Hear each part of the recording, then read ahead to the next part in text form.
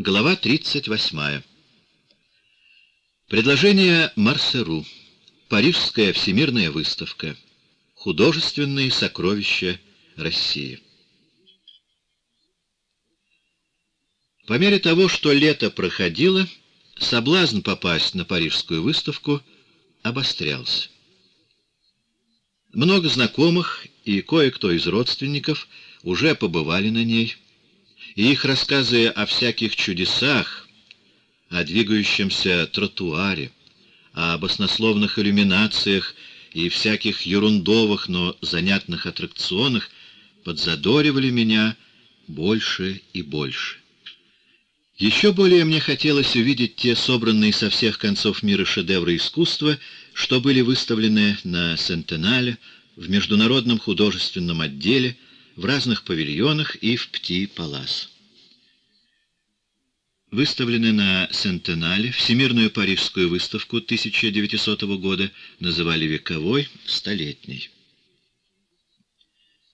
Этот соблазн достиг, наконец, такой силы, что в один прекрасный день Верх взяла решение туда отправиться, наперекор всяким благоразумным экономическим соображениям. Я прямо так объявил Ате, что еду в Париж. Как и следовало ожидать, она не только не стала меня отговаривать, но, напротив, помогла мне разделаться с последними сомнениями. Когда же, пьяный от впечатлений, я через три недели вернулся, то рассказы мои так разохотили мою жену, что она не вытерпела и, сговорившись с Анной Петровной Остроумовой, в свою очередь отправилась с ней в Париж. И эта ее десятидневная экскурсия получилась не менее удачной, нежели моя. В Париже они случайно встретились с Серовым, и после того почти с ним не расставались, что опять-таки прибавило всему много прелести. Остановился я в Париже по совету брата Альбера в меблированных комнатах на Рю-Камбон, в старинном доме, вестибюль которого был украшен прелестными наполеоновской эпохи барельефами. Этот дом существует поныне, в нем помещается одно из отделений знаменитой портнихи и фабриканши косметики Коко Шанель. Но прелестные барельефы, изображавшие стоячие фигуры каких-то нимф, или времен года, кажется, погибли вследствие переустройства всего дома. В этих меблированных комнатах я и в следующие приезды в Париж всегда останавливался, то один, то с женой, а в 1914 году со всей семьей, и тогда пришлось снять два этажа. С течением времени у нас с хозяевами установились отношения чуть ли не дружественные, и это было очень приятно — это создавало иллюзию дома. Центральное положение, близкое соседство с почтовым бюро, с которого я отсылал свои ежедневные бюллетени жене, скромная цена, близость ресторанов, в которых я питался, а впоследствии соседство с оперой, где шли наши спектакли. Все это было до того удобно, что можно было не считаться с фактом, что в самом этом пристанище, кроме утреннего кофе, не кормили. Последнее обстоятельство оказалось особенно неприятным, когда я в тот выставочный год заболел довольно сильной ангиной. Первые два дня хозяева согласились меня питать тем, чем сами питались, но на четвертый псье Генри буквально погнал меня вон из дому, и я, чтобы восстановить свои силы, по его же совету отправился в таверну «Туртель», на бульваре, съел там кровавый бифштекс и запил это целой бутылкой чудесного нюи. И что же? На следующий день я был здоров и снова бегал по выставкам. Но именно то, что благодаря болезни я застрял в Париже, именно в тот день снова оказался на выставке, сыграло, как это ни странно, значительную роль в моем существовании. А именно в этот день я в американском отделе нос к носу встретился с Марсеру. Мы вместе угостились там же крем-содой со льдом, и, угощаясь, он поведал мне, до чего его огорчает все бездарное ведение дел в Императорском обществе поощрения художеств, членом комитета которого Марсеру состоял, и до чего ему бы хотелось повернуть эти дела в сторону чего-то более достойного и отвечающего основным задачам общества. Особенно негодовал Марсеру на нелепость Сапко, бывшего многие годы секретарем общества, иначе говоря, фактическим заведующим делами, в последний же год совмещавшего эту должность с редактированием им же основанного журнала «Общество искусства и художественная промышленность». Журнал этот, начавший выходить одновременно с миром искусства, подвергался со стороны последнего жестокому и заслуженному осмеянию. Ежемесячный иллюстрированный журнал «Искусство и художественная промышленность» издавался с конца 1898 года по инициативе Стасова, который рассматривал его как действенное средство борьбы с декадентским миром искусства. Оба журнала вели между собой ожесточенную полемику вплоть до 1902 года, когда журнал «Искусство и художественная промышленность» на номере 38 прекратил свое существование. Но вот как раз Сапко недавно вышел в отставку и собрался продолжать издание журнала на собственный счет. Общество же поощрения осталось без секретаря и без журнала. Тут Марсеру и пришла в голову мысль — что дело журнала мог бы взять в свои руки Шура Бенуа. Узнав от моих братьев, что я в Париже, он всюду искал меня и нашу случайную встречу счел за перст судьбы. Павел Петрович Марсеру владел обширным магазином художественной майолики на Большой Конюшенной. Однако до того, чтобы совершенно уйти в коммерцию, он готовился в архитекторы, и в качестве ученика Академии художеств сошелся с моим братом Леонтием. Это был типичный француз, и хотя он вырос в Петербурге, говорил он по-русски с явным французским акцентом и с типично французскими интонациями. Типично французскими были и все его порывистые манеры, его горячность, его жажда играть благодетельную роль в любом художественном деле. Вообще же это был необычайно симпатичный человек, и хоть трудно было отделить в нем коммерсанта, магазин Марсеру славился своей чудовищной дороговизной, от художника, то все же можно было вполне его считать художественной натурой. В общем, он являлся вариантом другого русского француза, графа Сюзора, о котором я уже упоминал и с которым мы еще встретимся в дальнейшем. Для меня предложение Марсеру было столь неожиданным, что я сразу даже не поверил в серьезность его. Учитывая южный темперамент и известное всем легкомыслие милейшего Павлуши Марсеру, я мог допустить, что он по обыкновению просто увлекается и принимает свои собственные фантазии за нечто реальное. Однако выяснилось, что Марсеру уже успел переговорить с вице-председателем общества поощрения, с Балашовым, и что тот, человек серьезный и положительный, вполне одобрил его выбор. Все же я продолжал сомневаться. С одной стороны, мне рисовалось все то, что можно сделать на этом поприще, и у меня сразу возник план нового издания. С другой стороны, меня смущало, что мне поневоле придется войти в контакт с тем самым старичьем, которое засело в комитете общества и коего закоренелое рутинерство мир искусства так презирал. Правда, в комитете влиятельными членами состояли и мой брат Альбер, и отец моего ближайшего друга Сомов. Все прочие члены, начиная с Боткина, были нашими хорошими знакомыми, но за людей мне действительно сочувствующих я и их не мог считать. Только вот Марсеру, да, пожалуй, еще художник Куинджи и симпатичнейший Ильин были бы на моей стороне, тогда как остальные должны были относиться к выросшему на их глазах Шурке Бенуа как к молокососу, да к тому же и декаденту. Напротив, Марсеру утверждал, что все эти старики после неудачи с первым журналом находятся в полной растерянности и готовы уцепиться за любого спасителя. Настоящим же вершителем судеб общества являлся помянутый Иван Петрович Балашов — который, когда Марсеру назвал ему мое имя, даже привскочил на своих коротеньких, снабженных шпорами ножках и воскликнул «Совершенно верно! Вот кто нам нужен!» Сапоги Ивана Петровича были снабжены шпорами, потому что на такую привилегию он имел право, будучи шталмейстером высочайшего двора. Однако вся наружность и все манеры этого милого и замечательно благонамеренного человека не выдавали в нем, кроме шпор, царедворца. Он был мал ростом, с жалкой бороденкой, какая бывает у самых серых мужичков. Даже когда Балашов облекался в сплошь золотом расшитый парадный мундир, он продолжал казаться не барином. Он и по родству, и по несметному богатству принадлежал к самым высшим кругам, а каким-то разночинцам. То, что было в нем неизгладимо простецкого, он, вероятно, сознавал, и это создавало его комплекс неполноценности.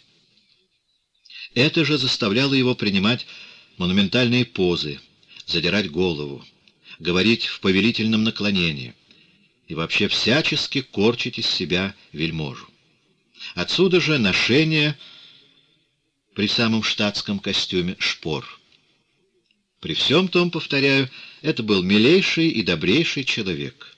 К сожалению, в 1902 году он отправился на Дальний Восток, где собирался играть очень значительную роль, но где он, если не ошибаюсь, вскоре скончался. У меня оставалось еще одно сомнение. Не значили ли как раз эти слова Балашова, что старички хотят меня перетащить в свой лагерь, что я должен буду изменить тому, к которому принадлежу? Не желают ли они, чтобы этот мой журнал являлся конкурентом нашему миру искусства? Я попросил Марсеру дать мне два дня на раздумье, и за эти вечера, последние в Париже, я окончательно разработал план своего журнала, и план этот был таков, что вполне допускал дружное сосуществование обоих изданий. За образец моего сборника я взял те иностранные издания, которые и мой отец, и я получали в течение многих лет из Парижа и Мюнхена. Все они не были журналами в обычном понимании слова, являлись ежемесячными сборниками таблиц, снабженных краткими пояснительными текстами. Таблицы же воспроизводили в кажущемся беспорядке разные достопримечательные предметы, картины, рисунки, гравюры, архитектурные и скульптурные памятники, изделия художественной промышленности и тому подобное. Накопляясь, эти таблицы могли быть затем сгруппированы по школам, по мастерам, по эпохам, по отдельным отраслям декоративных художеств, и с годами такие группы, разрастаясь в настоящие кодексы по каждой отдельной отрасли, представляли в целом весьма внушительные и полезные материалы по истории искусства. В данном же случае я не хотел целиком повторять то, что сделали немцы и французы. Моя цель была более узкая, но для русских людей и более значительная. Обладая несметными богатствами художественного порядка в музеях, дворцах, церквах и в частных собраниях, русский народ в своей массе и даже среди интеллигенции не знал их вовсе или знал плохо. Общество поощрения и исполнило бы свой прямой долг, если бы оно взяло на себя ознакомление русских людей с этими отечественными богатствами посредством хороших воспроизведений, которые сопровождались бы краткими, но вполне достоверными историческими сведениями. Такой сборник, естественно, можно было назвать художественными сокровищами России. В смысле же материального вознаграждения за свой труд – я заранее готов был довольствоваться какой угодно суммой. Уж очень мне вдруг захотелось получить в свои руки ведение такого дела. Зато непременным условием я ставил абсолютную свободу в своей деятельности вне данного редактирования. На этом мы с Марсеру и расстались, но очень скоро после моего возвращения в Петербург я получил крайне любезное письмо от Балашова, содержавшее официальное подтверждение сделанного мне предложения, полное одобрение моей программы и утверждение меня в должности редактора, причем и условие моей свободы было безоговорочно принято. Передо мной развернулось весьма широкое поле деятельности, и я поспешил взяться за дело. Год, проведенный мной за общим редакторским столом мира искусства, оказал мне при этом большую пользу. Мне были уже знакомы имена и адресы всяких техников и поставщиков, фотографов, типографий, фотомеханических мастерских. Я знал и то, что от них требовать и как вообще ведется дело печатания текста и иллюстраций. Начало нового издания назначено было на январь 1901 года. К этому моменту надлежало окончательно уточнить программу набрать сотрудников, а главное — наполнить портфель редакции материалом, который обеспечил бы выход журнала хотя бы на первую половину года. Однако теперь пора вернуться к Парижской всемирной выставке. Тема эта сейчас, по прошествии полувека, стала для меня не из легких. Проще было бы отослать читателя к тем моим статьям, что появились тогда же в мире искусства и что написаны под свежим впечатлением. Письма со Всемирной выставки «Мир искусства», 1900 год, том 4, страницы 105-110, 156-161, 200-207 и «Французское искусство» на Всемирной выставке, 1901 год, том 5, страницы 35-43. Но в них говорится главным образом о вещах серьезных. В мире искусства я говорю о Сентенале, на который я вместе со многими открыл и Домье, и Шассерио, портрет двух сестер, и Мане, и рисунки Энгра, и многое другое. Я говорю и о сокровищах старинной французской живописи, собранных в неповторимой полноте в Пти-Палас. И среди них, о, до той поры неизвестных французских примитивистах, с Шарентоном и с Фроменом во главе. На международной я восхищаюсь более всего картинами скандинавов, переживавших тогда эпоху своего быстро затем увядшего расцвета. Там я разбираю и отдел русской живописи, на котором первые места занимали Серов и Левитан, больше же всего толк возбуждала картина Малявина. На Всемирной выставке 1900 года была показана малявинская картина «Смех», за год до того представленная на конкурс Академии художеств и отвергнутая консервативной частью Совета. Только решительное вмешательство Репина помогло Малявину получить звание художника. В Париже картина произвела фурор — о ней много писала пресса, отмечая и варварское буйство кисти, и очевидную связь с устремлениями новейших школ европейской живописи. Международное жюри Всемирной выставки, в котором Россию представлял Репин, удостоило Малявина и Коровина золотых медалей, Серова — высшей награды выставки Гран-при. Все это не имеет смысла повторять здесь. Сейчас же я предпочитаю вспомнить о всем том эфемерном, курьезном и забавном, что я тогда воспринял со всей страстностью своих 30 лет. Глубокого значения этим впечатлениям не нужно придавать. Но в свое время я получил от них немало удовольствия, да и сейчас воспоминание о всей этой чепухе все еще принадлежит к чему-то освежающему.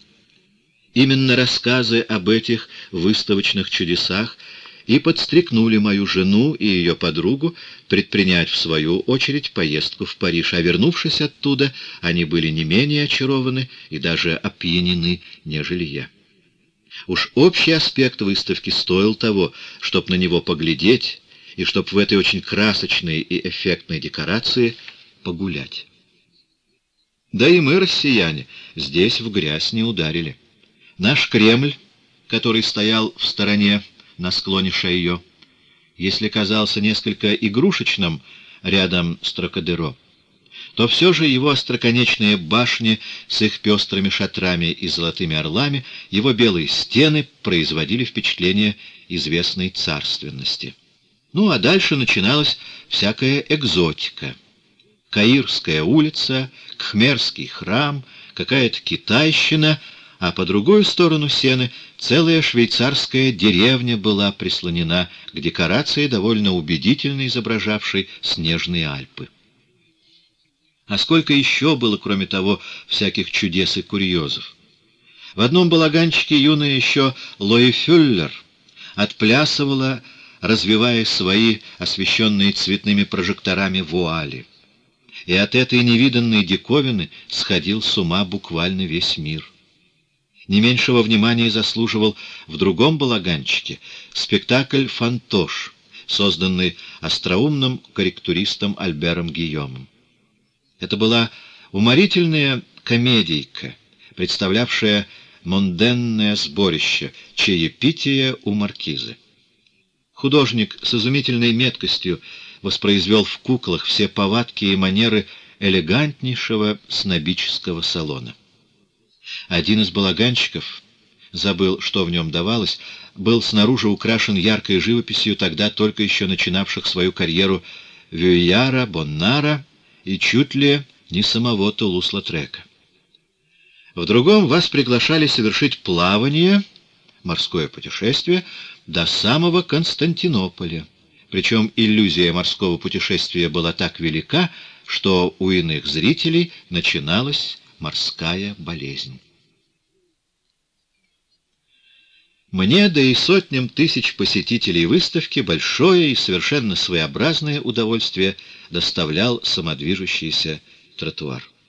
Несколько раз я совершил эту фантастическую прогулку без всякой надобности и цели, только бы снова испытать то особое ощущение, которое получалось от этого быстрого и, однако, не требующего никаких усилий скольжения, от этого полета на высоте второго этажа, домов, огибая значительный квартал Парижа под боком у инвалидов. Так удобно было вступать сначала на платформу, двигавшуюся с умеренной скоростью, для того, чтобы с нее перебраться на платформу, несущуюся с двойной или тройной быстротой. Но на этом я, за недостатком места, свой рассказ о выставке прекращаю. Осень 1900 года прошла для меня в горячке приготовлений к моей редакторской деятельности. Вначале я чувствовал, что какая-то скрываемая неприязнь продолжает царить против меня в Комитете общества поощрения. Но с момента, когда стало известно, что сама августейшая председательница, принцесса Евгения Максимiliaновна Ольденбургская, вполне одобрила выбор Балашова, и очень милостиво отнеслась ко мне лично, когда я был представлен ей в качестве редактора, то и старичье смирилось.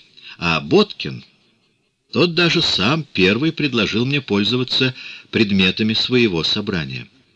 В помощь мне и отчасти для наблюдения за тем, как бы декадент не выкинул бы чего-либо нежелательного для общества, была выбрана редакционная комиссия из трех лиц затейщика всего дела Марсеру, директора рисовальной школы Общества поощрения Сабанеева и Ильина. Из них трех единственно, кто мне не был особенно приятен, это Сабанеев, бестолковый, придирчивый, ярко-рыжий господин. Но нам втроем не стоило большого труда его урезонивать и обезвреживать. Напротив, и Марсеру, и Ильин приходили в восторг от всего, что я не затевал, а нередко оба были мне полезны в чисто практических и технических вопросах. Особенно Ильин, стоявший во главе самого значительного картографического заведения в России и имевший большой опыт вообще в печатном и, в частности, в литографском деле. Очень скоро редакция «Сокровищ» стала сборным пунктом для многих моих друзей — особенно для тех, которых я пригласил к прямому участию в моем издании в качестве постоянных сотрудников. Самыми верными и усердными среди них оказались Еремич и Курбатов. Но тотчас же послышались жалобы со стороны Сережи и Димы на то, что редакция «Мира искусства» пустеет по вине притягательной силы, исходящей от сокровищ. И тогда с общего согласия было постановлено устроить очередь. Два дня в неделю я принимал друзей у себя в редакции на мойке, и поил их чаем с кренделями. В остальные же дни все, и я в том числе, собирались у Сережи, тоже за чайным столом, но с баранками и калачами. С осени 1900 года мир искусства переехал с Литейной на новую, более парадную квартиру в третьем этаже дома номер 11 по Фонтанке, с окнами, выходившими на дворец Шереметьевых. Рядом с этим, выкрашенным в черный цвет домом, был особняк-дворец графини Софьи Владимировны Паниной, считавшейся самой богатой невестой в России. Одним из условий, поставленных обществом поощрения, было то, чтобы все нужное для сборника производилось в России. И мне строго запрещалось, наподобие мира искусства, что-либо заказывать за границей. Бумагу и ту надо было раздобыть русскую, что после многих поисков мне и удалось с некоторой натяжкой. Меловая бумага, годная для печатания автотипий, нашлась в Финляндии. Также и хромолитографии, и гелиогравюры приходилось заказывать у себя, главным образом в цинкографии Вильбурга. Текст же печатался у Голики. В начале существования «Сокровищ» то были еще два независимых один от другого предприятия. Но вскоре они слились в одно, небывалого еще в России размах. С этого момента душой и мозгом сложного целого стал не вечно суетливый хлопотун и путаник Роман Романович Голики, и не апатичный вялый Артур Иванович Вильборг, а главный техник в деле последнего Бруно или Александр Георгиевич Скамони, один из самых толковых и дельных людей, когда-либо мне встречавшихся на этом поприще. Скамони мне впоследствии признавался, что и мое сотрудничество сослужило добрую службу его фирме в смысле подъема уровня художественных работ. Мои строгие, но всегда справедливые требования и критика по существу, без лишних придирок, способствовали постепенному совершенствованию качества работ. В то же время я, благодаря Скамоне, стал лучше различать, что можно и надлежит требовать, а что нельзя — и остается вне досягаемости. Наше истинно дружеское сотрудничество со Скамони пригодилось и после того, что я покинул сокровище. Оно способствовало созданию целого ряда строго художественных и монументальных изданий, среди которых были мое «Царское село», моя «Русская школа живописи» и моя же, увы, оставшаяся незаконченной, «Всеобщая история живописи». Речь идет о книгах Бенуа «Царское село в царствование императрицы Елизаветы Петровны», «Материалы для истории искусства в России в XVIII веке», Санкт-Петербург, 1910 год, «Русская школа живописи», Санкт-Петербург, 1904 год, и «История живописи всех времен и народов», в которой была издана только первая часть, посвященная пейзажной живописи. Выпуски 1-22, Москва, 1912-1917 годы. Ближайшей моей задачей было составление первых выпусков художественных сокровищ. И эта задача оказалась тогда потому же особенно трудной, что до выпуска первого номера оставалось с момента моего вступления в должность всего четыре месяца. Да и те не полностью — так как царила убийственная темнота петербургской осени, и это мешало съемке фотографий. Вообще же требовалось подобрать иллюстрации таблицы так, чтобы они одним своим подбором давали сразу понятие о широте и разнообразии программы, а также и о художественной высоте общего уровня. В известной пропорции нужно было поместить памятники и отечественного искусства, и чужестранного – Нужно было представить всевозможные эпохи и всякие отрасли, лишь бы каждый воспроизводимый предмет находился в России. Особенных усилий потребовалось от меня для осуществления моего намерения давать в виде объяснительного текста не просто одни отрывочные сведения, вроде того, как это практиковалось в искусстве для всех и сокровищах формы, а нечто более обстоятельное и подписанное заслуженными авторитетами. С другой стороны, условия моего сборника не позволяли уделять много места тексту. Да я и сам был против того, чтобы текст в «Сокровищах» доминировал над иллюстрациями, и чтобы сборник получил характер тяжелого научного органа, ведь «Сокровища» были рассчитаны на распространение в широких кругах, главным образом среди художников и художественных ремесленников. Многое из того, что требовалось для текста, я и мои ближайшие помощники сами знали. Незнаемое же можно было без особенного труда узнать из словарей и специальных книг. Но трудно было какого-либо заслуженного и знаменитого ученого заставить прикинуться скромным популяризатором и при этом все же получить от него сведения вполне научного характера.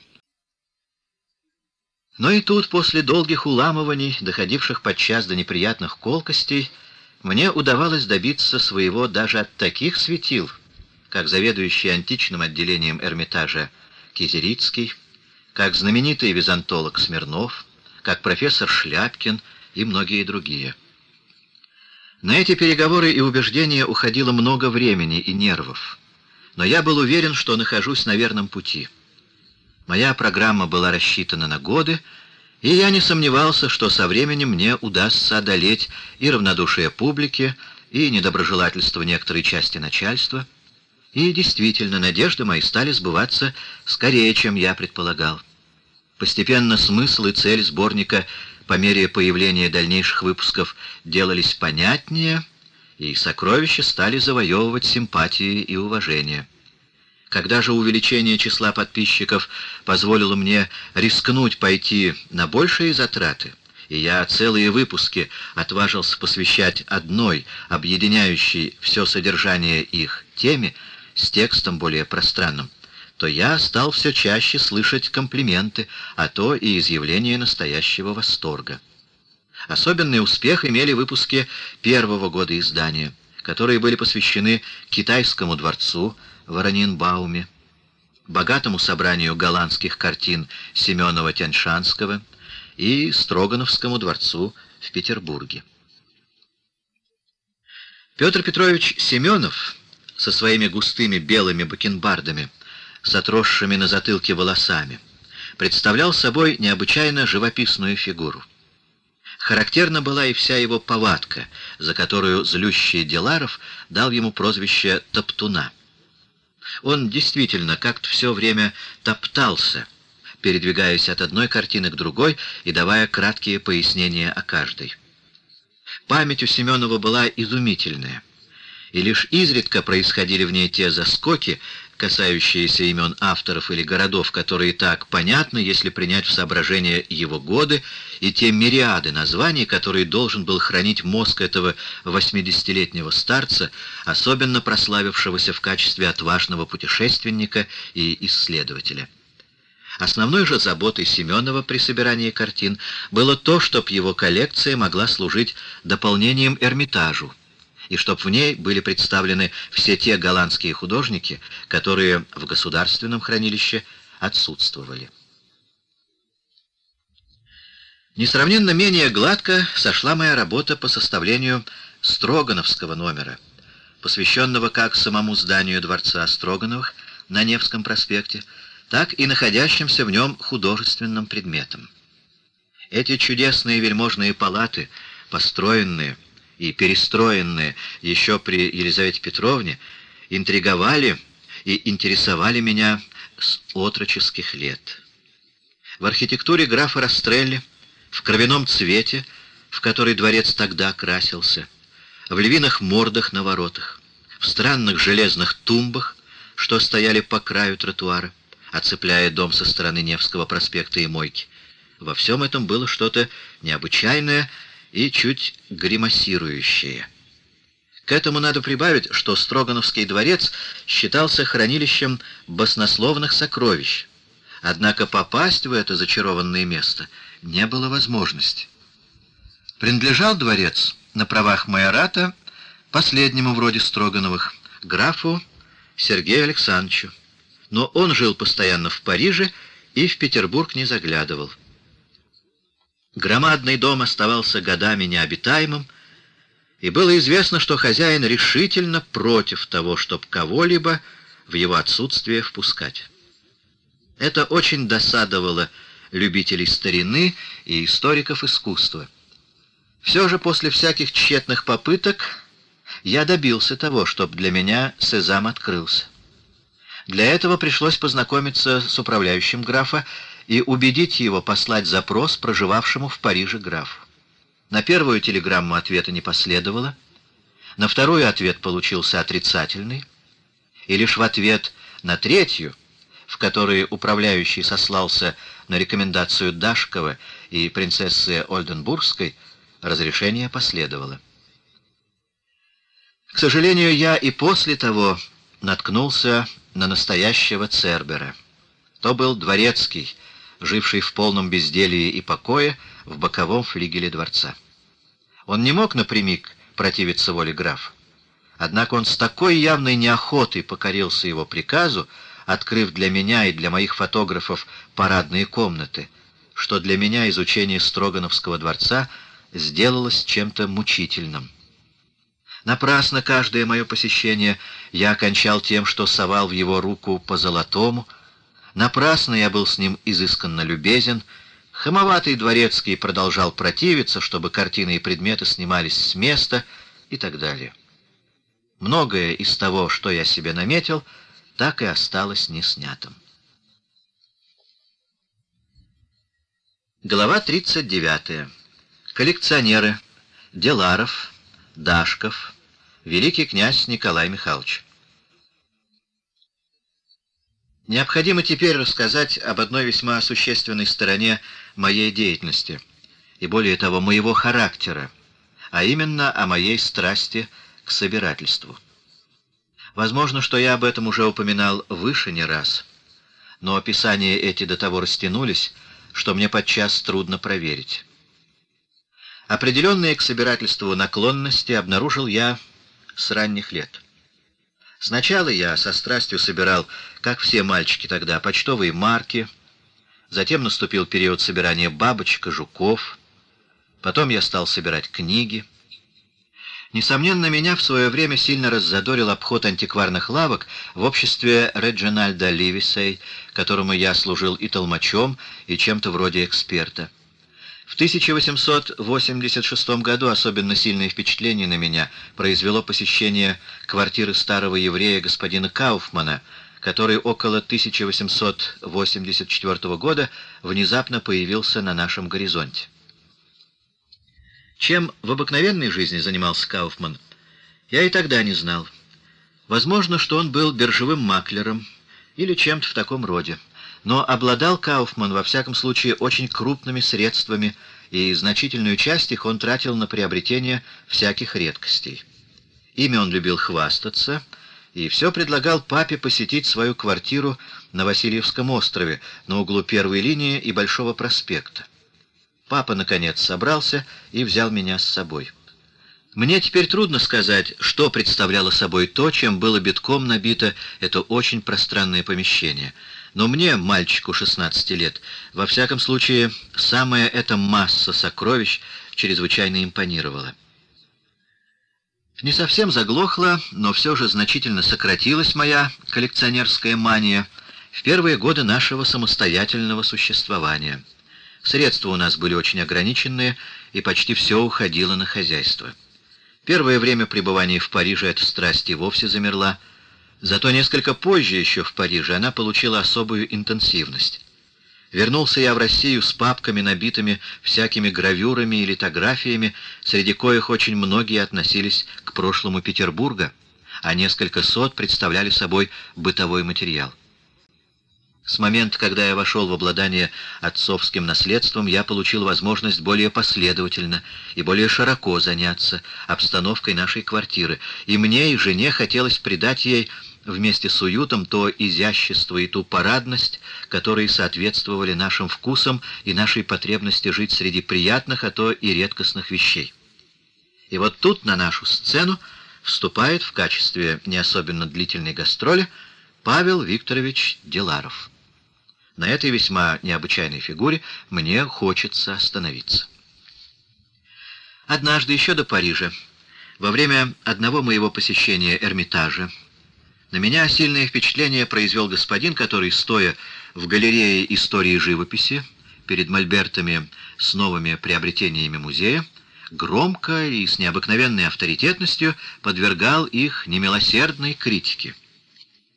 Галерея истории живописи, вводная, первая при входе с парадной лестницы в здание нового Эрмитажа, построен в 1839-1852 годах по проекту Кленца должна была давать по замыслу архитектора общее представление об античном искусстве. На парусах круглых плафонов галереи изображены всемирно известные художники Джотто, Рафаэль, Микеланджело, Тициан, Рубенс, Рембрандт и другие. Самая наружность этого господина обращала на себя особенное внимание. Это был невысокого роста, коренастого сложения человек, с густой рыжей бородой, и рыжим же клочком волос среди высокого лба, что придавало ему сходство с античным сатиром. При этом острые, очень злые, голубовато-зеленые глаза и яркий румянец на щеках. Поразило меня и то, как он был одет. Увидеть человека среди дня во фраке было уже чем-то необычайным. Вид этот наводил на предположение, что это какой-либо присяжный поверенный, забредший в музей в перерыве между двумя тяжбами. За лакея же его, во всяком случае, никак нельзя принять. Под мышкой у рыжего господина топырился огромный, туго набитый портфель. Вел он себя вызывающе дерзко, и все в целом было настолько странно, что я тотчас же тогда поднялся в кабинет хранителя музея к Сомову, которому я описал наружность поразившего меня человека. И не успел я закончить свой рассказ, как Сомов, а за ним и его помощник Неустроев, в один голос воскликнули «Да это Деларов!». За этим последовала весьма нелестная характеристика. Оказалось, что этот Деларов никакого отношения к жизни Эрмитажа не имеет, что он вовсе не какой-либо важный сановник или родовитый вельможа, а служит он в Министерстве путей сообщения, где занимает пост юрисконсульта, вот откуда сходство с адвокатом. И как таковой славится своим бессовестным стяжательством. Он обладатель большого собрания картин, а к администрации Эрмитажа издавна питает лютую ненависть. Проходит четыре года. Я вернулся из Парижа и снова окунулся в петербургскую жизнь. И вот, к большому моему удовольствию, я встречаю своего эрмитажного сатира — на сей раз в семейной обстановке. У своей кузины, зарудный Кавус, на одном из ее журфиксов, на которых можно было видеть всяких знаменитостей художественного и литературного мира.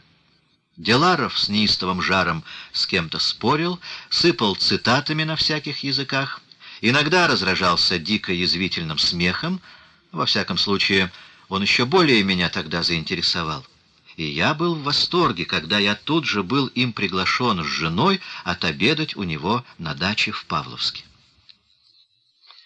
В ближайшее же воскресенье мы туда и отправились. И тут все было довольно неожиданным. Дом, в котором круглый год жили Деларовы, не был вовсе каким-либо каменным особняком, а то была самая обыкновенная двухэтажная деревянная дача.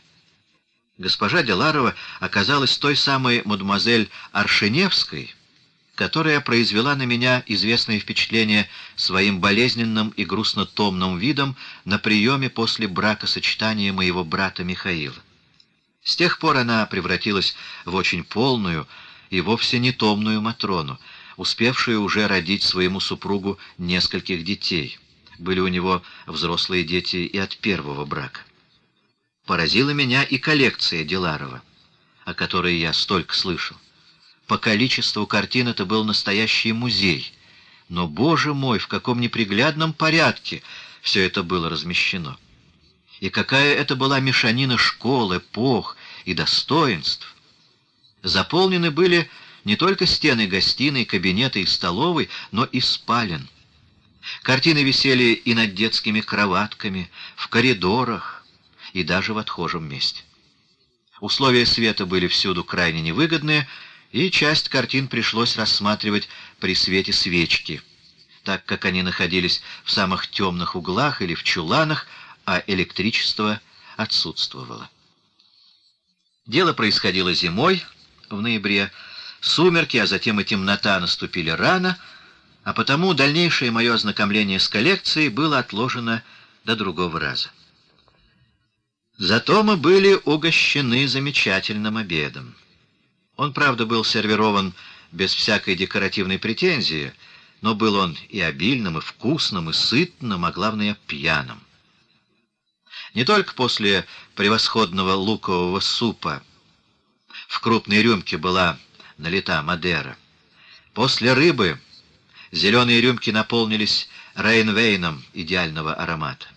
После ростбифа стаканы бургундским, а к кофе была подана целая батарея ликеров. Но во время всего обеда лилось рекой шампанское, и хозяин зорко следил, чтобы все пили, причем сам пил втрое больше гостей, и к концу обеда так налился — что стал совершенно невоздержан на язык, стал рассказывать в очень откровенных формах анекдоты и ругать не совсем цензурными словами своих врагов. Особенно попадало знаменитым историкам искусства Брэдиусу и Гофстеде де Грот. И все это при дамах и даже при маленьких детях. И замечательно, что бывшая поэтичная мадемуазель Аршеневская, заседавшая на председательском месте, видимо, была до того приучена к таким проявлениям темперамента своего супруга, что и не пыталась положить какой-либо предел им. Достойным образом закончился этот сумбурный день и вечер тем, что пьяный извозчик, повезший нас на вокзал, выворотил нас вместе с санями на крутом повороте в снег, причем моя бедная жена получила от осколков льда несколько ранок на лице. Вскоре после этого безумного дня последовал первый визит Деларова к нам. И тут он меня поистине тронул своим восторгом от наших семейных гвардий. «Так идут к звездам», — твердил он, глядя на эти чудесные рисунки. Похвалил он и другое, что висело у нас по стенам, и тут же, видимо, убедился в том, что я кое-что понимаю и кое-что знаю, что в те времена в России было редкостью. Взялся он и пилотировать меня в деле собирательства, но от предложения участвовать в каких-либо аферных комбинациях, основанных на купле и продаже картин, я сразу и решительно уклонился. Я вообще насторожился, тем более что слышал весьма нелестные вещи про корысть Деларова и не слишком строгую его честность. Последнему я получил подтверждение из уст самого циничного и необузданного Павла Викторовича. Как раз в день первой экскурсии его пилотирования по антикварам я заехал за ним в министерство на Фонтанке и был поражен, что и его очень обширный кабинет был завешен картинами, но такого формата, который не пролез бы ни в одну дверь Павловской дачи. Тут висела большущая и прекрасно писанная аллегория мира — Луки Джордано, и не менее крупный библейский сюжет Иорданса, натюрморты Снайдерса и еще много другого. Стоя перед этими полотнами, Деларов понес невероятную галиматью, что-то вроде гимна взяточничеству, совершенно не стесняясь присутствием секретаря и сторожа. Кстати сказать, этот сторож или курьер был вернейшим спутником его превосходительства в его посещениях Александровского рынка и разных антикваров. Купленные картины он сразу забирал и тащил на пролетку или на сане, где и усаживался редком со своим начальником, придерживая руками приобретенные находки. В целом это представляло зрелище, достойное Перова или Владимира Маковского. Много картин Диларова прошли через руки реставратора Напса, тоже очень характерной фигуры. Но и сам Павел Викторович был склонен заниматься этим своеобразным спортом. Однако про него уже никак нельзя было сказать, чтобы он обнаруживал при этом необходимый такт и осторожность. Я уверен, что сам Деларов погубил не один десяток картин, так как сам жестоко поплатился, доверив его знанию дела прелестную картину в духе Пауля Поттера, которую я считал за Адриана Ван де Вельде. Это был пейзаж с отдыхающими на первом плане под тенью деревьев коровами. И вот, вооружившись ватой, которую Деларов макал в раствор спирта со скипидаром, первого было больше, чем второго, он так энергично принялся шкурить мою картину, что не успел я оглянуться, как полетела тонко выписанная листва на деревьях. Как за средней коровой появился сток сена, как исчезла деревня и колокольня церковки на горизонте. И стала моя картина плоской, пропала вся ее поэзия. Эту картину я приобрел на аукционе барона Фитингофа, который состоялся в пустой квартире, обреченного на слом дома Жербиных на Михайловской площади. Интересные в художественном отношении распродажи были у нас редкостью, а потому и этот аукцион получил значение известной сенсации и собрал всех, что было у нас коллекционеров и антикваров.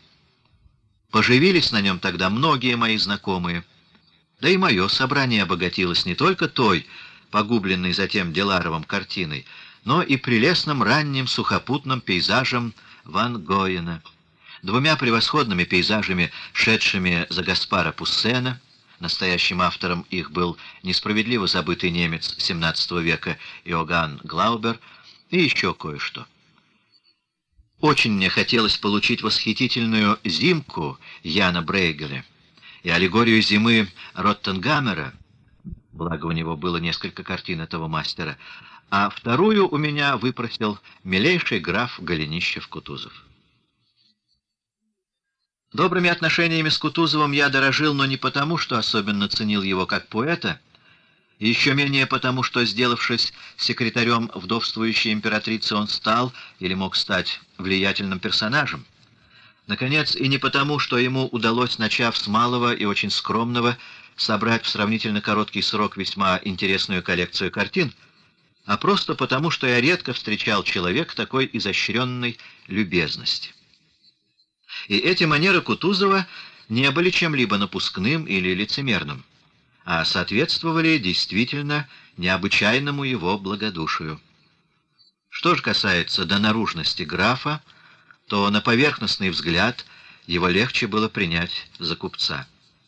На это наводила его тяжелая, расползшаяся фигура, его одутловатое широкое лицо, его жиденькая белокурая борода. Все это вместе взятое напоминало торговцев в Апраксином рынке, которые, сидя перед своими лавками, целыми днями попивали чай и зазывали прохожих. Но стоило немного побеседовать с этим мнимым купчиной, и настоящая природа Арсения Аркадьевича выявлялась вполне. Все выдавало в нем подлинного барина.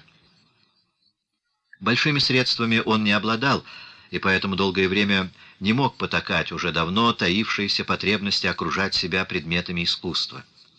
Но с момента, когда он поступил на службу ко двору вдовствующей императрицы Марии Федоровны, и ему была предоставлена прекрасная казенная квартира в доме для служащих Аничкова дворца на Фонтанке, для него открылась возможность позволить себе кое-какие безумства, его собственные слова.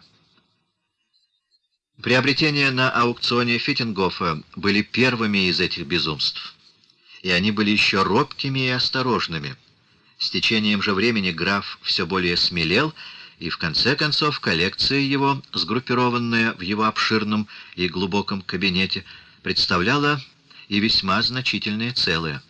Он особенно увлекался старыми немцами XV века. Раз я уже заговорил о петербургских коллекционерах, то будет уместно упомянуть здесь имена и других главнейших наших собирателей — Боткина, Шварца, Ваулина, Дашкова, Сергея Сергеевича Боткина и князя Аргутинского. Со всеми ними я часто встречался как раз в эту пору, то есть вокруг 1900 года, отчасти на почве моей деятельности редактора художественных сокровищ, но двое последних из названных сделались моими ближайшими друзьями, С ними я стал видеться чуть ли не ежедневно, мы с женой постоянно бывали у них, а они у нас. Они же стали принимать живейшее участие во всем, из чего складывалась моя жизнь как общественная, так и семейная. Позже к ним присоединились еще князь Горчаков с княгиней и Олив с супругой. На одном из этих лиц мне нужно подольше остановиться. Я имею в виду самого замечательного из них Павла Яковлевича Дашкова. Дашков Павел Яковлевич, 1849-1910, действительный член Академии художеств с 1903 года, помощник статс-секретаря Государственного совета, обладал уникальной коллекцией, в которой особенно полно была представлена гравюра Петровского времени. Смотрите «Дашков. Некролог. Речь. 1910 год. 7 февраля». После смерти Дашкова Бенуа посвятил его памяти специальную статью «Речь. 1910 год. 12 февраля». Коллекция Дашкова была включена в собрание исторического музея. Имя его мне стало известно еще в 80-х годах, когда в изданиях Суворина, посвященных истории Петербурга, его окрестностей и Москвы, постоянно появлялась под иллюстрациями одна и та же заметка из собрания Дашкова. Заметки эти заставляли полагать, что у этого счастливца хранятся неисчислимые сокровища, как раз касающиеся такой области прошлого, которая меня все более и более приманивала. Несколько раз, все через Сомова, я пытался попасть к Дашкову, но пока я из себя ничего официально не представлял, мои домогательства оставались тщетными.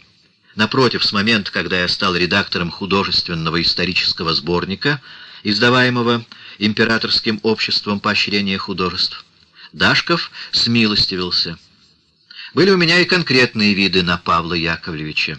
Я понимал, что мне никак не обойтись без многого из того, что собрал Дашков. Не скрою, что, отправляясь к такому знаменитому и заслуженному лицу, с такой исторической фамилией, я несколько робел. Но эта робость сразу миновала, как только я переступил порог Дашковской квартиры. Вся его обстановка оказалась совершенно не такой, какой я ее себе представлял. Бог знает, почему я ожидал, что, войдя в этот снаружи издавна знакомый мне дом на углу Михайловской площади, в двух шагах от Михайловского театра, я окажусь в подлинно барских хоромах, с массой картин на стенах и с великолепной дворцовой мебелью. На самом деле, эти комнаты были самыми обыкновенными.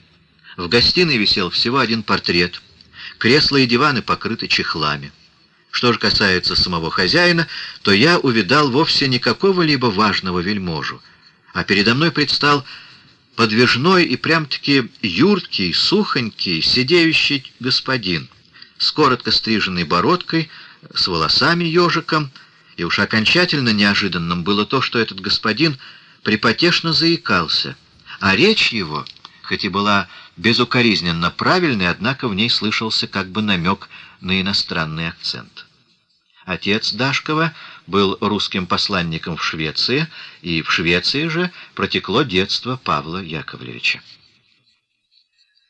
Несколько своеобразный вид представляла из себя одна только столовая. К ней прямо из передней шел светлый коридор, установленный тропическими растениями, и целая горка таких же растений — придавало столовой некоторое сходство с зимним садом.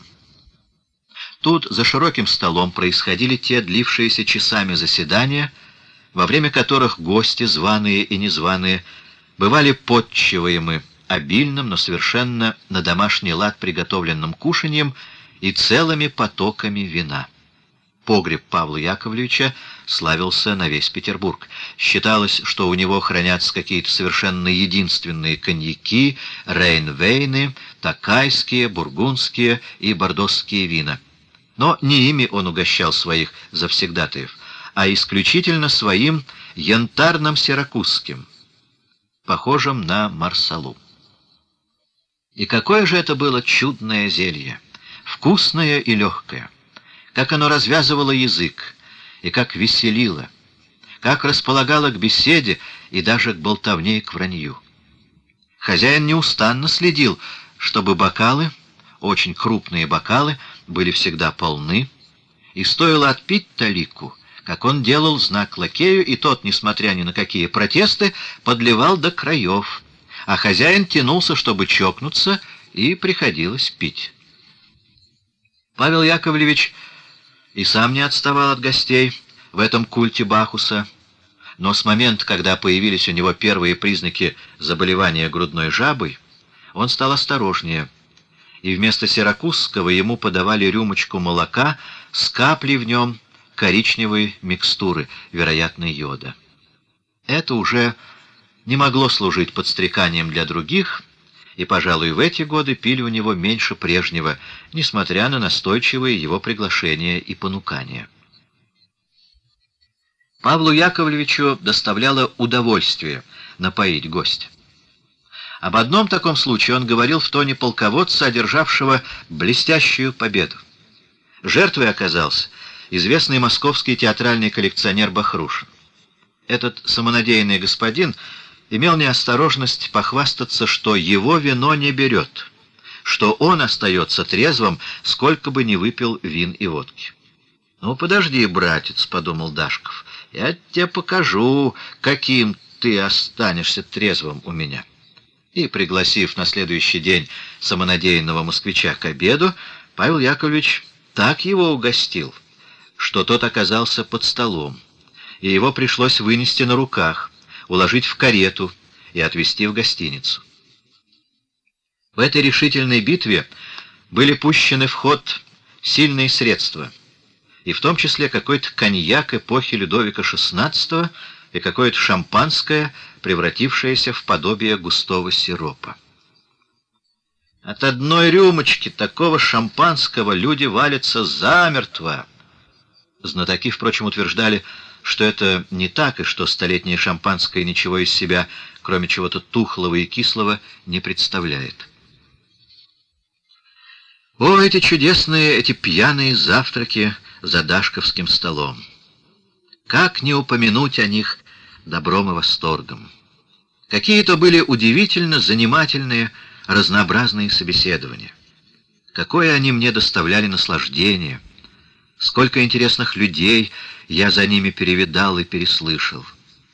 Три человека были завсегдатые, и они исполняли при Дашкове роль, которую в старом домашнем быту играли домочадцы и приживальщики. Они были выдрессированы подавать реплики хозяину, наводить разговор на желательные темы и, главное, следить за тем, чтобы гости пили.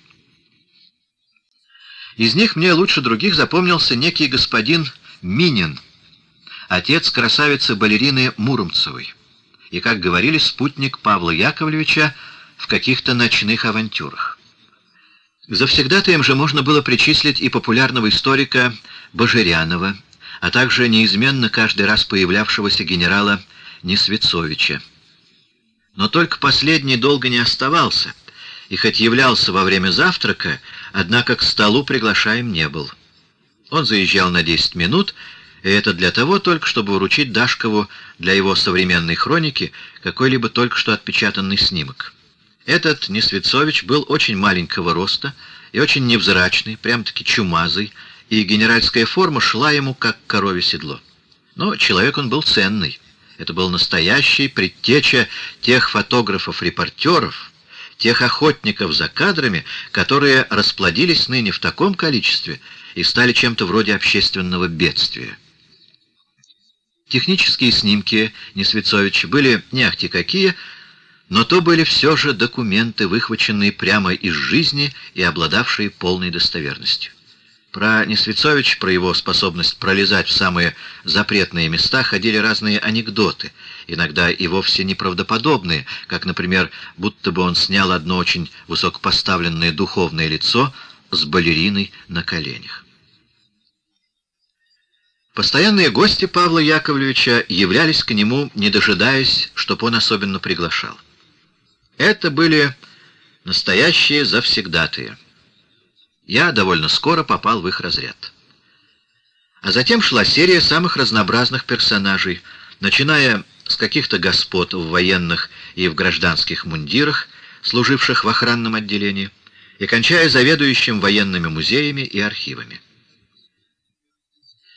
Не было такого готовящегося исторического труда, будь то юбилейная история полка или министерства, в котором можно было бы обойтись без того, чтобы украсить книгу воспроизведениями гравюр, почерпнутых из собрания Дашкова. Мои посещения Павла Яковлевича имели предлогом известную корыстную цель. Я являлся как бы для того, чтобы узнать, не откопал ли чего Дашков для меня из недр его собрания куда никто не допускался. На самом же деле меня просто тянуло к Дашкову.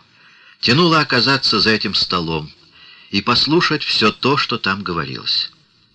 Разговоры были почти всегда исторического характера. Сообщались и обсуждались новейшие открытия всяких тайн. Постоянно возвращались, например, к подробностям убийства Павла I, или к тому, был ли или не был Федор Кузьмич действительно Александром I. Смерть Александра I в Таганроге в 1825 году дала повод к возникновению легенды, связывавшей его имя с судьбой таинственного старца Федора Кузьмича, объявившегося в окрестностях Красноуфимска Пермской губернии в 1836 году. Наружность Федора Кузьмича его образованность, осведомленность о фактах дворцовой жизни и событиях войны 1812 года давали некоторым историкам, например, Борятинскому, смотрите его книгу «Царственный мистик», император Александр I, Федор Кузьмич, Санкт-Петербург, повод для отождествления их личностей. Легенда вдохновила Льва Николаевича Толстого на создание посмертных записок старца Федора Кузьмича. 1905 год не закончено. Мнение о тождестве Александра и старца Федора первоначально держался и великий князь Николай Михайлович, однако позднее, под давлением царской семьи, он изменил свою точку зрения на противоположную. В его книгах «Легенда о кончине императора Александра I в Сибири в образе старца Федора Кузьмича», Санкт-Петербург, 1907 год, и некоторые новые материалы к вопросу о кончине императора Александра I, Санкт-Петербург, 1914 год, опровергались возможности сопоставления этих исторических лиц. Рассказывались анекдоты про всяких первопланных личностей, Обсуждалась целесообразность распоряжения полководцев, выигравших или проигравших какое-либо знаменитое сражение и так далее. Изредка затрагивалась и современность. Но в таких случаях я не помню, чтобы можно было вывести вполне отчетливое заключение о настоящих политических убеждениях беседующих. Едва ли присутствие каких-то господ из охраны или из сыскной полиции могло способствовать такому уяснению. Впрочем, сам Павел Яковлевич был убежденным монархистом. Даже тогда, когда в 1904 году дело стало портиться, он не терял своей абсолютной веры в государя. Я помню, как он на какие-то едкие нападки одного из гостей вдруг возвысил голос и, почти не заикаясь, в несколько приподнятом тоне заявил, «Вот увидите, государь еще себя покажет, и всех, и всех, и всех удивит. Вообще же Павел Яковлевич больше любил послушать умные и ученые речи и постоянно подзадоривал гостей к тому, чтобы они выкладывали побольше всяких сенсаций. Но изредка он и сам выступал с каким-нибудь рассказом, почерпнутым из его необъятного архива. И вот что странно. Его заикание не только тогда не портило дело, а напротив, придавало его речи особую значительность и живописность. Он с ловкостью умел пользоваться заминками своего языка перед каким-либо особенно замечательным сообщением. Заминки эти служили ему многоточием. Они же позволяли ему в течение такой паузы собраться с мыслями и отлить их в особенно отчетливую и поражающую формулу. При этом Павел Яковлевич начинал по-особенному ерзать на стуле вертеться, оглядывать сидящих за столом, и все это подготовляло эффект, заставляло насторожиться и загореться особенным любопытством. Сенсация затем выпаливалась уже без заминки и с каким-то триумфом.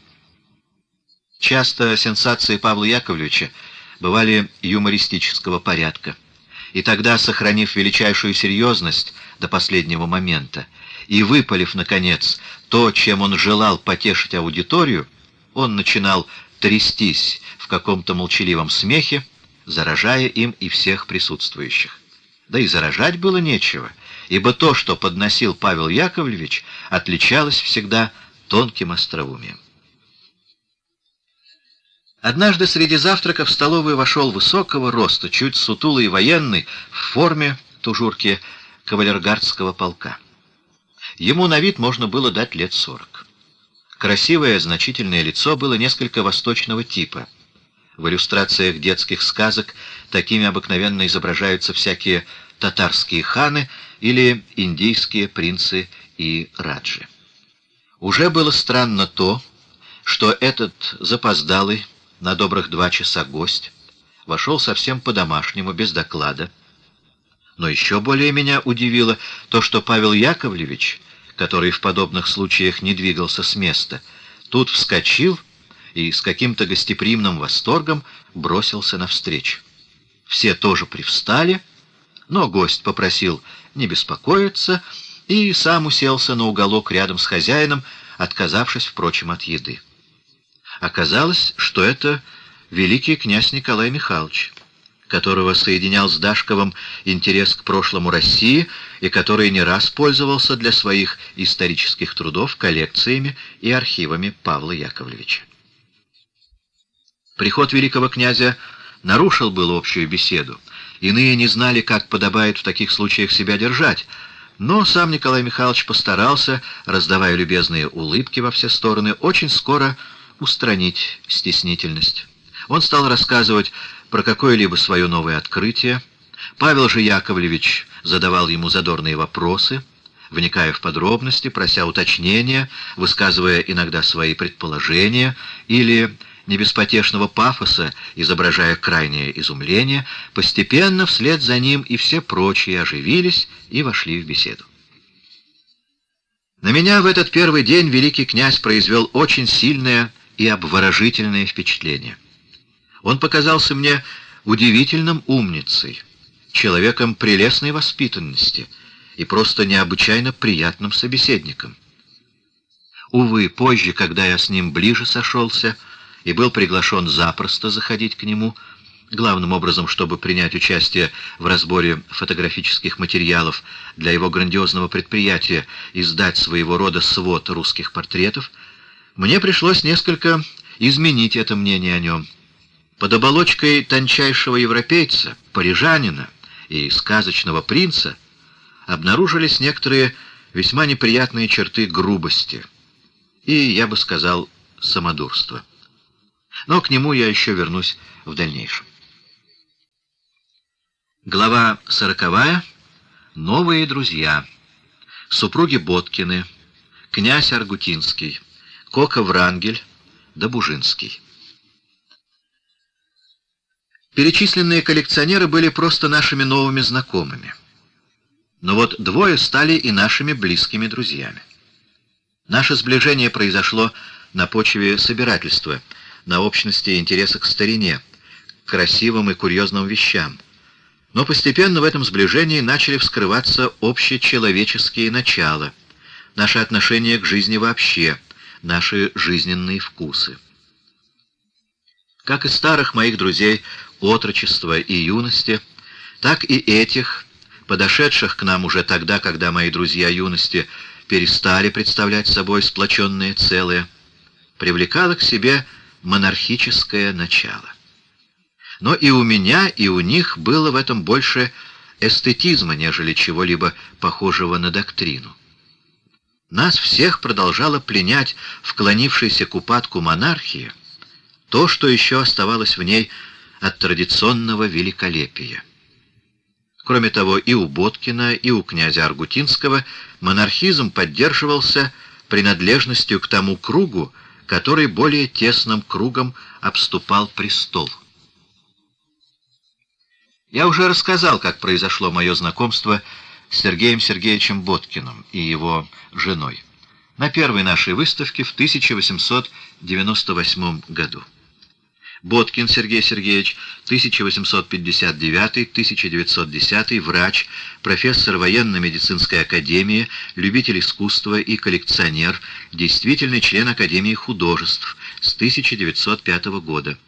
Бенуа писал о Боткине не раз.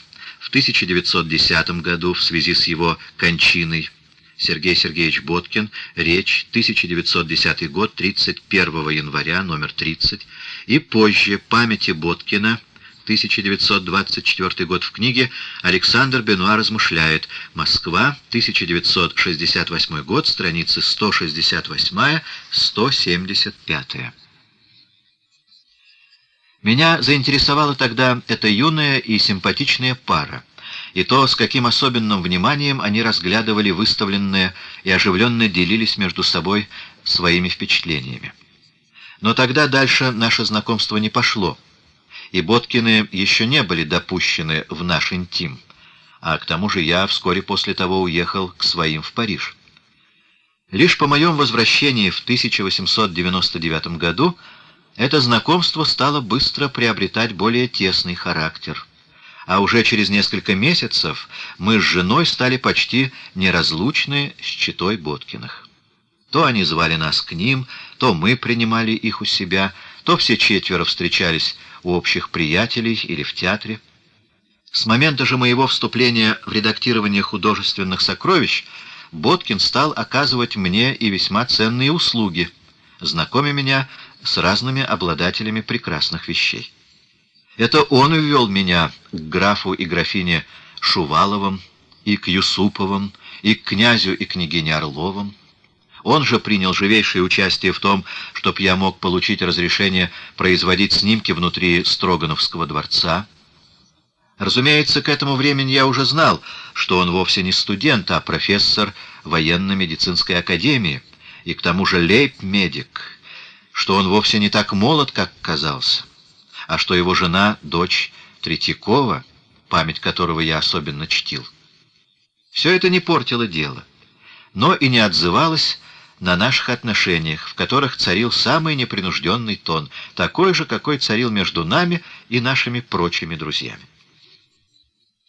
Профессор и лейб-медик оказался очень склонным к юмору, к шуткам. Его несколько сиплый давящий смех то и дело раздавался на наших беседах, он быстро освоился со всеми нашими чудачествами и странностями. Александра Павловна была более сдержанной, но это происходило отнюдь не от какой-либо спеси, иногда присущей представителям именитого московского купечества, а происходило от того, что она с трудом освобождалась от сохранения некой природной молчаливой монументальности, выражая то удовольствие, которое она испытывала в нашей компании — одной лишь приятной, как бы про себя, улыбкой. И тот, и другой из супругов обладал, во всяком случае, большим шармом, но, пожалуй, он в большей степени, нежели она. Сказать, кстати, и в Александре Павловне нас очень коробила одна странная черта. Она обожала свою старшую дочь Шуру и не скрывала своей антипатии к младшей Тасе. Причиной этого, говорят, было то, что после рождения первой дочери Александра Павловна особенно страстно мечтала о сыне, и вот разочарование, постигшее ее, когда снова родилась девочка, до того ее огорчило, что она с самых пеленок принялась это ни в чем не повинное дитя ненавидеть и, мало того, всячески это показывать. В этом, несомненно, сказывались пережитки купеческого самодурства, но надо отдать справедливость Александре Павловне — что в чем-либо другом такого следа темного царства не обнаруживалось. Иным характером обладал Сергей Сергеевич. Он был чрезвычайно любопытен до людей, черта которой особенно меня с ним сближала. А потому он не только не чуждался кого-либо, но любил бывать и там, где людей было много, и где он мог вдоволь удовлетворить свое специфическое любопытство. Не брезгал Сергей Сергеевич и всякой скандальной хроникой, охотно пополняя ее собственными наблюдениями, которые накапливались в его великосветской практике. При этом он, разумеется, остерегался выдавать тайны профессионального характера и сообщать, хотя бы и в тесном дружеском кругу, те из своих наблюдений, которые могли бы нанести ущерб репутации людей, состоящих его пациентами. Одной из основ нашего дружеского общения с Боткиным было коллекционирование. Но, разумеется, я никак не мог тягаться с Сергеем Сергеевичем, располагавшим несравненно большими средствами, нежели я. Впрочем, и вообще конкурентами мы едва ли могли бы быть, так как меня больше тянуло собирать старину западного происхождения. Он же почти исключительно собирал русские вещи и преимущественно рисунки. У него их уже набралось несколько сот, но качественно в момент нашего сближения далеко не все были равного достоинства. Боткин тогда зачастую попадался — придавая веру слишком смелым атрибуциям. Желание во что бы то ни стало иметь образчик того или другого редкого мастера влияло на эту доверчивость. Не всегда он разбирался и в разных тонкостях, но постепенно он от таких недостатков освобождался, становясь все более и более строгим в выборе и в то же время стараясь вести с большей последовательностью пополнение своего собрания — которое он завещал музею Александра III. И до чего же по-детски бурно радовался милый Сергей Сергеевич, когда ему удавалось найти что-либо особенно интересное. Как он ржал, приговаривая, что Остроухов и Аргутинский подавятся от зависти, когда узнают, что у него прибавился еще один Брюллов или еще один Кипренский. Особенно интенсивный характер получила моя дружба с Боткиным незадолго до его кончины, в зависимости от наших парижских спектаклей. Уже для успеха моего балета «Павильон Армиды» он потрудился немало. Здесь же он прям-таки распинался за меня, за Дягилева, за всех нас и проводил целые дни то на репетициях в Екатерининском зале, то у меня, то у Сережи. Он всегда был поклонником балета, и эту его страсть вполне разделяла его жена, но с момента, когда он перестал быть только зрителем, глядевшим на спектакль со своего кресла, а лично познакомился с лучшими артистами и видел их за подготовительной работой, он просто потерял голову. Впрочем, не одну голову, но и сердце. Он безумно увлекся Тамарой Корсавиной, в которую в те дни трудно было не влюбиться.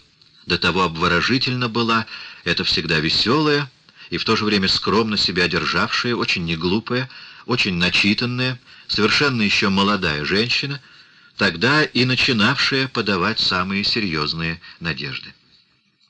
Этот односторонний роман Тамара Платонна, только что тогда вышедшая замуж за Мухина, не отвечала чувствам ее уже немолодого поклонника, мог бы, пожалуй, привести к каким-либо драматическим осложнением в жизни нашего друга, если бы не внезапная кончина его, произошедшая в начале 1910 года.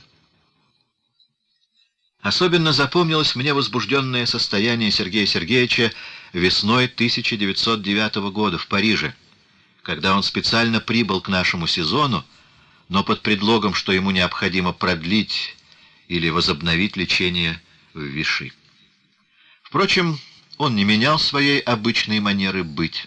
Он принимал такое же горячее участие в наших делах, он также болел всеми маленькими драмами, что разыгрывались на обостренных нервах внутри нашего стана, и в то же время он продолжал вносить в нашу компанию ту совершенно своеобразную ноту бодрости, которая была нам так необходима. Мало того, он в известной мере поддерживал Дягилева и материально — когда случилось так, что, несмотря на успех и полные сборы, наш лидер оказался без гроша. Несколько омрачила Боткина в эти последние годы его жизни ссора, произошедшая между ним и князем Аргутинским, другим нашим близким другом. Аргутинский Долгоруков Владимир Николаевич, 1874-1941, коллекционер произведений искусства, примыкавший к основной группе мира искусства, принимал участие в организации русских сезонов в Париже.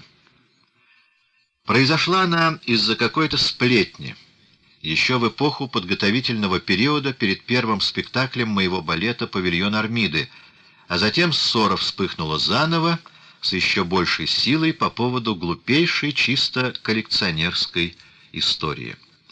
А именно, Боткин приобрел у антиквара Гризара дюжину старинных русских тарелок с какими-то курьезными музыкальными нотами, на которые уже давно целился Аргутинский, и это было известно Боткину.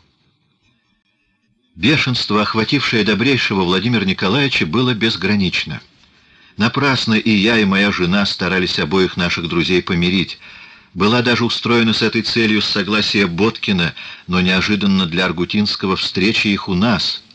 Но Владимир Николаевич почувствовал к своему обидчику такое омерзение, что, увидев его в нашей гостиной, он, не поздоровавшись с ним, вылетел пулей. Нам было ужасно жаль бедного Боткина, который горько раскаивался в своем стяжательном поступке и даже готов был пойти на то, чтобы уступить половину злополучных тарелок Аргутону, которого он в сущности нежно любил. Аргутинский же обвинял Боткина чуть ли не в грабеже, и каждое его предложение истолковывал в худшую сторону. Он перестал кланяться при встречах не только с Сергеем Сергеевичем, но заодно и с Александрой Павловной, что являлось особенно диким, когда она оказывалась в балете на соседнем кресле. И что же? Кто примчался первым к смертному одру Сергея Сергеевича? Кто, услыхав в телефон печальную весть об его скоропостижной кончине, оказался там за добрых два часа до нас?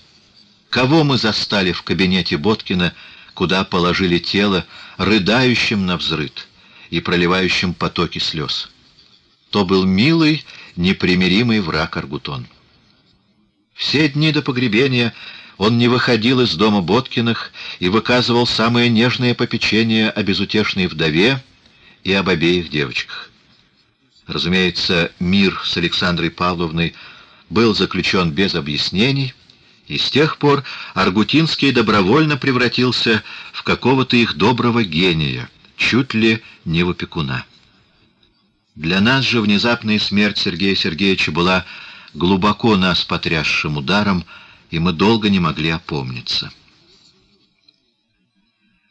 Только что рассказанная история о том, как поссорились Сергей Сергеевич с Владимиром Николаевичем, может послужить здесь своего рода введением к ознакомлению со вторым из этих наших двух друзей, прямо не принадлежавших к первоначальному школьному ядру однако ставших за несколько лет нашими самыми близкими людьми.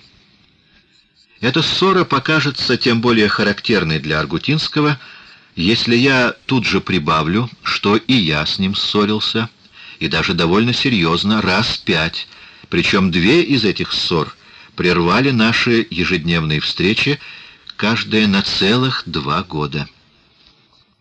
Характерно и то, что все эти наши ссоры кончались полным миром, притом без всяких извинений и объяснений ни с той, ни с другой стороны.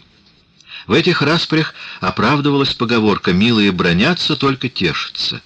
И если никак нельзя сказать, чтоб мы как раз очень тешились, то все же несомненно, что эти ссоры отвечали известным потребностям наших душ — и что, во всяком случае, мы и в состоянии ссоры не переставали сердечно любить друг друга.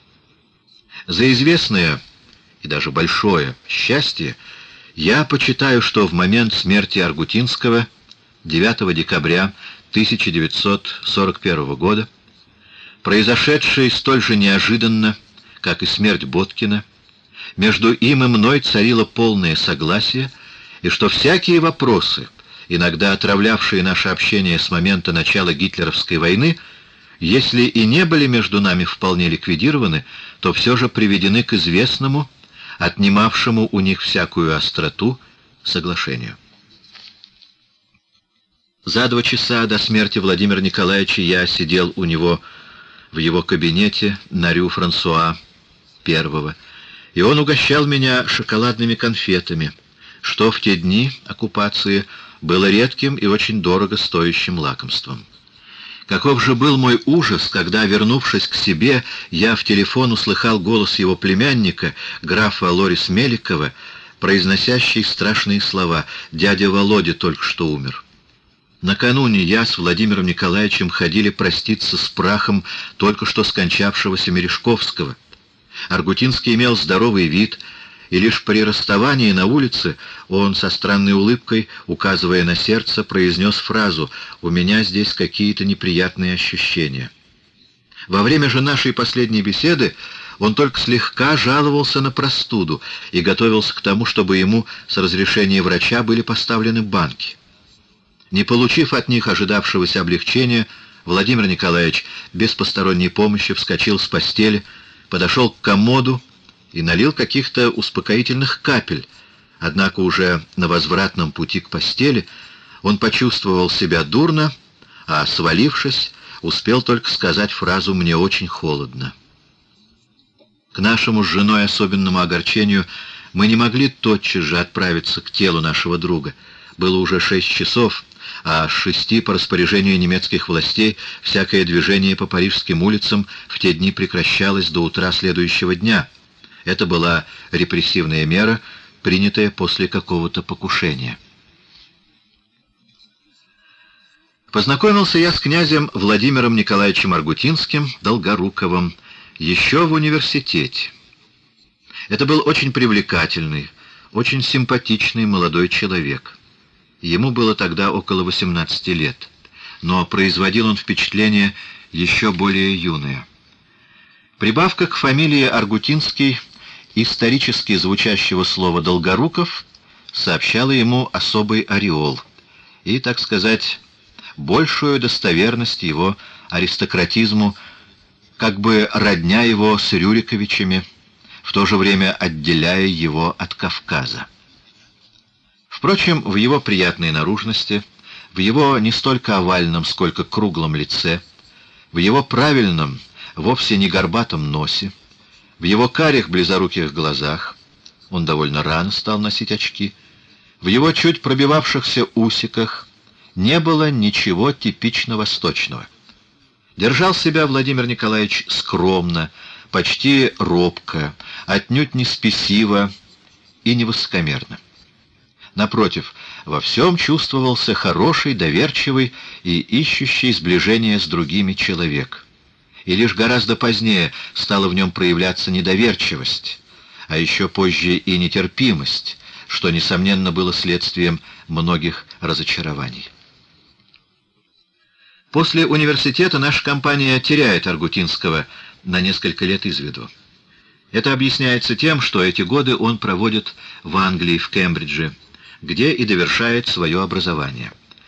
Лишь по возвращении на родину и после поступления на службу в Министерство иностранных дел наше знакомство с Аргутинским возобновляется и, постепенно преодолевая свою стеснительность, он становится частым гостем сначала одной только редакции «Мира искусства», а затем и нашим.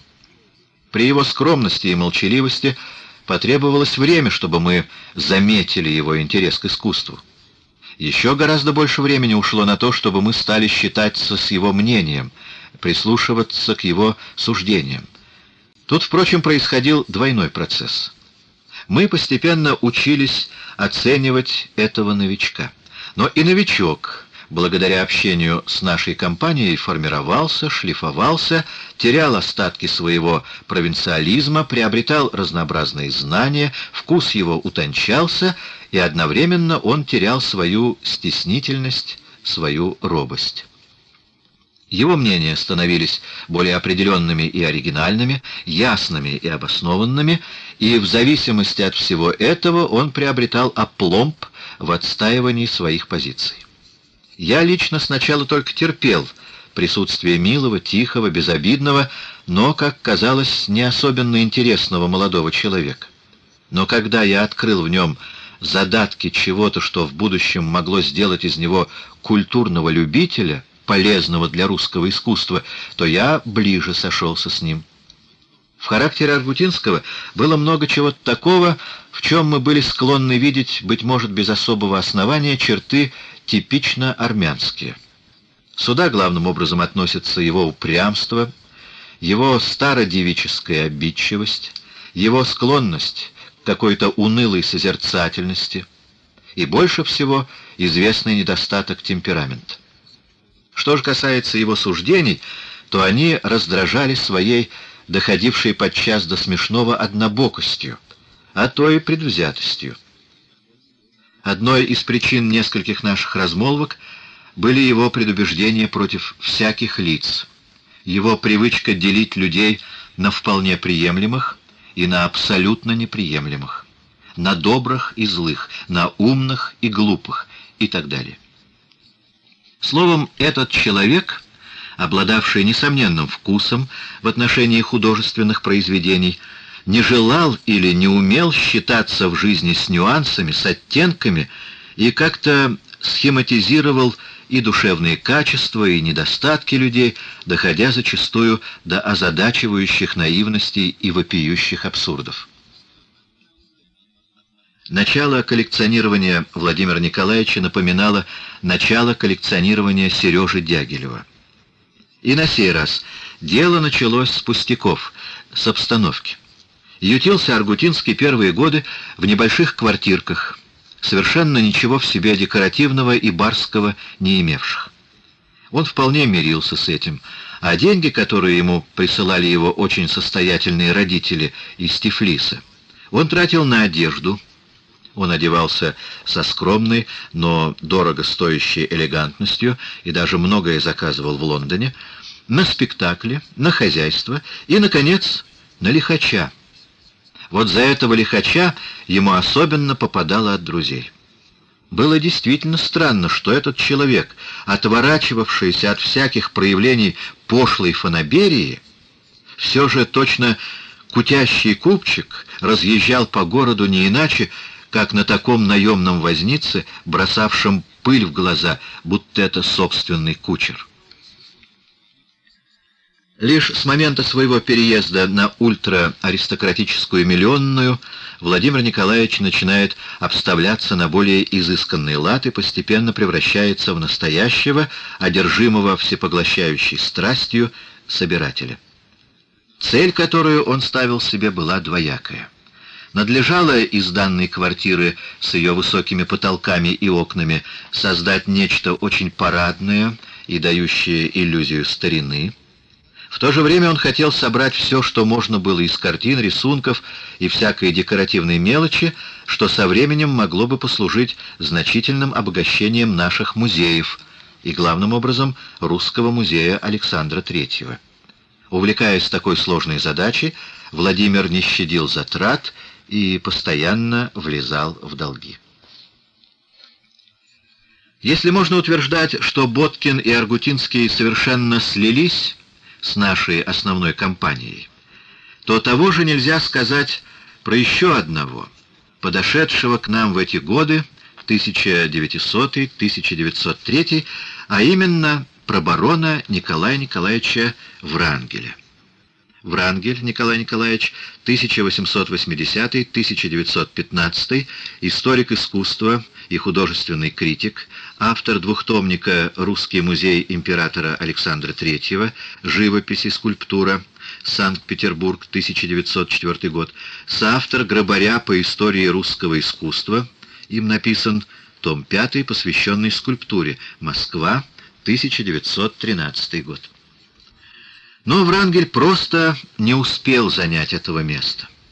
Все что-то мешало этому, все точно откладывало эту дружбу. Вначале, несомненно, препятствовала тому его юность.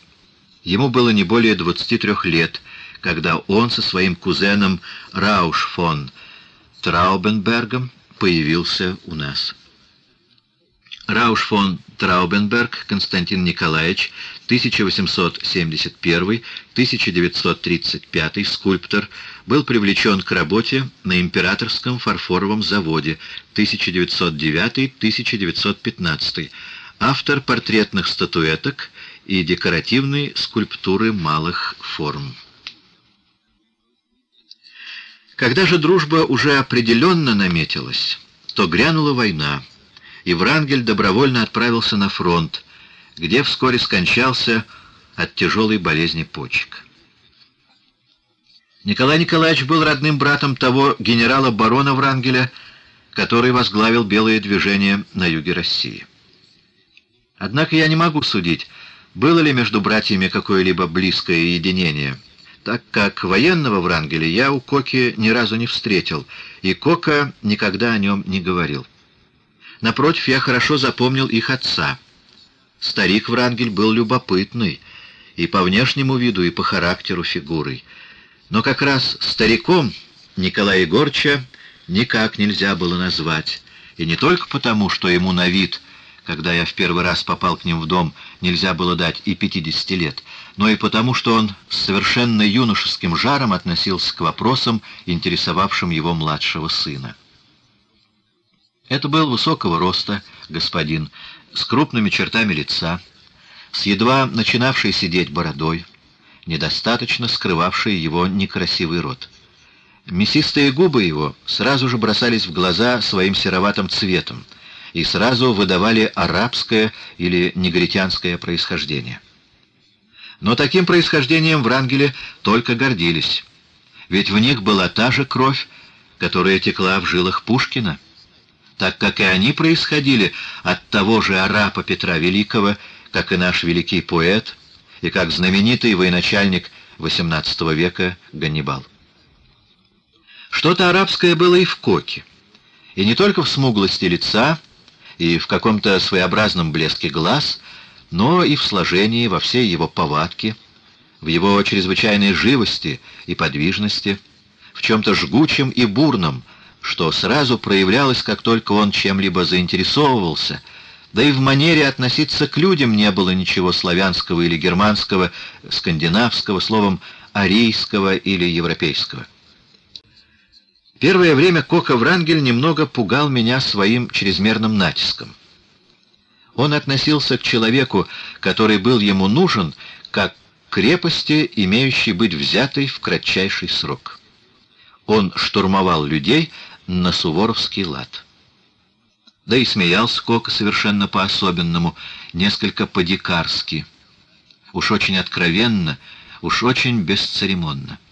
А смеяться он любил — что, между прочим, вызвало сразу к нему мою симпатию, сглаживая то ощущение опаски, которое вызывало его безудержность.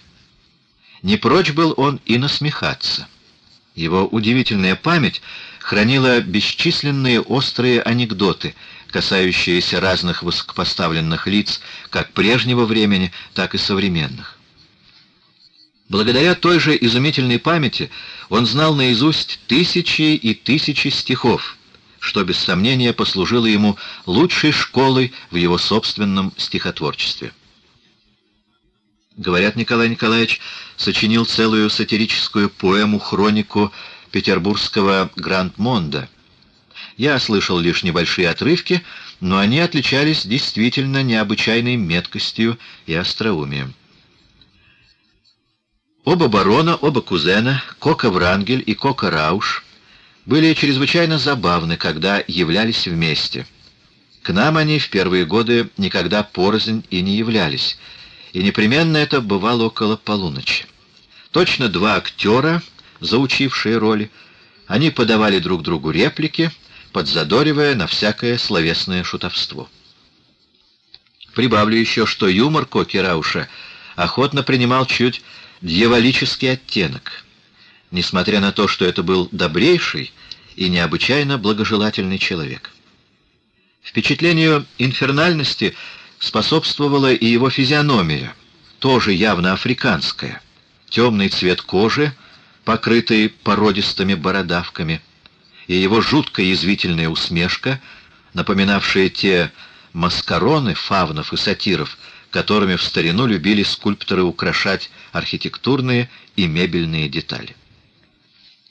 Хмыканье, издававшееся Раушем, придавало особую значительность его остротам. От такого хмыканья античные нимфы и дриады должны были со всех ног удирать и прятаться в чаще.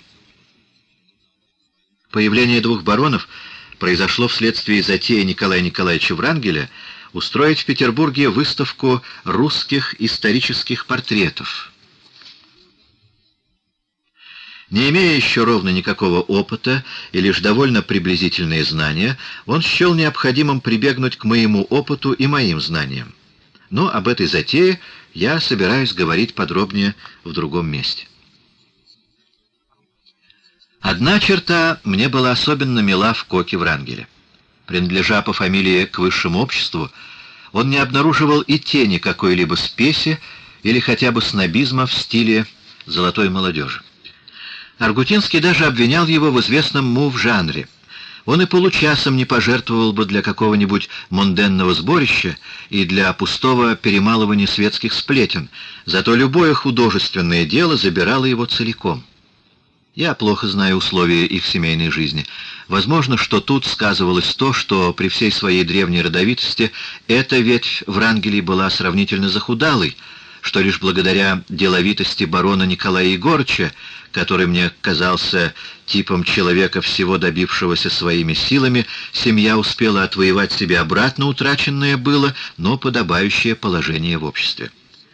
Матушку же Коки я встретил всего раза два и очень жалею, так как уже тогда ходил слух, вполне затем подтвердившийся, что именно она была настоящей духовной воспитательницей своих сыновей. Мало того, она принимала как раз в художественных делах Коки, если и скрытое, то все же самое активное участие, помогая ему разбираться в накопившихся выписках, заметках и так далее.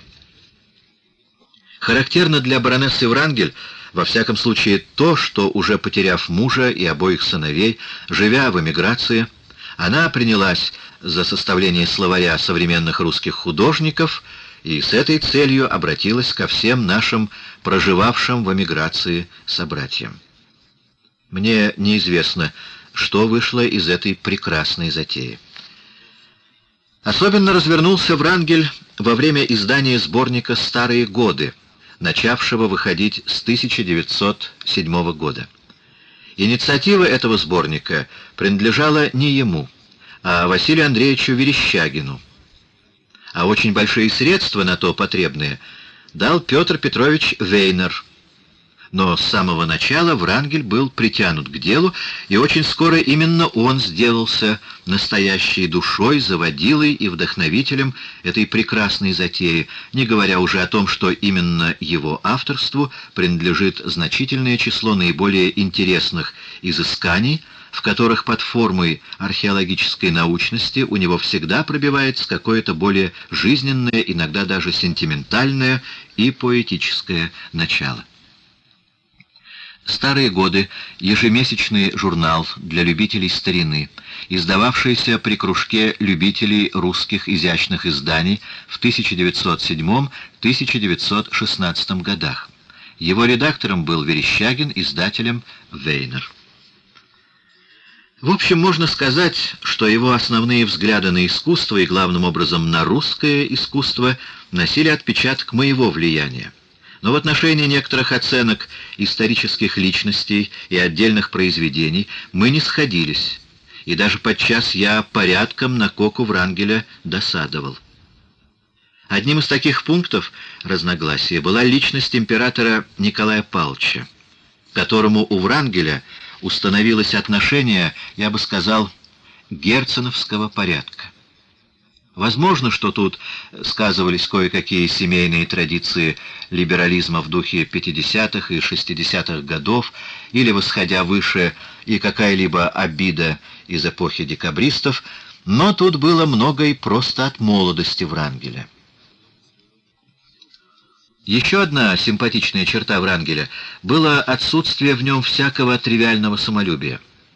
Возможно, что и он когда-то мечтал стать Наполеоном или Александром Македонским.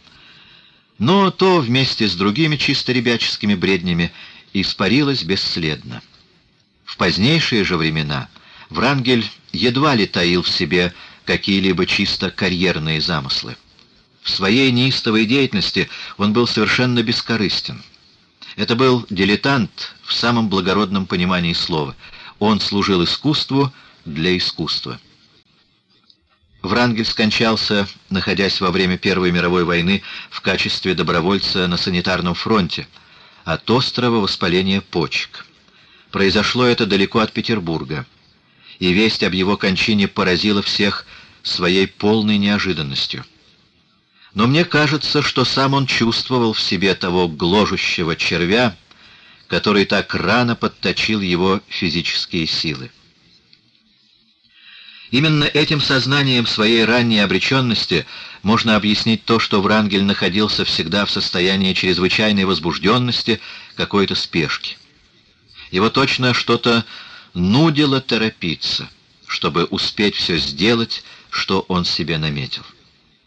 Что-то тревожное и беспокойное было и в его взоре, что-то особенно порывистое в движениях. А может быть, подгоняло его и то чувство, которое, как я уже говорил, руководило, но в темпе менее ударном и мной, и некоторыми нашими друзьями, то есть ощущение близости какого-то конца всей той культуры, продуктом которой мы были сами и служить на пользу которой мы считали своим радостным долгом.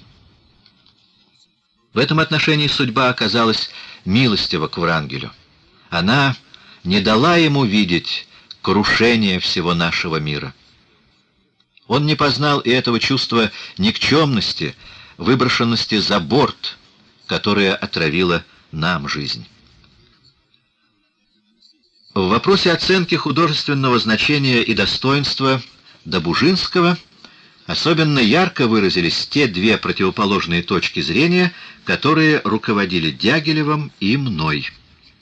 Добужинский Мстислав Валерьянович 1875-1967, живописец, график, театральный декоратор, один из главных выразителей художественных идей мира искусства. Он оставил воспоминания, в которых детально описаны его детские и юношеские годы, пора участия в мире искусства, годы работы в театре.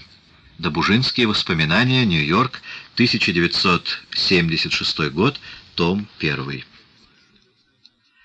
Для меня, как-никак, главным в искусстве всегда было и до сих пор остается то, что за неимением другого слова приходится назвать избитым словом «поэзия», или еще более предусудительным в наши дни словом «содержание».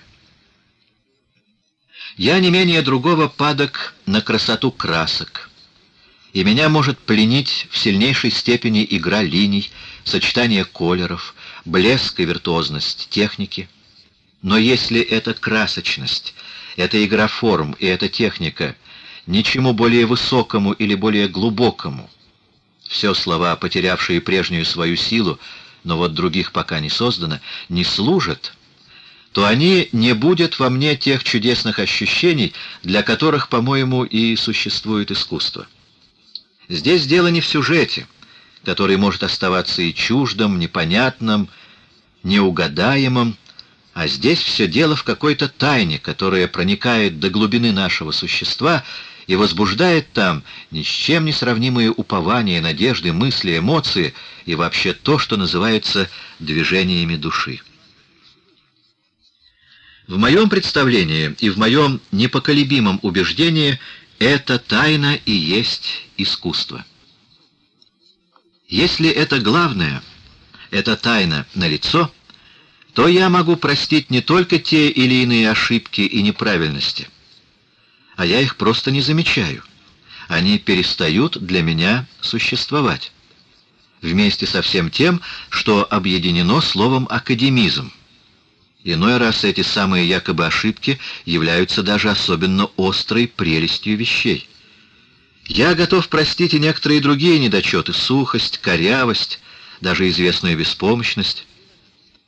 В Дягилеве же, еще тогда, когда он почти юношей робко искал приобщиться к нашему кружку, всегда чувствовалось какое-то специфическое безразличие к тому, что мы, я и мои друзья, почитали за главное.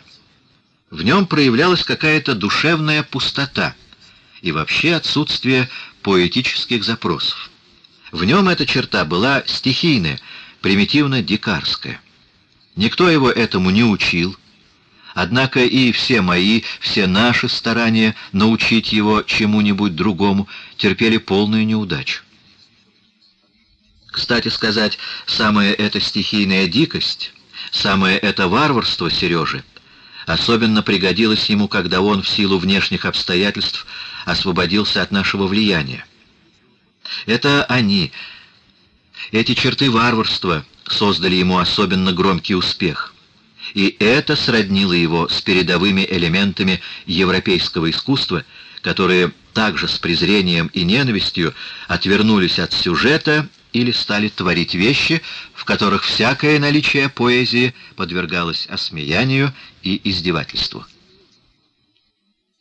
Согласно новым теориям, уж и не таким новым, им уже полвека, произведение должно действовать средствами, свойственными каждой художественной отрасли, чистой музыки, чистой поэзии, чистой живописи.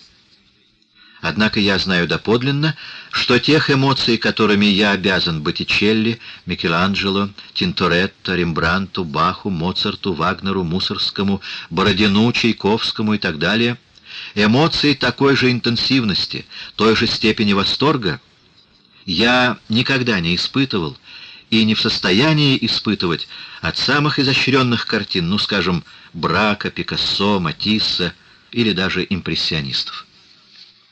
Да простится мне такое отступление от темы. Мне могут указать, что искусство Добужинского не столь значительно, что по поводу него пускаться в подобные выспренние рассуждения. Однако это не так. Говорить нечего.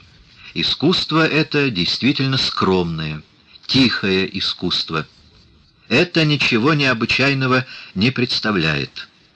До чего характерно для всей эстетической психологии нашего времени это выражение.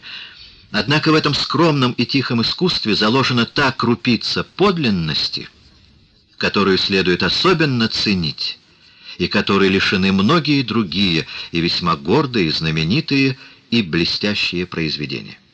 Это необычайно искреннее искусство — вполне свидетельствует об искренности и душевной правдивости художника. Не все в Добужинском одинаково ценно.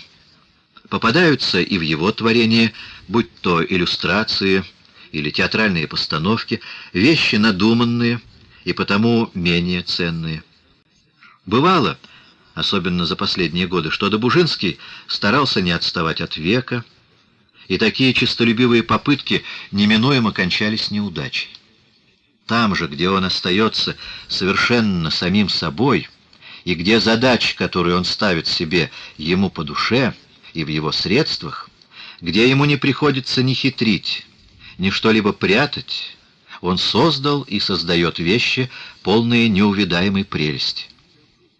Иной его вид российского захолустного города — Иные его пейзажи худосочной, но милой русской природы, иная его виньетка обладают такой остротой и такой чувствительностью, что эти произведения не перестают действовать на сердце и на воображение.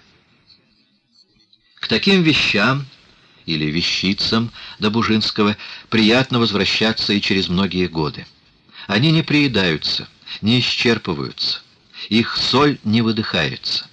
Ну, а это и есть то, что роднит на Парнасе и самых мощных, грандиозных, с самыми скромными, с самыми маленькими, как роднит в раю самых героических подвижников с самыми смиренными, но чистыми душами. Все Бога хвалят, и хвала каждого Господу приятна. Что же касается не художника, а человека Добужинского — то он, несомненно, принадлежит к разряду наилучших и наипленительных.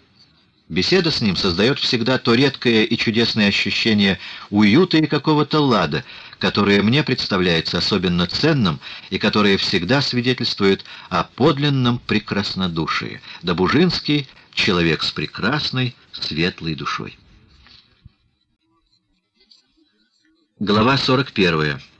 Катастрофа с Сильвией. Наши исторические труды. Теперь нужно вернуться к тому, что произошло в феврале 1901 года и что возымело самые значительные последствия как для Дягилева, так в меньшей степени и для всей нашей компании. Я говорю о том скандале, который возник из-за постановки баты императорских театров. Я уже рассказал о том, как князь Волконский поручил Дягилеву редактирование ежегодника императорских театров, и как блестяще Сережа справился с задачей. Я упомянул и о том, что успех, и особенно то, что ежегодник удостоился величайшего одобрения, вскружил голову нашему другу. Этот успех оказался ему как бы не по силам. Иллюзия, что он уже совсем близок к цели своих честолюбивых замыслов, лишила его способности трезво судить как о своем личном положении, так и о своих возможностях. Наконец, я упомянул и о том, что Дягилев в это время свел нечто вроде дружбы с великим князем Сергеем Михайловичем и с нашей знаменитой балериной Кшесинской. Сам великий князь замышлял получить верховное и почетное управление императорскими театрами. Дягилев же занял бы тогда при августейшем управляющем пост действительного директора. Словом, намечалась характерная придворная интрига — и Сережа, которому льстило уже то, что он был заодно с императорским высочеством, совершенно в этой интриге запутался. Он зачастил каждый день ездить то во дворец великого князя, то в особняк госпожи Кшесинской, и возвращался с этих конспиративных совещаний, опьяненный чистолюбивыми мечтами. И как раз тогда же, но совершенно независимо от этого заговора, я стал требовать от Сережи, чтобы он решительно настоял перед Волконским на более толковом и достойном использовании сил окружавших его художников. При этом я считал, что особенно подходящим случаем явилась бы какая-либо постановка, в которой приняла бы участие вся наша группа. И самая тема была у меня давно наготове. То был трехактный балет «Сильвия», любимого мною Делиба. Своим культом этого грациознейшего и поэтичнейшего музыканта я успел заразить всю нашу компанию, начиная с Валечки и Сережи и кончая Серовым. Остановив свой выбор для такой нашей первой коллективной работы на Сильвии, я был уверен в том, что именно в этой музыке найдется вся потребная сила вдохновения, то магическое воздействие, без которых всякая художественная работа обречена на мертвечину. В то же время постановка именно Сильвии давала, казалось мне, возможность внести в хореографическое творчество значительное и необходимое обновление. Еще об Айсидоре Дункан не было помину. Мы увидели эту удивительную артистку лишь через три года — но в моем воображении уже бродили танцевально-сценические видения в духе возвращения к большей естественности и освобождения от связывающих и ненужных условностей классики. Намечались и те хореографы, которые смогли бы облечь подобные видения в реальные формы. Когда братьям Легат было сообщено про наше пожелание, то они изъявили полную готовность принять участие в общей работе и, следовательно, можно было вполне рассчитывать на то, что при участии этих юных и даровитейших артистов вся затея завершится полным успехом. Легат Николай Густавович, 1869-1937, балетмейстер и танцовщик, партнер Павловой Кшесинской. С 1904 года балетмейстер Мариинского театра. С 1921 года жил вне России. В 1925-26 годах участник труппы Дягилева. В 1929 году открыл балетную школу в Лондоне. Легат Сергей Густавович, 1875-1905, один из лучших танцовщиков своего времени, партнер многих известнейших балерин, в том числе Корсавиной. Мечты художников нашли себе совершенный отклик в Дягилеве. Он стал с особой настойчивостью домогаться, чтобы поставлена была Сильвия при участии всей нашей группы. При этом, однако, он ставил условие, чтобы заведование постановкой было всецело поручено ему, и чтобы вся работа производилась исключительно под его личной ответственностью. Для него было важно, чтобы в случае удачи, в которой он не сомневался, таковая послужила бы ему неким трамплином, а трамплин пригодился бы для дальнейшего его восхождения на намеченном пути. Но и Волконскому, уверенному в том, что мы несем нечто новое и прекрасное, мысль дать художникам мира искусства возможность вполне высказаться нравилась чрезвычайно. Сгоряча он и согласился на все то, что ему предлагал или от него требовал Дягилев.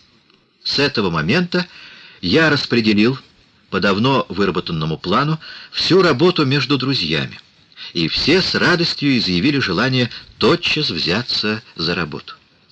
Декорацию первого действия, освещенная луной полянка в лесу с капищем Амура, я оставил за собой. Во втором действии две картины. Первую — «Пещеру Ориона» я поручил Баксту, вторую — «Коровину». Декорацией третьего действия занялся Женя Лансере. Он создал нечто очень изящное и поэтичное, вдохновляясь картинами Клода Лорена. Почти все костюмы взялся сочинить Бакст, но Серов так увлекся общей творческой горячкой, предварительные эскизы набрасывались тут же в редакции, что сочинил чудесный образ древнего сатира. Свидание с легатами состоялось на следующий же день после того, что Сережа вернулся от Волконского, сияющий от счастья, получив на все полное согласие директора. Легаты тотчас же явились, и соединенными усилиями в четыре руки Валечка и Сережа проигрывали им музыку Сильвии. Я же ее такт за тактом комментировал. Легаты зажглись сразу, не на шутку. Одно нас огорчило — на это заседание не явилась, хотя обещала наша тогдашняя любимица Преображенская, которой предназначалась главная роль, но легаты обещали выбрать среди молоденьких танцовщиц ту, которая еще лучше Ольги Осиповны справилась бы с задачей. Среди этих будущих звезд обращала на себя внимание прелестная Павлова II. Увы, всей этой чудесной затеи и всему нашему блаженному состоянию творческого энтузиазма наступил скорый и самый печальный конец. И настоящей причиной катастрофы была слишком уж решительная манера действовать Сережи. Таковая манера была вообще ему свойственна, и она, в общем, явилась его огромным преимуществом, но в данном случае он перехватил через край, он закусил у дела. Он был все еще отуманен успехом ежегодника — сам государь имеет теперь о нем представление. Вот почему он особенно вознегодовал, когда Волконский, как бы опомнившись, выразил сомнение в правильности, с точки зрения административной, того, что Сильвия будет изъята из общего ведения постановочных дел. Продолжая разговор, директор уже прямо заявил Дягилеву, что он принужден взять у него обратно данное поручение, или, по крайней мере, лишить это поручение характера официальной привилегированности. Тут успех ежегодника и сыграл фатальную роль. Дягилев в это время был уже занят собиранием материалов для издания ежегодника за 1900 год, и ему казалось, что у него таким образом в руках какое-то неотразимое средство добиться своего — он и предложил князю своего рода ультиматум. Постановка где остается в исключительном ведении его, Дягилева, в противном случае он отказывается от заведования ежегодника. В свою очередь, такой тон показался Волконскому недопустимым со стороны как-никак подчиненного, и он вспомнил, что он может приказывать. Он и объявил Дягилеву, что он безоговорочно приказывает ему продолжать заниматься ежегодником. Слово за слово, разговор получил характер ссоры, и, наконец, Волконский потребовал от Дягилева, чтобы он, раз он не желает подчиняться своему начальнику, подал в отставку. «А я не подам», — был ответ Дягилева. «А я вас заставлю подать», — закричал ему вслед директор. Прямо из дирекции Сергей прилетел в величайшем волнении в редакцию — где все друзья были в сборе и где тотчас же было постановлено доказать нашу солидарность с Сережей, выразив это в том, что и мы все в письмах к Волконскому тоже отказались от дальнейшего сотрудничества с театральной дирекцией. На следующий день было получено официальное требование отставки.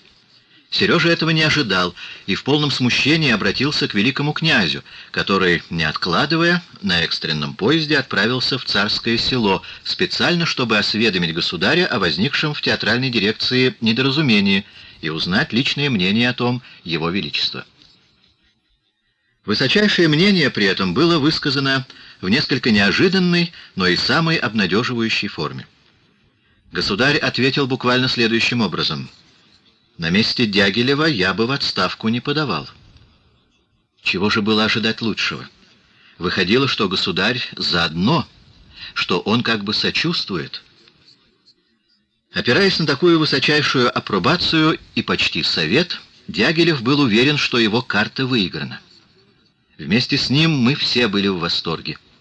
Теперь не он уйдет в отставку, а вынужден будет выйти в отставку посрамленный Волконский, и тогда заговор развернется в предначертанном порядке. Великий князь станет августейшим управляющим театров. Сережа при нем фактическим директором. Обернулось же все совсем иначе.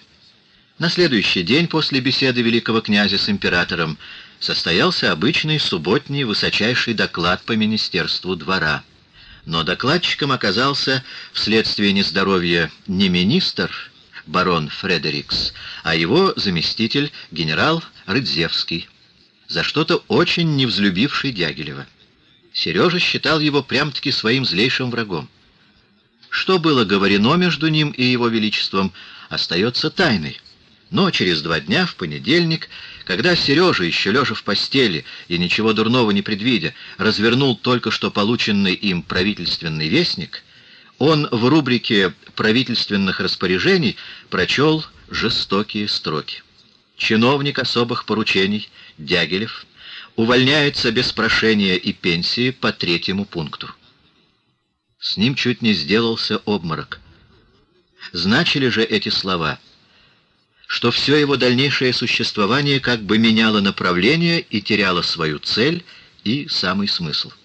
Эти слова показывали, что Волконский одержал полную победу, и это, несомненно, с ведома государя, что заступничество великого князя немало не помогло, что государь не принял стороны Дягилева, а что Дягилев поражен, растоптан, смешан с грязью. Ведь третий пункт применялся лишь в крайних случаях и почти всегда как кара, когда служащий был уличен в каких-либо неблаговидных поступках, в лихаимстве, в воровстве и тому подобное. Этот роковой третий пункт равнялся публичному ошельмованию и как бы выбрасывал ошельмованного из общества порядочных людей. Получив такую отставку, такой волчий паспорт, нечего было думать снова поступить на государственную службу. На самом деле Дягилев уже через год или два был снова принят на службу и даже в учреждение не менее почетное, нежели дирекция императорских театров при слабовольном Николае II такие непоследовательности не были редкостью. Но можно ли было сравнить то поле деятельности, которое представляло собой управление театрами, с тем унылым, чисто бюрократическим делом, к которому Дягилев был теперь представлен? Да он и не пытался показывать какой-либо интерес к своей новой должности. Он почти не заходил на службу или появлялся там на четверть часа, пользуясь снисхождением как самого управляющего собственной его величества канцелярией Танеева, благоволением которого Дягилев успел в свое время заручиться при постановке оперы этого сановника на Эрмитажной сцене, так и своего непосредственного начальника, гофмейстера Николая Шульмана, милейшего и добродушнейшего человека, состоявшего с нами в довольно близком родстве. Кто теперь мог бы помочь, раз случилась эта беда с даже с несомненного согласия безапелляционного вершителя судеб всего российского государства? Сережа и покорился неизбежности, но стоило это ему немало усилий над собой. Надлежало главным образом скрыть то, что у него происходило на сердце. Если это ему и удавалось при чужих, то перед нами он не стеснялся, и в течение нескольких недель мы видели его таким, каким и не подозревали, чтоб он мог быть. Он не клял судьбы, он не поносил виновников своего несчастья, он не требовал от нас какого-либо участия, он только просил с ним о случившемся не заговаривать. Все должно было идти своим обычным порядком, как ни в чем не бывало. Когда в редакцию «Мира искусства» являлись посторонние, он выходил к ним в приемную с тем же сияющим видом русского вельможи, какой у него выработался до виртуозности. Но как только он оставался наедине с близкими, он как-то сразу оседал, он садился в угол дивана и пребывал в инертном положении часами, отвечая на вопросы с безнадежно рассеянным видом и почти не вступая в ту беседу, которая велась вокруг него. В одиночестве с Димой он больше распоясывался. Иногда даже плакал или отдавался бурным проявлениям гнева. Но это происходило в тиши его спальни, в конце коридора, куда, кроме Димы, лакея Василия и нянюшки, никто не бывал допущен.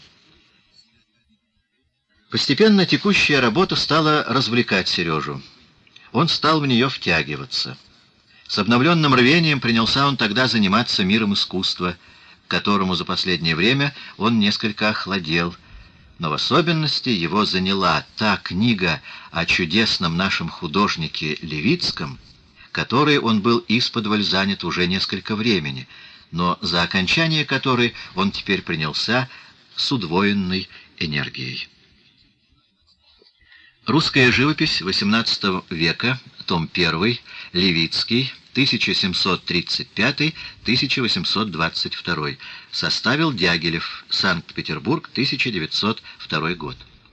Дягилев дважды публиковал в газетах обращение ко всем лицам, обладавшим произведениями Левицкого, с просьбой сообщить все то, что они знают об этих вещах.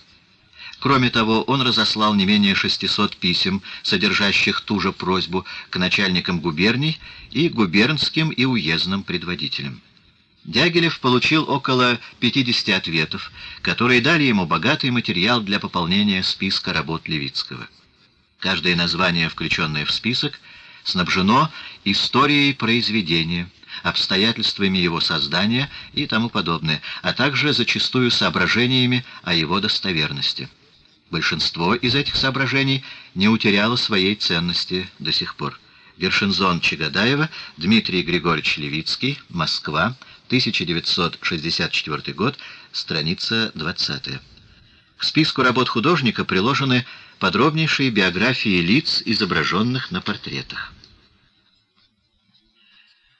Она появилась в том же еще 1901 году, и она одна может служить достойным памятником художественно-исторической деятельности Дягилева. Сергей очень настаивал, чтобы я написал биографический очерк в этой книге оставляя за собой одну только документальную подготовку к ней. Он днями теперь просиживал в архиве Академии художеств и у других источников. Однако я был тогда без того переобременен работой, как редактированием художественных сокровищ, так и заканчиванием моей истории русской живописи. Пришлось отказаться от этого лесного сотрудничества, и тогда Дягилев обратился, по совету Дашкова, к известному украиноведу Горленко, который и изготовил нечто весьма приемлемое, но все же тусклое, тогда как документальную сторону Дягилев взял на себя, и она является по сей день ценнейшим справочником, касающимся жизни и творчества Левицкого. Да и внешний облик этого увража получился необычайно пышный и монументальный. Не обошлось, впрочем, и на сей раз без некоторых странностей Сергея.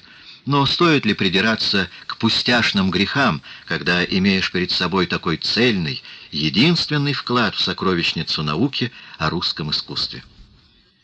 Грехом следует считать отсутствие в книге алфавитного указателя и совершенно нелепый порядок и размещение таблиц, за который Сережа, несмотря на уговоры, упрямо держался единственно из каких-то эстетических соображений.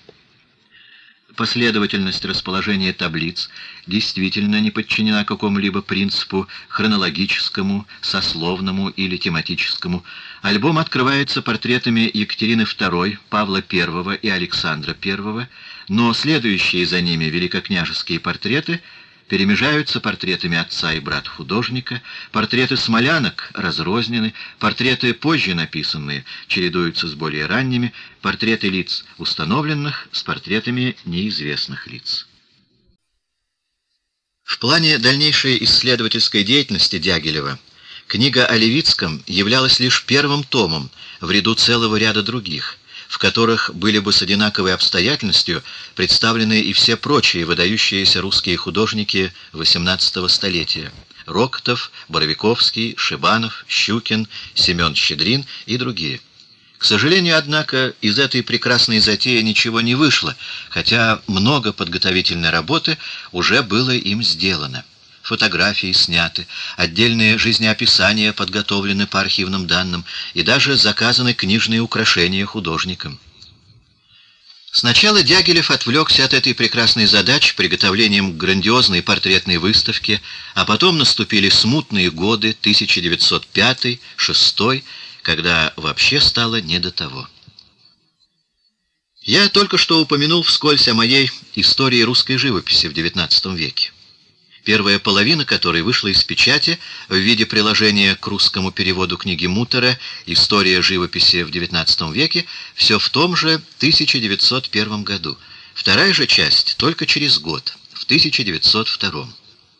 В свое время появление моей книги, ожидавшееся с нетерпением всеми друзьями, приобрело характер известного события, но я сам не был вполне доволен своим трудом. Многие высказанные мной в нем мнения – показались мне уже тогда слишком односторонними и пристрастными, точнее, не вполне выражающими то, что я желал выразить. Особенно же меня огорчало, что я многих, и даже мне лично очень симпатичных людей, обидел. Нелицеприятных характеристик и определений в книге Бенуа «История русской живописи в XIX веке» Санкт-Петербург, 1902 год, было немало. Внимание прессы было занято главным образом обсуждением критического разбора творчества Репина и будто бы противостоявшим ему неприязненным отзывам о Баксте. Однако не меньше поводов для обид могли дать характеристики Бакста и Сомова. Бенуа писал, «В былое время золотые руки Бакста нашли бы применение. Он не стыдился бы посвящать себя тому, к чему он в сущности призван» был бы декоратором, ювелиром, мелким, но интересным и истинным художником. Его не смущало бы желание тягаться с Менцелем. Намек на неудавшееся полотно Бакста «Въезд адмирала Авелана в Париж». И далее. Сомов не может считаться великим живописцем. Его искусство слишком специфического оттенка. Оно не захватывает широкого круга идей — не дает мощных, укрепляющих и поднимающих дух образов. Рядом с, безусловно, великими произведениями живописи оно покажется, пожалуй, мелким, во всяком случае болезненным, слишком изнеженно тонким. Сомов покажется хилым ребенком. Страницы 268 и 273. Но тут я утешался поговоркой «Платон мне друг, но истина дороже». В общем, я все же сознавал, что создал нечто, что в данной области останется чем-то вроде основы, что я поставил известные вехи и расчистил многие заросшие плевелами пространства, указав на более правильные пути для дальнейшего изучения предмета. Бенуа не упоминает в числе лиц, высказавших одобрение его книги, имени Дягилева. Однако характер известного события — придал ее выходу как раз его развернутый отзыв в журнале «Мир искусства». В конце статьи Дягилев отметил, заслуга работы чрезвычайна. Бенуа первый расчистил Авгиевы конюшни нашей живописи и дал руководящую нить, с которой не рискуешь сбиться с настоящего пути. По существу Бенуа перефразировал в воспоминаниях эту мысль. Оценка, данная Дягилевым самому автору книги, представляла в 1902 году первое обобщающее определение роли Бенуа в художественном процессе конца XIX – начала XX века. Он писал, «Влияние Бенуа на жизнь современного русского искусства несравненно больше, чем кажется на первый взгляд». Не будь влияния Бенуа на всю ту среду, из которой появились Сомов, Лансере, Бакст, Брас, Малявин и даже Серов, не будь, повторяю я, этого влияния, все эти художники никогда не сплотились бы и брели каждой своей дорогой. По поводу книги Бенуа «История русской живописи в XIX веке», часть вторая, «Мир искусства», 1902 год, номер 11, страницы 44 и 39. Впрочем, и тогда, при своем появлении, книга вызвала немало всяких толков, из которых особенно громко звучали крики возмущения, кое-кто даже из друзей считал нужным меня ругать и ими запугивать, но были и такие читатели, которым моя книга доставила удовольствие. Наиболее я был утешен одобрением Серова, Аргутинского и Сергея Сергеевича Боткина. Последний мне признавался, что для него моя книга явилась чем-то вроде откровения. Наконец, в полном восторге были Еремич, Лансере, Курбатов и мой издатель, милый Всеволод Протопопов. Вообще же с этого момента я становлюсь каким-то арбитром, в вопросах художественной оценки и получаю всевозможные предложения сотрудничать от издателей. Глава 42. Рождение сына. Степанов. Лето 1901 года в Вороненбауме. Герцоги Мекленбургские. Принцесса Альтенбургская. Несравненно более значительным для нашей личной и семейной жизни явилось другое событие, происшедшее весной того же 1901 года. А именно 19 апреля, 2 мая по новому стилю, родился наш сын. Произошло это не у нас в доме, а в клинике, или попросту в квартире одной акушерки, рекомендованной лечившим нас в те годы доктором Бацевичем. Жила же эта дама очень близко от нашей квартиры на Загородном. Мне нелегко было подчиниться новым требованиям научного подхода, во мне продолжали жить известные традиционные навыки и просто предрассудки, согласно которым появление нового члена семьи должно было происходить в своей обстановке. Все же я уступил Бацевичу, и так как все сошло как нельзя лучше, то я и не раскаялся в своей уступчивости. Роды прошли довольно быстро, в несколько часов. Но все же раздирающий душу крик, который я услыхал из третьей комнаты, из которой мне было запрещено выходить, исполнил меня ужасом и конфузом, ощущением как-никак какой-то вины. Когда же я, наконец, был позван, мне показали моего сына в виде довольно благообразного существа с очень характерным носом на крошечном личике. Этот нос был несомненным родовым признаком, но он в одинаковой степени напоминал как прадеда Каваса, так и дедушку Кинда, отца моей жены. Назвали мы это существо Николаем в честь деда Бенуа, но крестины состоялись только через три месяца на даче в Вороненбауме, куда потрудился приехать венчавший нас патер Шумп. К осени надлежало найти новую квартиру и там устроиться. Таковую мы после многих поисков и нашли в нашей родной Коломне на углу Малой Мастерской и Офицерской, иначе говоря, на той же улице, на которой когда-то помещался киндергартен Вертер, и где по-прежнему стояла на одном конце католическая церковь святого Станислава, на другом — кирпичная эстонская церковь. Покидая первую роту, об одном можно бы пожалеть, а именно о том саде, который находился в двух шагах от нас и куда ходили гулять наши девочки. Это был большой, старинный, несколько запущенный сад при доме, служившем резиденцией католическому митрополиту и помещением римско-католической консистории. Этот дом выходивший главным фасадом на фонтанку, когда-то принадлежал знаменитому поэту и екатерининскому министру юстиции Державину. Дом на Фонтанке, набережной Фонтанки 118, был куплен Державиным в 1791 году. Уже начатое строительство продолжил его друг, архитектор Львов. Главный корпус дома был расширен, пристроены боковые корпуса, двор опоясан галереями из свободно стоящих колонн, такие же галереи соединяли флигели на набережной. За домом был разбит сад с прудами, мостиками, беседками. С 1846 года владельцем участка стала Римско-католическая духовная коллегия, для нужд которой дом и флигели были перестроены архитектором Горностаевым. Менее всего пострадал при реконструкциях садовый фасад дома, тогда как боковые корпуса были надстроены дважды, что изменило общий характер архитектуры дома. Садовый фасад сохранил свой характерный полукруглый, украшенный круглыми пилястрами выступ, и, окруженный деревьями, представлял собой характерное подобие русской усадьбы конца XVIII века. Помянутый сад не был доступен публике, но нам было нетрудно получить разрешение им пользоваться через Степанова, служившего в консистории. Этому хорошему человеку я должен посвятить здесь несколько строк.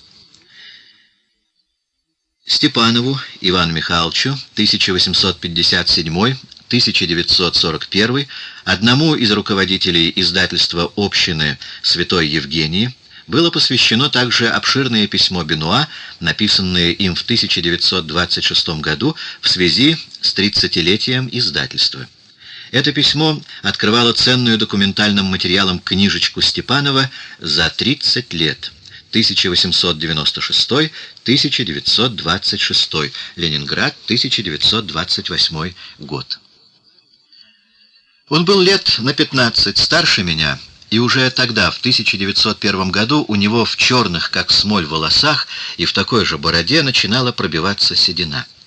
Однако, если Иван Михайлович уже и приближался к старости, он при первых же встречах со мной стал выражать такую жажду у меня поучиться и через меня просветиться, что это скорее я стал в себе чувствовать в отношении его какую-то почтенность.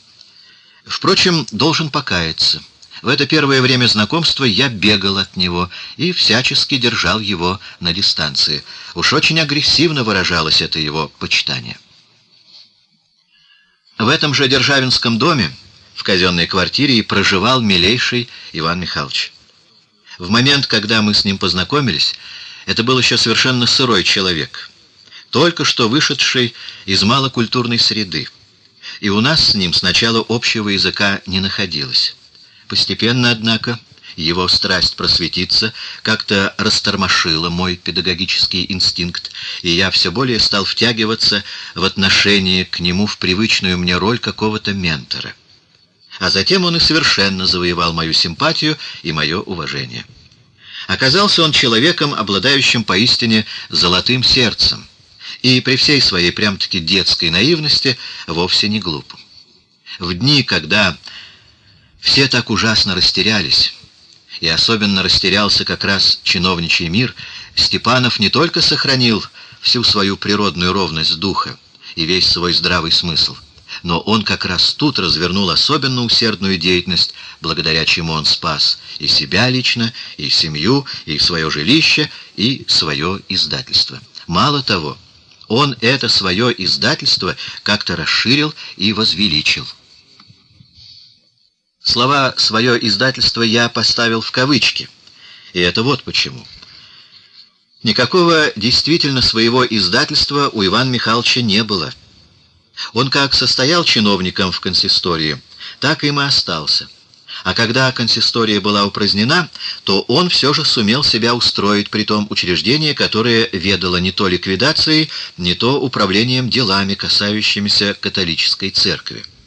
Но не надо думать, что он принадлежал к той особенно предосудительной категории бюрократов, которые в таких случаях старались выслужиться посредством угождения властям. Напротив, основная благожелательность, или, попросту говоря, человечность Степанова делали его другом, а где требовалось и покровителем людей, с которыми его сводила жизнь. Его контрольная деятельность при консистории привела даже к непредвиденным и, вероятно, не столь уж поощряемым свыше результатам. Он преисполнился к католическому духовенству искреннего уважения и стал, где только можно было, всячески отстаивать его интересы, причем не обходилось и без эксплуатации его доброты со стороны некоторых лукавых интересантов среди ксензов и патеров. Те же черты характера Степанова продолжали действовать и тогда, когда уже никаких ксензов и патеров в Петербурге не оставалось. Он как-то прирос к Державинскому дому к своей светлой и просторной квартире в верхнем этаже правого флигеля. Ее ему чудом удавалось сохранить и после полной метаморфозы всего строя российского государства. Впрочем, вся эта служебная деятельность Ивана Михайловича была очень далека от меня, и я, вероятно, никогда не имел бы случая даже познакомиться с ним самим, если бы у этого образцового чиновника не проявилась годам к сорока какая-то вторая жизненная тема. Нечто вроде двойного существования. Эта вторая тема явилась в виде издательства художественного характера. Случилось же это так, потому что, оказавшись сверх своей основной службы делопроизводителем при одном из благотворительных учреждений Красного Креста, Степанову пришла в голову счастливая мысль в видах усиления средств издавать художественные открытые письма. Затея была из самых скромных и, по правде говоря, носившая вначале малохудожественный характер. Но тут и открылось, что Иван Михайловича таится в душе нечто большее, нежели те качества, которые делали из него добросовестного и дельного служаку. Он довольно скоро осознал недочеты первых своих начинаний, и это стало его мучить. Вообще, мне кажется, что особенной чертой Ивана Михайловича было то, что он умел как-то страдать, тревожиться, и когда на него находила такая душевная мука, то он не только не находил себе места, но он, человек очень деликатный, был способен превратиться в несносного приставалу. Так случилось и со мной. А что из этого в конце концов получилось — Тому служат наглядным свидетельством тысяча превосходно отпечатанных изображений, дающих в совокупности отличную иллюстрацию истории как русского, так и мирового искусства, массу портретов исторических деятелей, виды живописных местностей и архитектурных памятников и так далее. За 30 лет издательство общины Святой Евгении выпустило 6410 открыток, тиражом от 1000 до 10 тысяч штук. Начав в 1896 году с выпуска конвертов и поздравительных открыток, привлечение таких художников, как Каразин, Маковский, Бем и Соломка, издатели перешли затем к публикации работ Репина, Нестерова, Поленова, Васнецова, всей группы художников мира искусства и Союза русских художников, представляя в открытках все наиболее значительное, что давала художественная жизнь. С течением времени Степанов, получив себе в сотрудники и помощники другого такого же чудака-чиновника, тоже постепенно перевоплотившегося в художественного энтузиаста, в лице Николая Николаевича Чернягина перешел от открыток, не бросая заниматься и ими, к изданию художественных путеводителей по музеям, по загородным резиденциям, по историческим городам. Перелом в деятельности издательства наступил в 1902 году в связи с конкурсом к 200-летию Петербурга. Тогда в число сотрудников вошли все члены мира искусства, расширившие диапазон художественных изданий. В осуществление идеи выпуска русских бедекеров были изданы путеводители Бенуа по Эрмитажу, Курбатова по Петербургу и Павловску, многие художественно-исторические очерки по пригородам, дворцам, музеям. Не прекратили они своего дружеского сотрудничества и при большевиках. Община Святой Евгении, Красного Креста, будучи учреждением аристократического оттенка, она состояла под председательством принцессы Евгении Ольденбургской, распалась, исчезла, но издательство продолжалось с прежним если не с еще большим размахом, переменив только свое наименование, превратившись в общество любителей художественных изданий, и заручившись официальным покровительством Академии материальной культуры. Община Святой Евгении Красного Креста, Комитет попечения о сестрах Милосердия, основанный в 1882 году, образовал в 1893 году общину сестер Милосердия Красного Креста. Председателем общины стала принцесса Евгения Альденбургская. В честь ее святой и было дано название общине. В 1920 году в связи с ликвидацией общин сестер Милосердия издательство общины Святой Евгении перешло в ведение Академии истории материальной культуры, преобразовано в 1918 и 19 годах из императорской, затем Государственной археологической комиссии и стало называться Комитетом популяризации художественных изданий.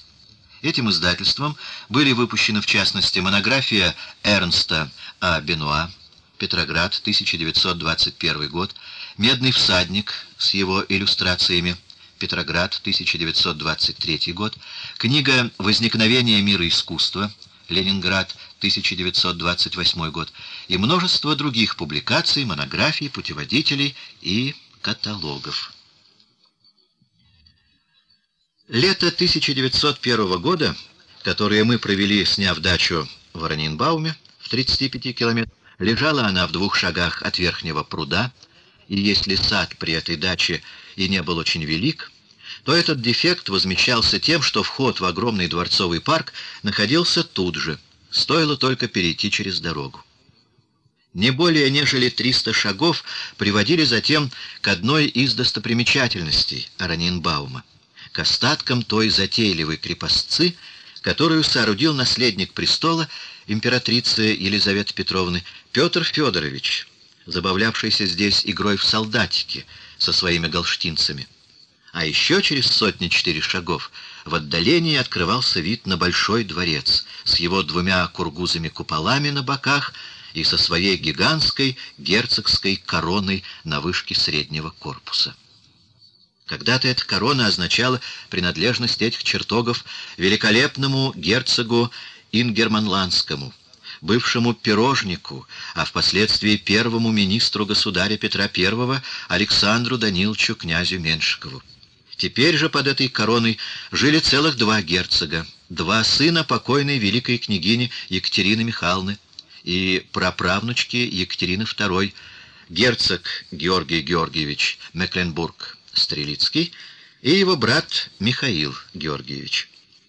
Несколько в стороне, прячась в чаще елей и других деревьев, ютился прелестный китайский дворец, в котором проживала сестра герцогов, принцесса Елена Саксон-Альтенбургская, а дорога, шедшая от Большого дворца в другом направлении, приводила к павильону Катальной горы.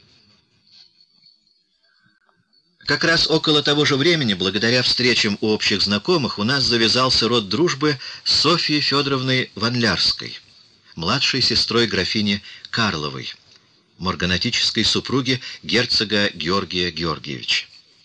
Благодаря ей я не только сразу получил разрешение рисовать в парке и во дворцах, но и был самым радушным образом принят в семью герцога Георгия. После первого же визита я был запросто приглашен к завтраку, и с тех пор не проходило недели, чтобы я не был зван через Нарочного то к завтраку, то к обеду, то на концерт, то к пятичасовому чаю, а то и принять участие в пикнике, совершавшемся в большой компании на многих экипажах. Тон, царивший в этом высочайшем доме, был самый непринужденный, и задавался он как самим благодушнейшим хозяином, так и Натальей Федоровной Карловой. Некоторая характеристика герцога Георгия уже была дана мной в другом месте этих записок. Что же касается графини Карловой, то она пленила меня в разных смыслах. Начать с того, что я вполне понимал, что герцог Жоржакс мог увлечься этой лектрисой своей матушки и пожелать возвести ее до своего высокого ранга. Не будучи столь же хорошенькой, как ее младшая сестра Марианна Мансурова, впоследствии супруга Якова Владимировича Радькова, она все же обладала той женственной прелестью, которая иногда вполне возмещает отсутствие патентованной красоты. Довольно высокая, очень стройная, с глазами, в которых играет какая-то весело-лукавая и в то же время ласкающая искорка, с чертами лица скорее простоватыми, но милыми, Наташа Карлова вполне заслуживала быть зачисленной в разряд приятнейших особ женского пола. Но, кроме того, она была весьма неглупой женщиной. Она интересовалась и художеством, и литературой, больше же всего музыкой, что, вероятно, и послужило ее сближению с ее мужем, герцогом Георгием, который сам был отличным пианистом и с такой же страстью относился к музыке, что даже завел свой собственный, знаменитый на весь Петербург квартет из четырех первоклассных, чудесно сыгравшихся виртуозов. Злые языки говорили, что Наташа Ванлярская женила на себе герцога, этого грузного и большого человека, жившего до того под крылышком своей строгой матери, крайне целомудренного и никакого жизненного опыта не имевшего. Но, насколько мне удалось изучить характер графини Карловой, это едва ли было так. Что получить разрешение матери было нелегко Жоржаксу, это вероятно. Великая княгиня Екатерина Михайловна была дама строгая, очень знавшая себе и своему рангу цену, очень следившая за соблюдением своих прерогатив. Но победили ее не интриги, не титулованные и бедные втируши, а упорство подлинной любви. Наталья Федоровна всем сердцем и даже против своей воли полюбила своего принца. Со своей же стороны принц нашел в ней свой идеал, то самое, что было нужно его душе, в чем он почуял всю полноту жизненного счастья и эта взаимная любовь дала обоим энергию и силу преодолеть все препятствия. Выйдя замуж и получив титул графини, Наталья Федоровна осталась сама собой и не выказывала ни в чем какой-либо фанаберии. Положение ее первые годы было несколько щекотливым.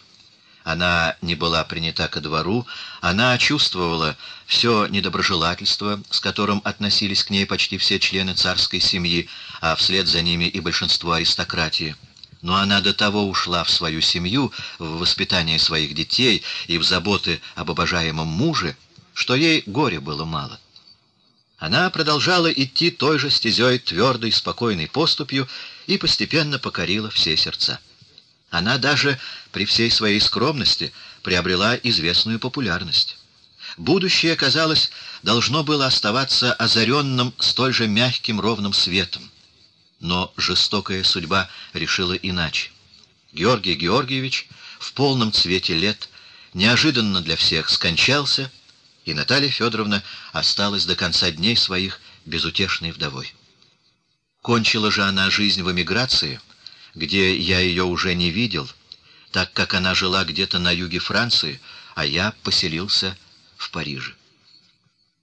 Не видался я в эмиграции и с той из сестер Ванлярских, с которой и я, и моя жена наиболее сблизились, с помянутой Софьей Федоровной, так и оставшейся в девицах.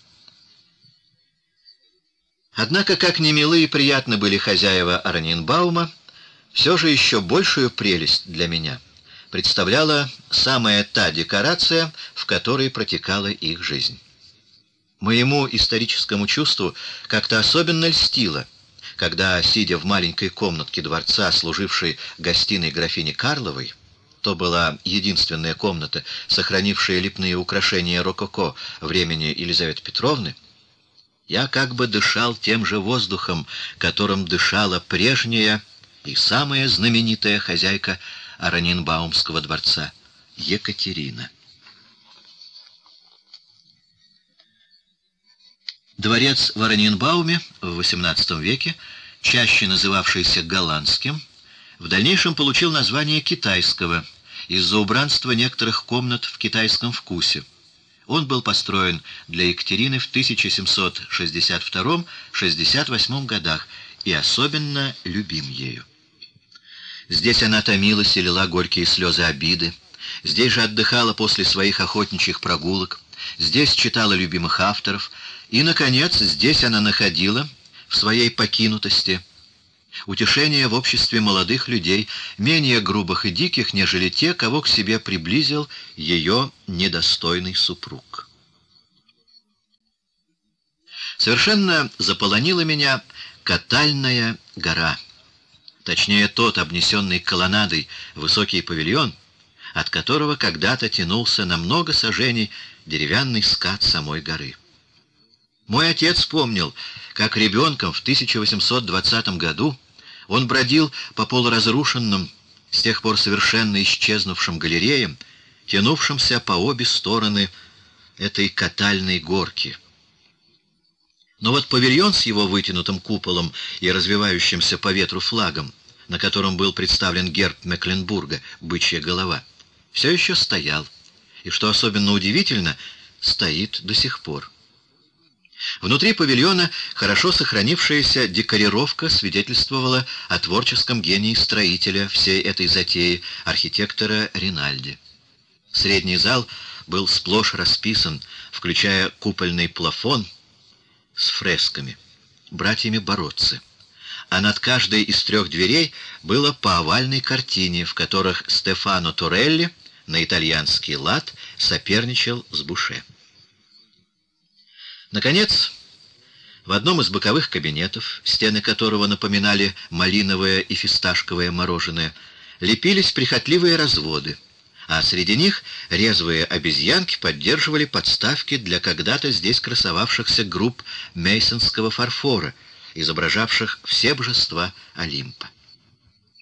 Сколько часов я провел здесь в полном одиночестве, пробуя акварелью и пастелью передать игру красок и солнечного света, вливавшегося через большие окна. Я, кроме того, мечтал создать картину того, что когда-то здесь происходило. Мне чудились смехи развеселых молодых шалунов и шалуней, визги дам, которых в особых колясочках толчком спускали с горы.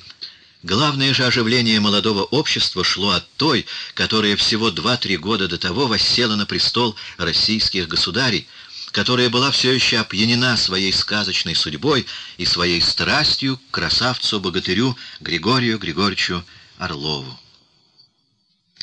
Не совсем точно. Дворец был окончен и торжественное новоселье отпраздновано в нем в 1768 году, то есть спустя шесть лет после того, как Екатерина получила титул императрицы. Наиболее изящным из сооружений, восходивших к той же эпохе, когда Екатерина еще любила свой Аранинбаум, был сохранившийся до наших дней и нисколько не пострадавший китайский дворец. О чудесной сохранности всех художественных памятников, находившихся на территории Аранинбаумского парка, свидетельствует несколько художественных изданий, вышедших в СССР за последние годы. Сохранность эта объясняется тем, что немцы так и не завладели Аранинбаумом, служившим плацдармом Кронштадту. Это совершенно единственный в своем роде архитектурный памятник, в сооружении и украшении которого участвовали те же Ринальди, Бородце и Торелли. К наибольшим диковинам этого дворца принадлежит длинная зала стены которой заделаны деревянными панно в китайском вкусе, а в потолке протянут большой продолговатый плафон, приписывавшийся Девильи и изображающий какую-то китайскую церемонию. Вообще же только этот очень просторный бильярдный зал оправдывал наименование «Китайский дворец», приданное всему одноэтажному зданию. Согласно преданию, именно эту прохладную, темноватую, из-за обшивки стен и густых драпировок на окнах, комнату особенно любила Екатерина, и ее же избрала себе обычным пребыванием принцесса Елена, единственная дочь великой княгини Екатерины Михайловны, сестра помянутых герцогов Мекленбургских. Я помнил ее еще совсем молодой, теперь же это была дама лет сорока пяти, несколько отяжелевшая, с классически правильными, но мало привлекательными чертами лица. Несколько лет до того, и тогда уже, когда она рисковала быть навсегда зачисленной в разряд старых невест, она вышла замуж, за уже совершенно седовласого принца Саксон-Альтенбургского. Но брак этот был чисто резонным. Муж продолжал жить почти безвыездно за границей, поручив наблюдение за воспитанием своих дочерей от первого брака Елене Георгиевне. Что именно принцессе Елене досталась такая жемчужина, как китайский дворец, можно почитать за особое счастье. Обладая такой же чисто немецкой страстью к порядку, как ее брат Михаил Георгиевич, она все же имела и достаточный исторический пиетет, чтобы отказаться вносить под предлогом реставрации какие-либо усовершенствования и переделки в порученном ее ведению художественном перворазрядном памятнике. Содержала она дворец и всю примыкающую к нему часть парка в удивительном порядке. Однако она ничего нигде не восстанавливала и не добавляла. А на всякие представления своего архитектора, господина Марфельда, она неизменно отвечала «так было при мама, так пусть и останется». Лицо принцессы часто портила какая-то кислая усмешка. Возможно, что то был отблеск тех милостивых улыбок, которыми дарила ее бабка, великая княгиня Елена Павловна, а то и несравненно более знаменитая прапрабабушка Екатерина II. Такой именно усмешкой реагировала принцесса и на мое обращение к ней с просьбой разрешить мне увековечить в моих сокровищах ее прелестный дворец. И уже я успел подумать, что просьба моя отклонена, как тут же принцесса согласилась и объявила, что могу начать свою работу хоть на следующий день, после того, что она покинет на часть лета Аранинбаум, а что до того, она будет всегда рада меня видеть у себя. В журнале «Художественные сокровища России» Бенуа посвятил Аранинбауму два номера. Номер 10 за 1901 год Китайскому дворцу и номер 5 за 1902 год Катальной горе. Статьи к обоим номерам были написаны Успенским. Вообще, под наружностью не очень приветливой, в ней крылось неожиданное большое доброжелательство. Лучше изучив ее со временем, я понял, что вся ее брезгливая надменность была напускная и, по всей вероятности, скрывала непреодолимую стеснительность. Пожалуй, это она требовала от собеседника известного ободрения. Зато когда такое ободрение получалось, то беседа с ней теряла всякую принужденность, и она была даже не прочь изливаться, переходя от тем исторически-политических, в ее отношении к русскому строю звучал слегка тот уклон к либерализму, который слышался и в речах великого князя Николая Михайловича, к темам художественным и особенно к музыке. Ведь в качестве музыкальной одаренности она не уступала брату Георгию. Но ее главная сила была пение, а ее любимый автор — Бах обладая прекрасным, полнозвучным, сочным голосом и отлично владея им, она могла бы занять первенствующее место среди певиц-исполнительниц Баха. Но ранг и природное смущение не допускали этого. Тем не менее, ободряемая поклонниками, она изредка преодолевала свою робость перед публичными выступлениями и давала в своем грандиозном Каменноостровском дворце концерты, в которых наиболее ценной участницей была она сама в своем излюбленном строгом репертуаре. Я охотно бывал у принцессы Альтенбургской как в Раненбауме, так и в Петербурге, то приглашенный на чашку чая, то на завтрак, то на обед. Особенно памятными остаются для меня те обеды, которые происходили у нее в китайском дворце — и на которых я разделял эту честь с двумя самыми значительными дипломатами довоенной эпохи, с германским послом графом Пурталесом и с австрийским послом графом Бертгольдом. Первый был человек пожилой, невысокого роста и державшийся несколько криво. У него был странный, чрезмерно высокий и несколько заостренный череп. Он был изысканный и даже преувеличенно любезен, говорил очень тихо, медленно, с какой-то странной осторожностью, точно опасаясь сделать какую-нибудь непоправимую оплошность и точно извиняясь, что вот он позволяет себе иметь такое или иное мнение.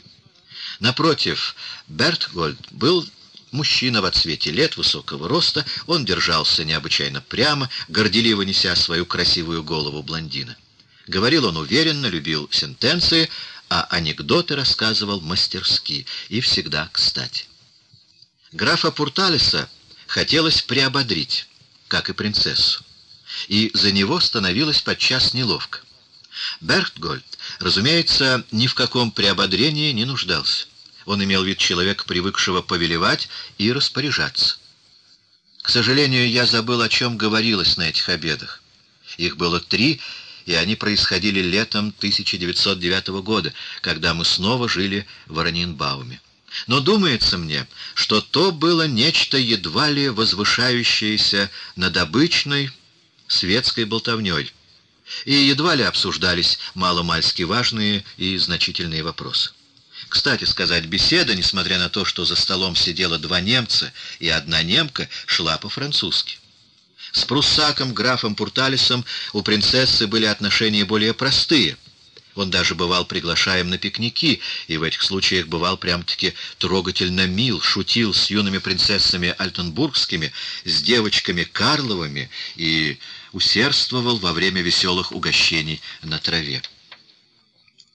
Из трех прелестных и милейших дочерей графини Карловой одна скончалась в юных годах, две другие вышли замуж за князей Голицыных, но вторая, необычайно оживленная, прелестная Мерика, разведясь с первым мужем, вышла замуж за графа Клейн-Михеля.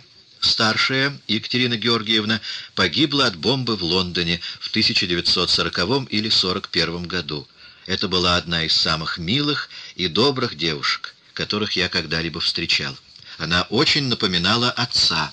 Единственного сына герцога Георгия Георгиевича и графини Карловой я помню сначала на руках английской няни, а через несколько лет в виде хорошенького и очень бойкого мальчугана. Как слышно, он унаследовал от отца не только родовой замок в Мекленбурге, этот замок с массой исторических документов сгорел, но и герцогский титул. Падки до всякого декорума, мне особенно нравилось в Орнинбаумских обедах у принцессы то, что они происходили в прелестной круглой средней зале дворца под чудесным плафоном Тиеполо, на который я то и дело взглядывал. Нравилось мне и то, что прислуживали лакеи в изящных ливреях иностранного покроя с аксельбантами у плеча. Из всех загородных резиденций, которые я посетил в то лето, Наиболее глубокое впечатление произвела на меня Гатчина, с которой я только тогда познакомился, так как вообще Гатчинский замок не был доступен публике. Теперь же, благодаря моему официальному положению, двери его были для меня раскрыты. О Гатчине ходили всякие легенды, завещанные как жуткой эпохой Павла I, так и тех дней, когда там в странном одиночестве прятался со своей семьей император Александр III. Опасаясь покушения, Александр III подолгу отсиживался в Гатчинском замке, приобретя у современников прозвище «Гатчинский пленник». Кроме того, Сомов говаривал, что Гатчина битком набита картинами, служа каким-то складочным местом для всего того, что не нашло себе места в Эрмитаже.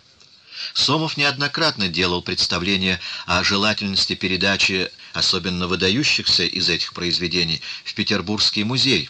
Однако на все эти представления со стороны вдовствующей государыни следовал один и тот же ответ — она ревниво оберегала то, что в ее глазах имело не столько историко-художественное значение, сколько служило напоминанием о тех тревожных, часто мучительных годах, которые она прожила с боготворимым ею супругом.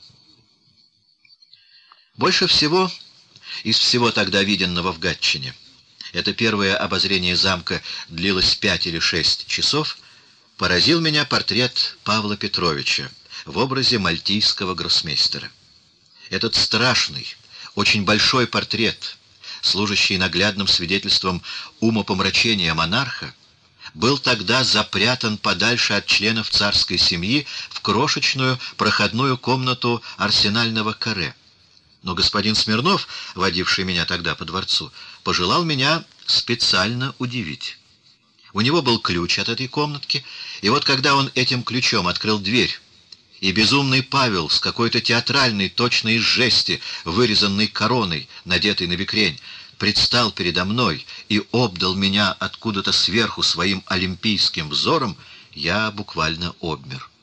И тут же решил, что я воспроизведу раньше, чем что-либо иное, именно этот портрет, писанный тонче и стоящий один целого исторического исследования. Портрет Павла I находится ныне в Павловском дворце-музее.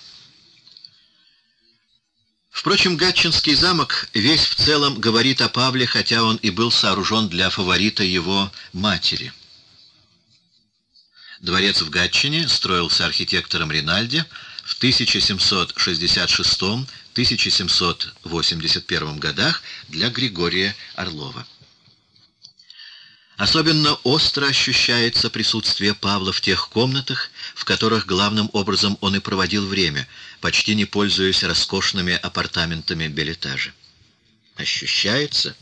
Вернее, ощущалось, ибо если даже эти комнаты и уцелели после вандальского разгрома отступающих немцев, то они, наверное, утратили тот удивительный психологический аромат, который они сохраняли первое время даже при большевиках. Переступая через порог в первую из этого ряда небольших комнат нижнего этажа, мне показалось, что я так прямо и перенесся на целый век назад. Все здесь продолжало быть таким, каким это видели глаза безумного царя. Оставался нетронутым весь этот быт солдафонский, и все же царственный, жуткий, и все же в какой-то степени уютный. Вот малый тронный зал с золоченым креслом середины XVIII века на низком помосте под балдахином. За креслом во всю высоту комнаты портрет скачущего на коне прадеда Павла, великого Петра, писанный Жувене. Между окнами на золоченом подзеркальнике Рокайль мраморный бюст Генриха IV. Одна из дверей завешена французским тканым ковром. Рядом комната с круглой белой фаянсовой печью в углу, имеющей подобие храма, уставленного ионической колоннадой. На одной из стен картина, изображающая травлю оленя на большом канале в Шантильи, воспоминания о тех празднествах, коими было ознаменовано посещение принца Конде русской великокняжеской четой, путешествовавшей под именем графов Северных. Рядом темноватая столовая или антикамера, где, дрожа от страха, прижимая к бедру колоссальную треуголку и, стараясь не слишком стучать сапожищами, стоя дожидали своей очереди попасть под распечку и услыхать пронзительный гневный голос императора, провинившиеся или ни в чем не повинные офицеры. Но интереснее всего последняя комната у одной из угловых башен. Спальня-кабинет отапливалась кургузой кубической фаянсовой печью, украшенной вверху точно небрежно туда брошенными трофеями. По стенам в несколько рядов висели картины, среди которых два овальных портрета, опять-таки Генриха IV и его верного министра Сюлли, а также крошечная картинка Ватто, изображающая итальянских комедиантов. Как раз под ней за невысокой дырявой ширмой кровать, та самая, на которую 11 марта 1801 года собирался лечь, но едва ли лег Павел Петрович, так как в эту минуту уже проникли к нему убийцы. Жалкая эта походная кровать видела ужаснейший исторический момент — когда повелитель величайшего на свете государства валялся у ног одного из маскированных заговорщиков и, принимая его за родного сына, взывал «Пощадите, государь! Пощадите, ваше величество!» Тут же на стуле был повешен зеленый с красными обшлагами мундир. Стоят непомерные ботфорты и прислонена трость-дубинушка. Все эти реликвии — были сразу после убийства доставлены по распоряжению овдовевшей императрицы Марии Федоровны из Михайловского замка в Гатчину и там сложены в том самом порядке, в каком эти вещи находились при ее супруге. В башенном же боковушке-фонарике На подоконнике лежала на куске алого штофа с нашитым на нее крестом толстая, сильно потертая книга. Это священное писание, которое любил здесь в одиночестве читать Павел, а сопровождавший нас камер-лакей шепотом прибавил, «Его Величество, покойный государь, тоже каждый день сюда заходил, и вот по этой самой книге изволили молиться».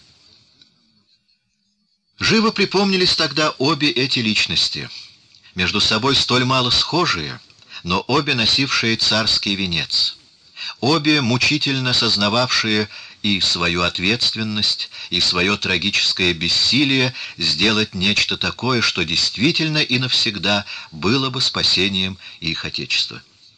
Здесь в тяжелые минуты и тот царь с помутившимся рассудком, и этот, еще так недавно правивший государь, должны были прибегать в тяжелые минуты к Господу с мольбой их научить, их просветить или удалить от них горькую чашу.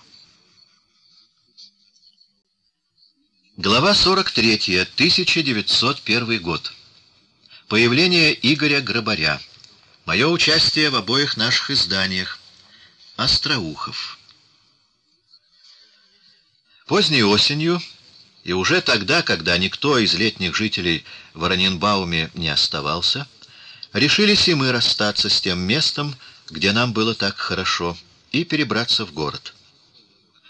Раненбаум пустел, но все по-прежнему были прекрасны его сады и парки, теперь засыпанные по дорожкам золотом и пурпуром опавших листьев, распространявших дивный в своей печали запах.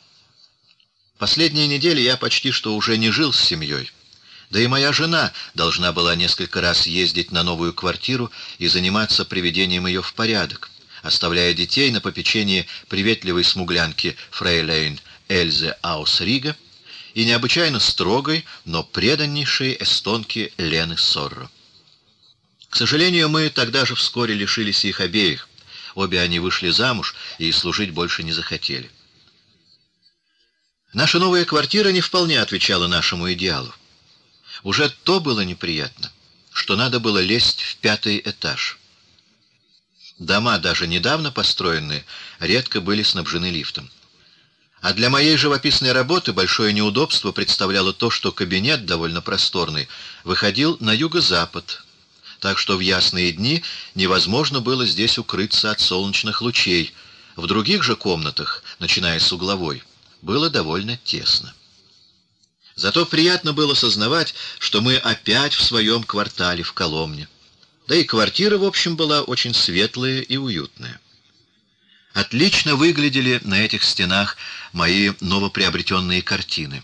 Прелестный пейзаж Ван Гоена, похищение Прозерпины Пуссена, большой кухонный натюрморт Бодегон, приписываемый Веласкесу, старуха Венецианова, сельский сюжет Кипренского, пейзаж в окрестностях Рима Александра Иванова.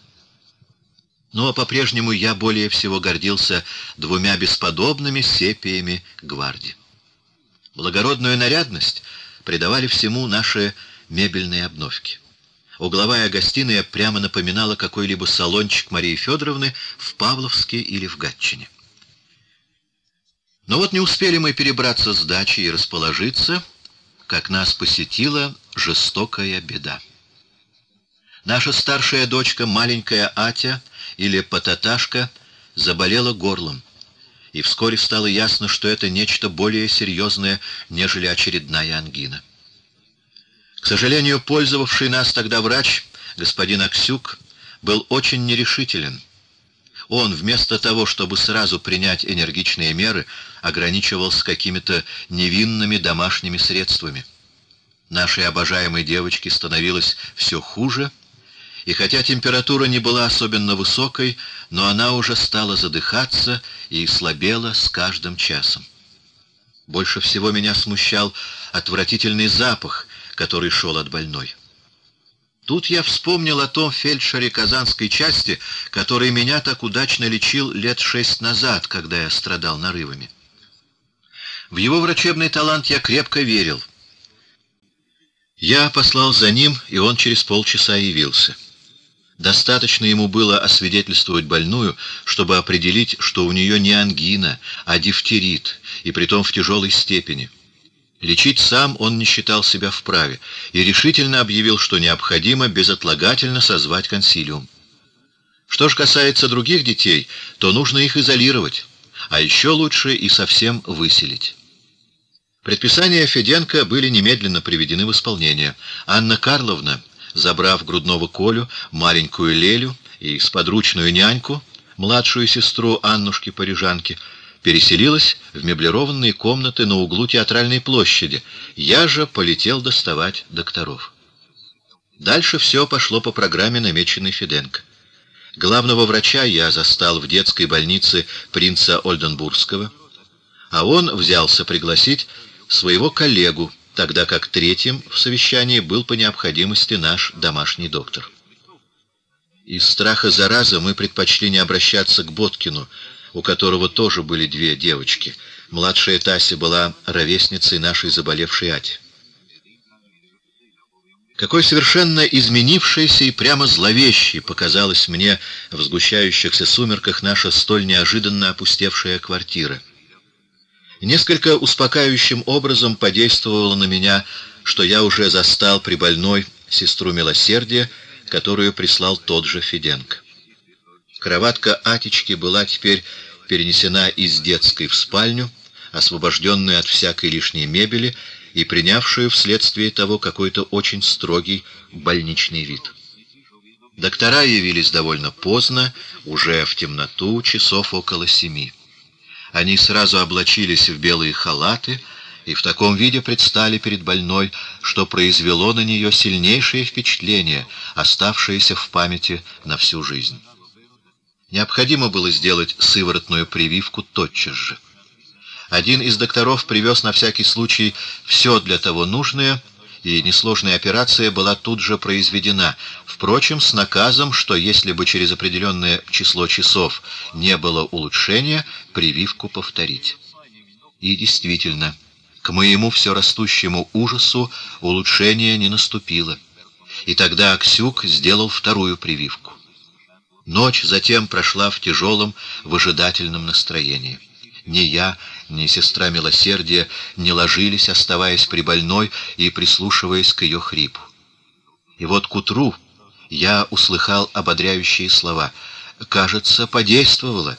Больная дышит свободнее». А когда при первом же полоскании темные пленки стали сходить густыми пластами, то уже не осталось сомнения, что наша девочка спасена. Уже через два дня она стала безболезненно принимать пищу и при этом обнаруживать все растущий аппетит, к великой радости и моей, и сестрицы, и остававшейся с нами кухарки. Глазки вновь заискрились весельем и задором. Первое, что она попросила к себе в кроватку, это любимую свою куклу, которую она умилительно стала сейчас же пеленать, кормить, лечить, а также учить уму-разуму и бронить за какие-то провинности. Я же пустился в изобретение новых забав и развлечений. И как удивительно! Одной из наших с ней наиболее захватывающих игр стала тогда война.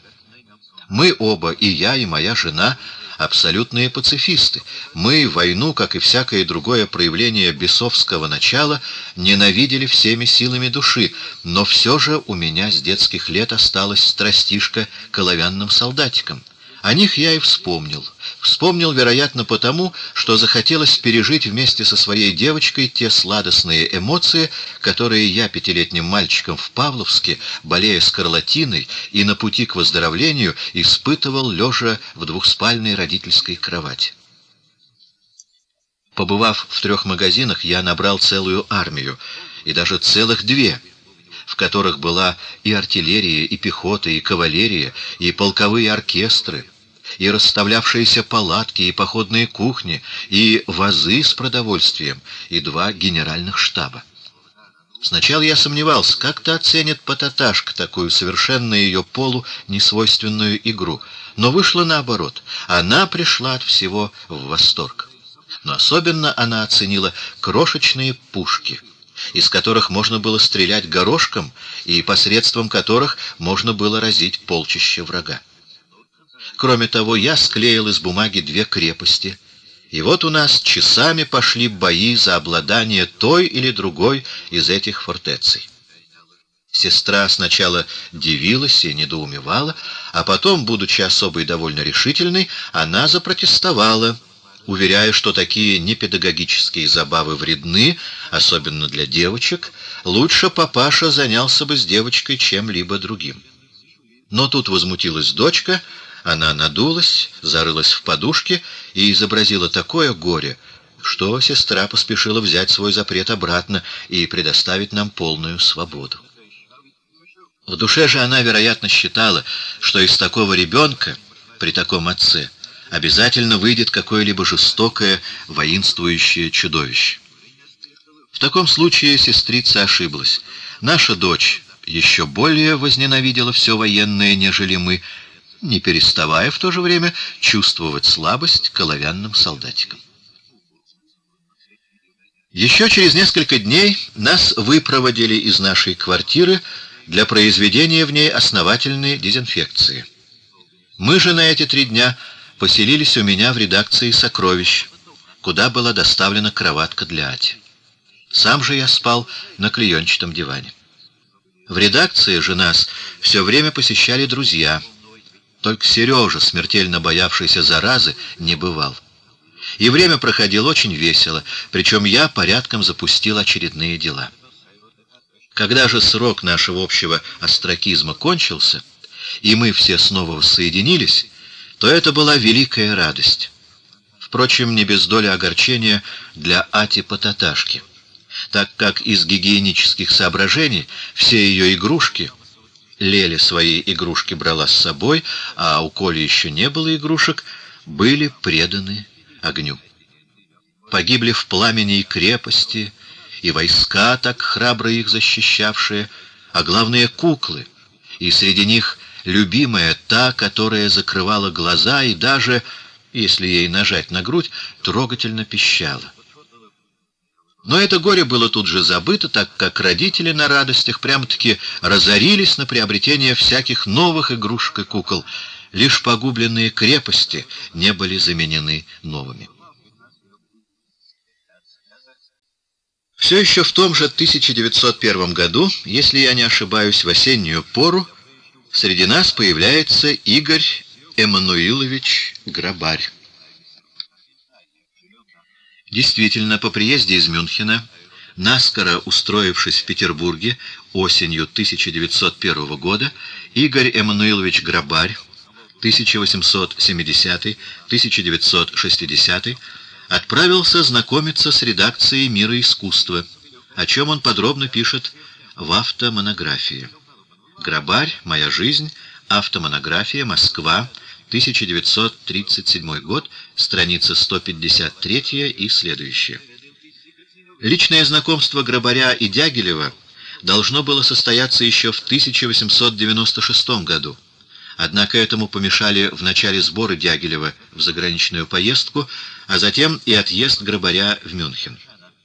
Исключительно благожелательный отзыв Грабаря о всех членах редакции и его высокая оценка культурно-исторической роли мира искусства явились по существу первой развернутой характеристикой петербургского объединения в искусствоведческой и мемуарной литературе, если не иметь при этом в виду выпущенную за несколько лет до этого книгу самого Бенуа «Возникновение мира искусства», 1828 год.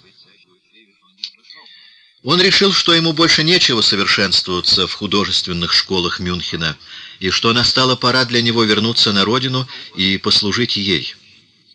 Грабарь состоял с самого начала сотрудником мира искусства, но никто из нас, редакционных людей, его лично не знал. Возможно, что Дягилев его посетил в Мюнхене, а об его личности трудно было судить по одним его печатавшимся у нас письмам, хотя они и были довольно пространны и обстоятельны. Совсем недружелюбно относился в душе к грабарю Дягилев, хотя для виду и для пользы дела он и принимал его довольно ласково. Дело в том, что, как я уже упомянул, Сергей Павлович в каждом новом человеке, появлявшемся на нашем горизонте, был несколько склонен видеть возможного соперника, а Грабарь навлек на себя особое подозрение своим очень уж явно выражавшимся желанием играть первую роль и стать каким-то главой школы. В 1901 году лидерство Грабаря в московской художественной жизни еще не вполне определилось, хотя общность намерений его и Дягилева обнаружилась гораздо раньше. Уже в 1896-97 годах сотрудничавший в Ниве Грабарь намечая программу популяризации произведений европейского искусства, предпринимал шаги для публикации картин европейских художников из музеев России и частных собраний, и в частности вел переговоры с Дягилевым о воспроизведении принадлежавших ему картин Бартельса и Дюпре. Дягилев же писал Грабарю в апреле 1896 года. «Я преследую ту же цель. Хоть немножко открыть глаза нашей публике и художником.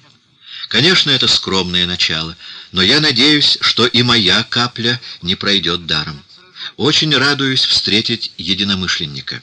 Игорь Грабарь, письма, 1891-1917 годы, Москва, 1974 год, страница 342.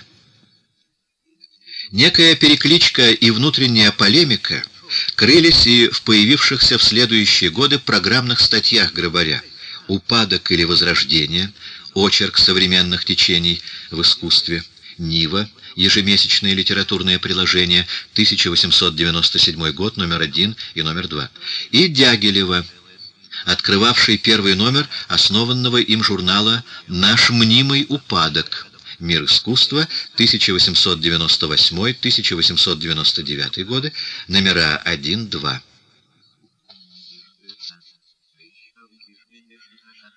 Возненавидели сразу Грабаря и Нувель, и Нурок, а также в стороне остававшийся Сомов. Не особенно дружественно к нему относились и Еремич, и Лансере. Что же касается меня, то если меня и раздражали манеры нового знакомого, и особенно его непрерывное хвостовство, то все же, познакомившись с ним ближе, я разобрал, что это, во-первых, не было так страшно, что в душе Грабарь, если и крайне тщеславен, то все же человек, не лишенный сердечности и добродушия.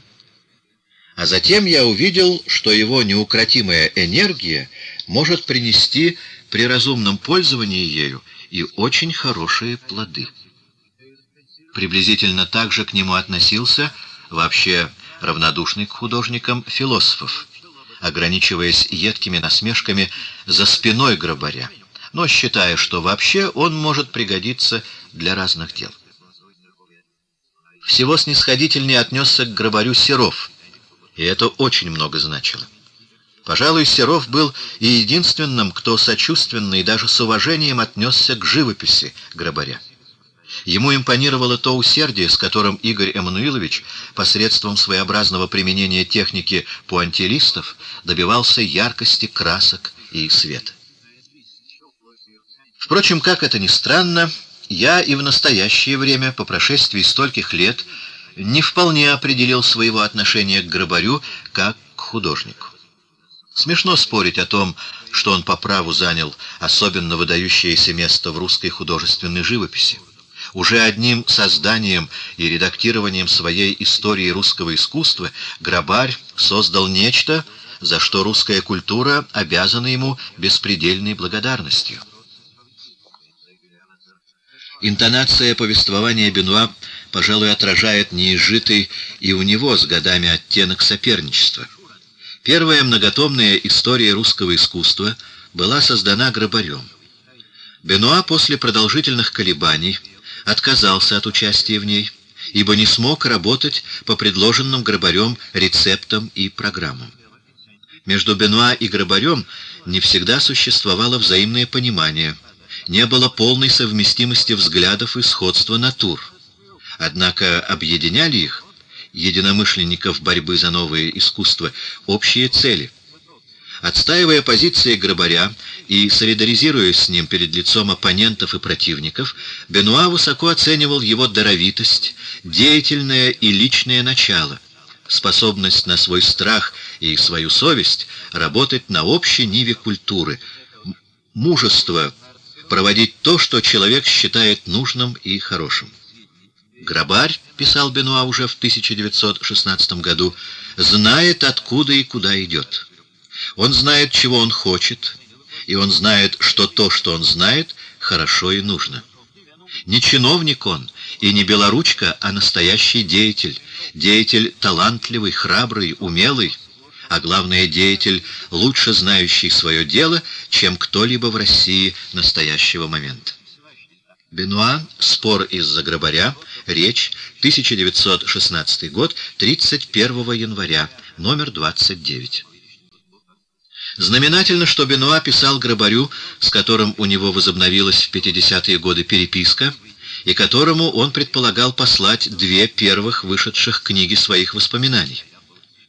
«Как недостает мне все наше родное российское, далеко недостаточно в свое время оценивавшееся. И как хотелось бы быть там, где у меня открылись глаза на красоту жизни и природу, где я вкусил любви, и так далее. Почему я не дома? Письмо 27 декабря 1957 года в книге Александр Бенуа размышляет. Страница 664.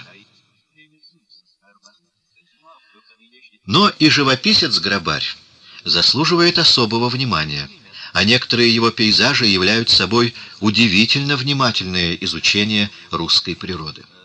Особенно хороши его солнечные зимы в передаче волшебного эффекта иния. Трогательно в своем роде было его отношение к собственному творчеству, непрестанное стремление к совершенствованию. Нельзя отнять у Грабаря и то, что он был всегда движим желанием быть справедливым и что он болезненно опасался всякого лицеприятства. Что же касается моего совершенно личного отношения к Грабарю, то я вполне признавал в нем наличие совершенно исключительных знаний, пропитанных большой общей культурностью.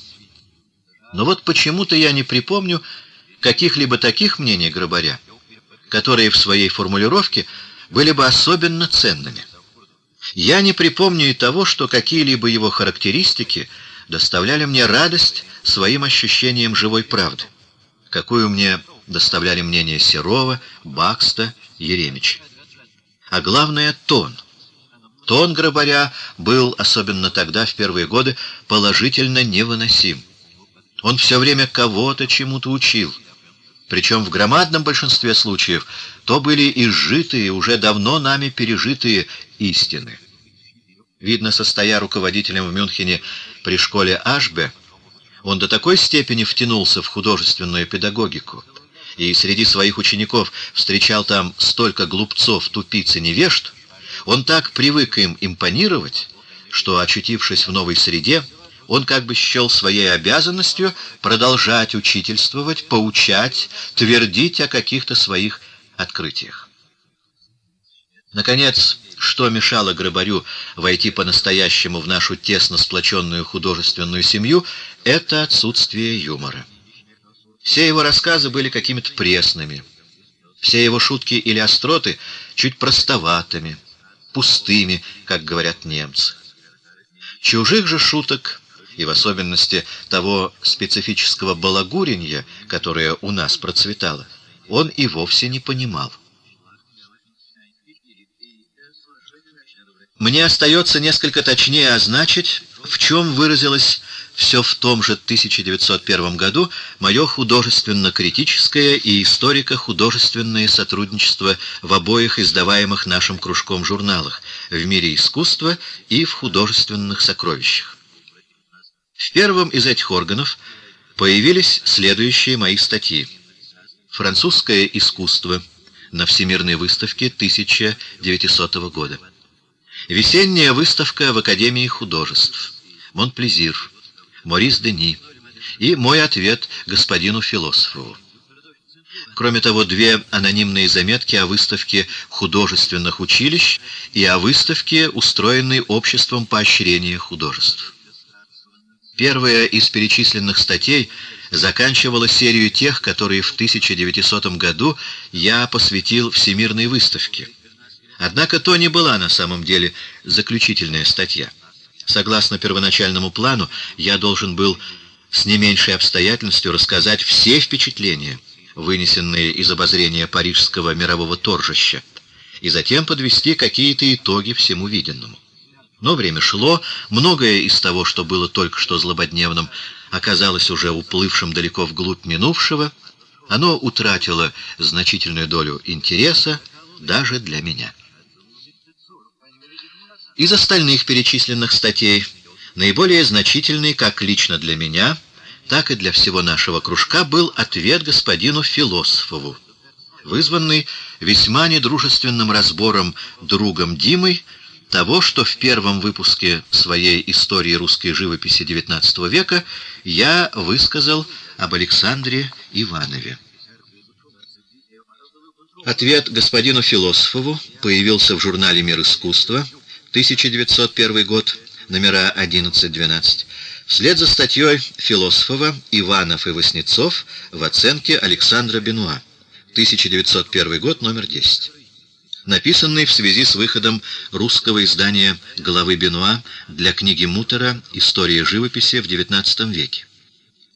Различие в оценке творчества Иванова и Васнецова коренилось в более глубоком несовпадении их взглядов, в различном отношении к современной религиозной живописи и шире отношении искусства и религии. Философов указал Бенуа на зияющую пропасть между двумя частями его книги. В первой из них господствовал эстетический критерий, во второй, в связи с творчеством Иванова, вставал вопрос о миссии русского искусства в воплощении национально-религиозного идеала. Философов считал эту позицию уязвимой, вопросы о народности и религии очень сложными, и замечал, что Виктору Васнецову во Владимирском соборе в Киеве удалось практически сделать больше, нежели римлянину Иванову. Со своей стороны, отвечая философу, Бенуа вменял ему прежде всего схематичный идеологизм позиции, неспособность проникнуть в психологию художника и желание говорить о темах, которые в живописи можно только чувствовать. Он писал, что в Иванове «я только чую национальность, смысл и значение России», которые не усматривал тогда в творениях Виктора Васнецова, считая его в те годы эпигоном академизма. Подробно разбирать здесь этот диспут не стоит, но перечитывая теперь, тогда нами высказанное, мне с особенной ясностью вырисовываются мои с Димой отношения — а также самые наши личности, какими они сложились к тому времени и какими они остались и в дальнейшем. Впрочем, каким он был тогда, наш умник Дима, поклонником науки, не будучи на самом деле заправским ученым, таким он и остался, что выражалось в его принципиальной вере во всякие формулы и в недостаточном ощущении живой жизни.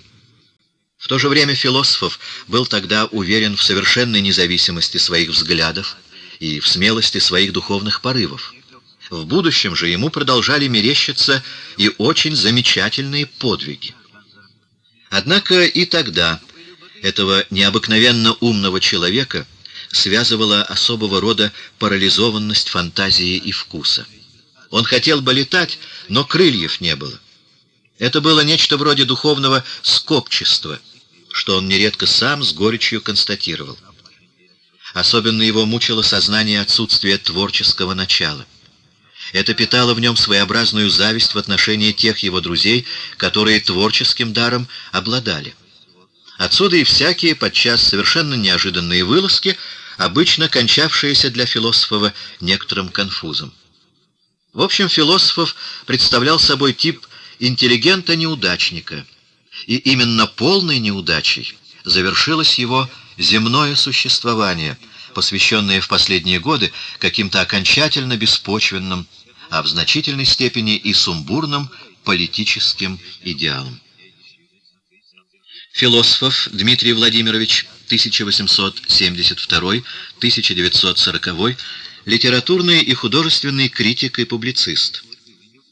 Представить философа в начале жизненного пути в каком-либо соприкосновении с политикой и, следовательно, с толпой и чуть ли не с чернью было решительно невозможно, писал позднее близко знавший мир искуснический круг Перцов. Литературные воспоминания, 1890-1902 годы. Москва, Ленинград, 1933 год, страница 279. На рубеже 90-х и 1900-х годов философов заведовал литературной частью мира искусства, а затем, с 1904 года, стал редактором религиозно-философского журнала «Новый путь». В 1900-е годы, когда философов сблизился с Мережковским и Гиппиус, деятельность его также не выходила за рамки журнальной публицистики. Он проповедует в своих статьях тезис религиозной общественности, понимая такую общественность, как духовный союз людей на почве целостной религиозной культуры. Он противопоставляет ее, с одной стороны, рационалистической общественности второй половины XIX века, а с другой — уходящим от культуры, в его понимании, мистическому анархизму и мифотворчеству. В рецензии на сборник философова «Слова и жизнь» «Литературные споры новейшего времени» 1901-1908 годы, Санкт-Петербург, 1909 год, Плеханов подчеркнул бесплодно идеалистический характер его идей. «Слово испускания господина Философова», — писал он, распространяется на важнейшие вопросы современной мысли и современного общественного движения. Он хочет везде сказать что-то новое, глубокое, недоступное пониманию нашего брата-материалиста. Но из его усилий ничего не выходит. Современный мир, 1909 год, номер 8, страница 159. В послереволюционные годы, однако, философов перестал чураться политики, заняв последовательно контрреволюционную позицию. С 1920 года он обосновался в Варшаве, где прожил до своей смерти в 1940 году. Сотрудничал с эсером Савенковым, писал статьи в Белой эмигрантской газете «За свободу». С 1932 по 1934 год издавал газету «Иллюстрированная молва», а с 1934 года эмигрантский русский журнал «Меч», вторым редактором которого в Париже был Мережковский.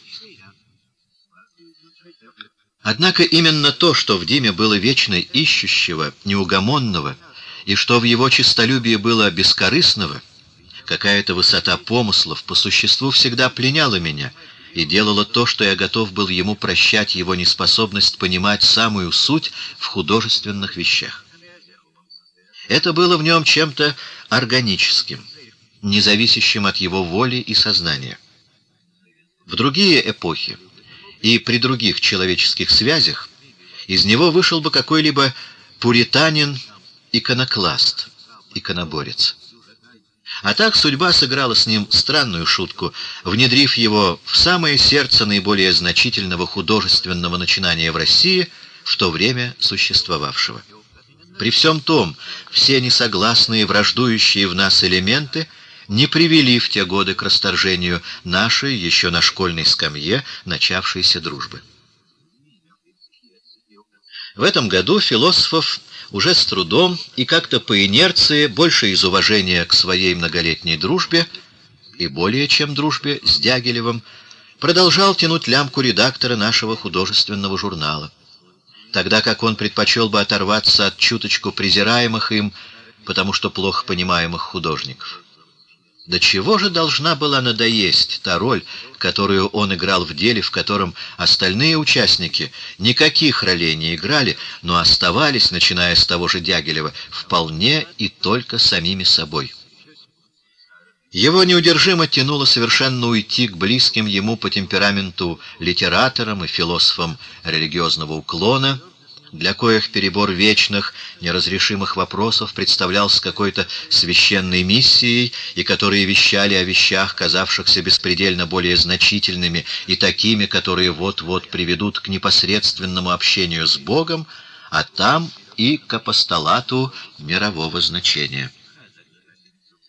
После организации журнала «Новый путь» философов постепенно отошел от ведения дел в мире искусства. В 1904 году последний год издания «Мира искусства» с редактором Дягилева стал Бенуа. Что же касается до моих художественных сокровищ, то мое личное участие, помимо общего редактирования, бесконечных корректур и так далее, выразилось в составлении не менее трех четвертей всего напечатанного текста, состоявшего из описания иллюстраций, в составлении заметок для хроники, в обзоре журналов и в новостях книжного рынка. Эти мои заметки частью снабжены моим псевдонимом Б.В., частью совершенно анонимны. Кроме того, я многое исправлял и добавлял в доставляемых по моему заказу статьях историко-художественного характера. Особенно много пришлось потрудиться над текстами Успенского, участием которого я дорожил, так как через него я получил доступ к такому неисчерпаемому источнику документальных сведений, каким является архив Министерства двора, сложенный в Троицкой башне Кремля. На выставках я в 1901 году участвовал два раза. Раз в Петербурге, раз в Москве.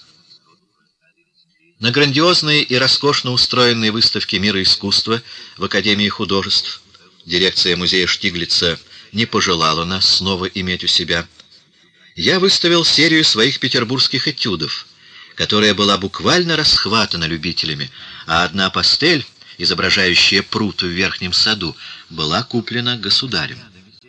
В Москве я принял участие на выставке общества 36 художников, только что возникшего тогда и превратившегося впоследствии в конкурирующий с миром искусства союз художников. Строго говоря, такого общества не существовало. Выставка 36, фактически в ней участвовали 34 художника, открылась в Москве в декабре 1901 года в помещении Строгановского училища. В ней приняли участие Серов, Врубель, Константин Коровин, Сергей Коровин, Аполлинарий Васнецов, Виноградов, Переплетчиков, Досекин, Бенуа, Сомов, Остроумова-Лебедева и другие. В декабре 1902 года состоялась вторая выставка 36 в несколько измененном составе, и только в 1903 году участники выставок образовали Постоянный союз русских художников, куда вошли и москвичи, и представители мира искусства. Смотрите Лапшин, Союз русских художников, Ленинград, 1974 год. Дягилев относился к этому предприятию с подозрением. Однако он все же разрешил мне участвовать на этой выставке. Для нее мы оба отправились в Москву, и, уступая приглашению Серовых, остановились не в отеле, а в их удивительно скромном обиталище, любуясь в разные часы дня всем очаровательным укладом их семейной жизни. В другие же мои приезды в Первопрестольную для дел сокровищ я принужден был уступать настойчивому приглашению Остроухова. И вот о последнем мне хочется сказать несколько слов, так как он, несомненно, принадлежал к самым характерным фигурам московского художественного мира. Остроухов Илья Семенович, 1858-1929, живописец, пейзажист, член-учредитель Союза русских художников, член Совета и попечитель Государственной Третьяковской галереи 1889-1903 и 1905-1913 годы. Коллекционер с 1906 года, академик. Уже то было любопытно, что Илья Семенович соединял в себе личности типичного именитого купца с личностью подлинного художника-живописца. Когда-то, даря двум-трем пейзажам, чуть ли не соперником Левитана и Серова, а его «Сиверка» до сих пор занимает вполне заслуженное положение среди самых характерных и поэтичных пейзажей русской школы. Пейзаж Сиверка был написан в 1890 году, после чего Остроухов принят в товарищество передвижных выставок. Картина находится в Государственной Третьяковской галерее. Однако, происходя, если я не ошибаюсь, из торговой среды, женившись на богатой невесте, Надежде Петровне Боткиной, дочери одного из самых знатных купеческих магнатов Москвы, занимая в деле тестя, чьей торговли, ответственный пост одного из директоров, Остроухов постепенно забросил художественное творчество и, что называется, почил на лаврах, не пренебрегая, впрочем, при любой оказии напоминать собеседникам о том, что и он мог бы занимать первенствующее положение среди художников. И вот это творческое оскудение Остроухова в связи с развившимися в нем торговыми и коллекционерскими инстинктами создало из него сначала довольно бестолкового и любительски прихотливого, но и страстного собирателя, а затем он постепенно превратился в нечто значительное и почтенное. В начале своего собирательства он был вправе гордиться крошечной Богоматерью у креста, фрагмент – которую он приписывал самому Ван Эйку, а также картиной на меди «Аполлон, сдирающий кожу с Марсиаса», которую он почему-то считал за Веласкеса, и которая была просто уменьшенным повторением картины Яна Лиса «Пана» в Венецианской академии. Было у него и несколько хороших русских картин, и среди них «Девушка с теленком» Венецианова, «Берег моря» Малютина и «Сирень в Рубеля». В картонах же Остроухов хранил большое количество русских рисунков и акварелей, возбуждавших зависть других московских собирателей — Цветкова, Троиновского, Гиршмана и других. Цветков Иван Евмениевич, 1845-1917, крупный банковский деятель, коллекционер, собиравший преимущественно рисунки. Собрание Цветкова, именовавшееся Цветковской галереей, насчитывало 1200 рисунков и 300 картин. Янжул, Цветков, Русская старина, 1911 год, номер 2. В 1909 году Цветков передал коллекцию в дар Москве. В 1926 она вошла в состав Третьяковской галереи. Трояновский Иван Иванович 1855-1928, врач-терапевт, собиратель картин новой русской живописи, связанный тесной дружбой со многими деятелями русской культуры. Один из организаторов общества «Свободная эстетика». Основная часть коллекции перешла в Третьяковскую галерею. Гиршман Владимир Осипович 1867-1936, московский фабрикант и коллекционер, собрание картин которого, вошедшее впоследствии в Третьяковскую галерею, отличалось особой изысканностью отбора. Правда, по общему правилу, все имущество такого видного капиталиста должно было быть национализировано но в отношении Остроухова эта мера была применена только для вида. Илья Семенович был назначен хранителем своих сокровищ и дожил свой век в том же характерно-буржуазном особняке в Трубниковском переулке, в тех же комнатах, битком набитых солидной мебелью и со стенами, сплошь завешенными картинами. Довольно обширный сад также продолжал оставаться при доме. Весь этот ансамбль был в 1918 году превращен в Государственный музей и был открыт для обозрения публики, но Илья Семенович был даже тому рад, потому что теперь он мог хвастаться собранными богатствами перед весьма расширенной массой любопытных. Сам же он жил с женой в этом музее по-прежнему, ни в чем не нуждаясь, чудаком-сибаритом, все так же попивая красное вино, которому он питал особое пристрастие, и беспрерывно принимая многочисленных друзей. Музей иконописи и живописи Остроухова стал с конца 1918 года филиалом Третьяковской галереи, а сам Остроухов до конца своих дней являлся его директором. После его смерти музей прекратил свое существование, а экспонаты были переданы в Третьяковскую галерею. Мало того, Остроухов продолжал собирать, и ему удалось пополнить свое якобы реквизированное собрание икон особенно замечательными произведениями. Поворот в его собирательстве, носившем до того помянутый любительский прихотливый характер, произошел едва ли не случайно. Отрасль, которая стала с тех пор его коллекционной специальностью и которая доставила ему славу и за пределами России, была древняя иконопись. Однако уже тогда, когда многие москвичи его же круга, среди них члены семьи Рябушинских, принялись яростно собирать образа древних писем, Илья Семенович продолжал относиться к ним равнодушно и откровенно сознавался, что икона ему ничего не говорит. И вот перемена произошла как-то мгновенно, и его осенила какая-то благодать. Как мне передавали, началось это с того, что друзья подарили ему на рождение прекрасную икону XV века, его святого Ильи Пророка.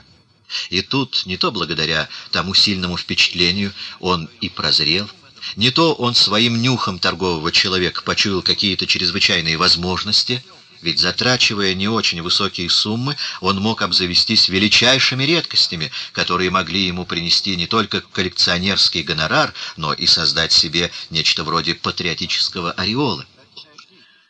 Благодаря ряду необычайно удачных приобретений, делавшихся обыкновенно через посредство его приятеля, хранителя Третьяковской галереи Черногубова, человека тончайшего вкуса, понатаревшего в коллекционерских комбинациях и лукавствах, он добился того, что имя его стало синонимом самого передового, самого просвещенного собирателя, к тому же оказывавшего бесценные услуги русской культуре. Черногубов Николай Николаевич, 1873-1942 годы, помощник хранителя Третьяковской галереи, 1902-1913, и ее хранитель, позже научный сотрудник Киевского государственного музея русского искусства. Ведь открытие всей этой новой области красоты произвело всемирную, благодаря заграничным выставкам, сенсацию. Еще недавно считалось, что вся русская живопись до Петра — нечто аморфное, рабски подражательное. Теперь же историки искусства и на Западе считаются с русской иконой, а иные склонны даже приравнять русских художников, не богомазов, а художников, и среди них на первых местах Андрея Рублева и Дионисия, с итальянскими трочентистами и кватрочентистами. Лично я относился к Остроухову, если и не с настоящим дружеским чувством, то все же с большим и симпатическим интересом. Этот тяжелый, плешивый, подслеповатый, шепелявый верзила, этот московский самодур пленял меня всей своей вящей характерностью. Кроме того, как-никак, в нем и после отказа от собственного живописного творчества продолжала жить художественная жилка, которая придавала общению с ним немалую приятность. По натуре он был сущий варвар но он много сделал для того, чтобы просветиться, и чтобы это свое варварство скрыть под лоском европеизма. Он прочел неимоверное количество книг на разных, уже в зрелом возрасте, усвоенных языках. Он искренне обожал музыку, не пропускал ни одного значительного концерта и сам недурно играл на рояле. По существу же, все это не мешало тому, чтобы он производил впечатление человека грубого, а все им духовно приобретенное не складывалось в нечто гармоничное. Меня не притягивала в Илье Семеновиче эта его видимость культуры. А мне было интересно подойти вплотную к типу, который, наверное, вдохновил бы Островского и послужил бы центром еще одной комедии из купеческого быта. Выносить его общество ежедневно или много дней подряд было трудно. Это случилось, когда я у него в 1902 и 1903 годах гостил на даче под Москвой. И я только дивился кротости и терпению его жены, которая невозмутимо переносила его грубости, нередко доходившие до настоящих ругательств и до дикого крика из засущих пустяков. Бывая часто и подолгу в доме Остроухова, можно было зачастую услышать в отношении Надежды Петровны такие эпитеты, как «дула», Остроухов не выговаривал буквы Р. и идиотка. Или же он прикрикивал на нее при всех, гнал из комнаты и требовал, чтобы она молчала. Надо, впрочем, прибавить, что во все это безобразничание входило немало театра для себя, разыгрывание какой-то комедии, казавшейся самому Илье Семеновичу чем-то в высшей степени эффектным и колоритным. Вот где купец, художник, Остлаухов. Все для большей колоритности он щеголял всевозможными чудаческими повадками, из которых одна особенно забавляла и меня, и Серова. Ежевечерне, без исключения, ровно в одиннадцать с половиной часов, слуга приносил ему к чайному столу на шипящей сковородке два биточка, именно только два, и только для него одного. Но эти битки, жареные в сметане, должны были отвечать раз установленным кулинарным требованиям. Они должны были быть пухлые и белесые. Сочность же их проверялась вонзанием в них вилки. Если при этой операции из биточка не брызгала струя, то Илья Семенович начинал буйствовать, рычать, топать ногами, а слуга, забрав сковородку, опрометью летел обратно в кухню. И в таких случаях не полагалось, чтобы повар взамен неудавшихся изготовлял новые. Нам даже казалось, что эти буйные припадки Семеновича означали то, что ритуал ежевечерних битков ему давно надоел, но отказаться ему от него все же представлялось зазорным. Вместе с биточками в столовую вносилась бутылка красного вина. «Классное балдо» в произношении Остроухова, которую он всю и выпивал. И тут не обходилось без фокусов. То покажется, что вино отдает пробкой, то оно было недостаточно или слишком согрето, Замечательно, что ни биточками, ни классным вином Илья Семенович никого не подчивал, и даже когда я протянул как-то к забракованному блюду руку, он безапелляционно отослал его в изъявлении своего неудовольствия. Вообще же вечернее угощение у этих очень богатых людей было до странности скудное. Всего несколько сухарей и бубликов. Вероятно, тут сказывалась не простая скаридность Ильи Семеновича, но и скупость дочери знаменитого своей скаридностью Петра Петровича Боткина, с особой наглядностью выражавшаяся, между прочим, и в том, что не успеет гость себе положить сахару в стакан чая, первоклассного, боткинского, как уж сахарный ящичек закрывается самой хозяйкой на ключик и отставляется на буфет. Эта черта и подобные ей – не мешали Надежде Петровне быть радушной и любезной, но и крайне молчаливой дамой. Своей же внешностью она невольно вызывала сравнение с бегемотом, а то и с жабой, вообще с чем-то чудовищно уродливым, что исключало всякое предположение, что Илья Семенович мог жениться на ней по любви. Я даже убежден, что неуклюжая, серая с лица Надежда Петровна так и не познала супружеских радостей, что, впрочем, не мешало ей всячески выражать свое высокопочитание мужу и во всем, согласно домострою, проявлять беспрекословную покорность и преданность. Невозмутимость духа Надежды Петровны была вообще легендарной. Сказалось это, между прочим, и в том, что в дни Октябрьского переворота, когда происходила осада Кремля, она нисколько не изменила своих привычек и, между прочим, с совершенной методичностью совершала для Мациона свою ежедневную прогулку с собачкой по собственному саду, между тем, как вокруг свистели и щелкали по стенам соседних домов случайно залетавшие откуда-то пули. Как ни в чем не бывало, она не прибавляла скорости, продолжая шествовать своей тяжелой, медленной походкой, о чем с гордостью рассказывал сам Илья Семенович. Глава 44. Телековский, фея кукол, Ипполит, гибель богов. 1902 год прошел в тех же тонах и настроениях, как 1901. Я все больше увлекался редактированием своих художественных сокровищ, и в связи с этим я несколько запустил свое сотрудничество мира искусства. За это мне частенько попадало от Сережи и особенно от Димы. Последний с прежним усердием относился к своим обязанностям и играл роль какого-то ворчливого опекуна нашего журнала. В то же время можно было заметить, что ноша становилась ему все более тяжкой, тогда как параллельно все теснее становилось его сближение с литераторами и главным образом с читой Мережковских. Он проектировал даже вместе с ними, и вовсе от нас оторвавшись, основать свой собственный орган, более отвечающий его душевным запросам, тогда как ему казалось, что узкохудожественные интересы он как-то перерос. Замечалось с некоторых пор и известное охлаждение в его дружбе с Сережей. Соблюдая при посторонних прежний декорум единения и никогда не вынося более серьезных раздоров на общее обсуждение друзей, оба кузена все же чаще при нас спорили. В упреках Димы слышалась горечь, в ответах Сережа раздражение и тяготение к тому, чтобы освободиться от контроля своего склонного к педантизму и недавно еще глубоко чтимого двоюродного брата. Сказать, кстати, только в это время у нас у всех, и даже у Серова, получилось убеждение, что их дружба не лишена чувственной основы.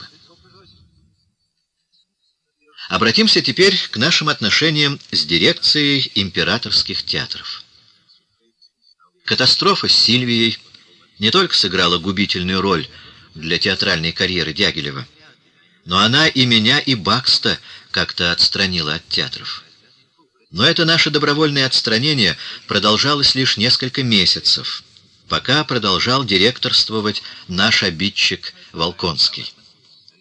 Оставшись, однако, в каком-то одиночестве, лишившись поддержки своих ближайших друзей и сотрудников, князь Волконский долго не выдержал этого положения и, придравшись к первому же случаю, какому-то капризу нашей прима-балерины Кшесинской, он еще летом 1901 года сам попросился в отставку и удалился на покой.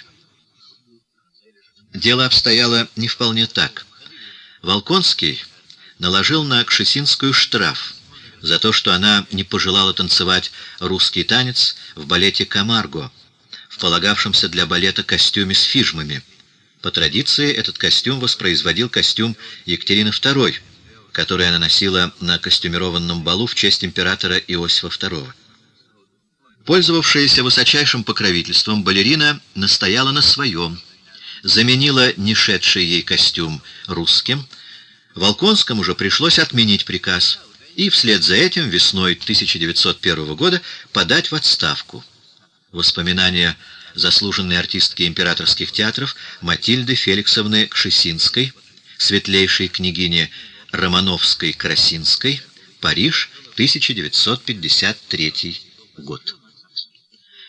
Государь, однако, не пожелал создать новый пост августейшего управляющего театрами, а предпочел внять рекомендации своего министра двора, барона Фредерикса, и назначить на должность директора казенных театров Телековского, который, как уже сказано, успел себя заявить с очень выгодной стороны во время своего управления московскими театрами.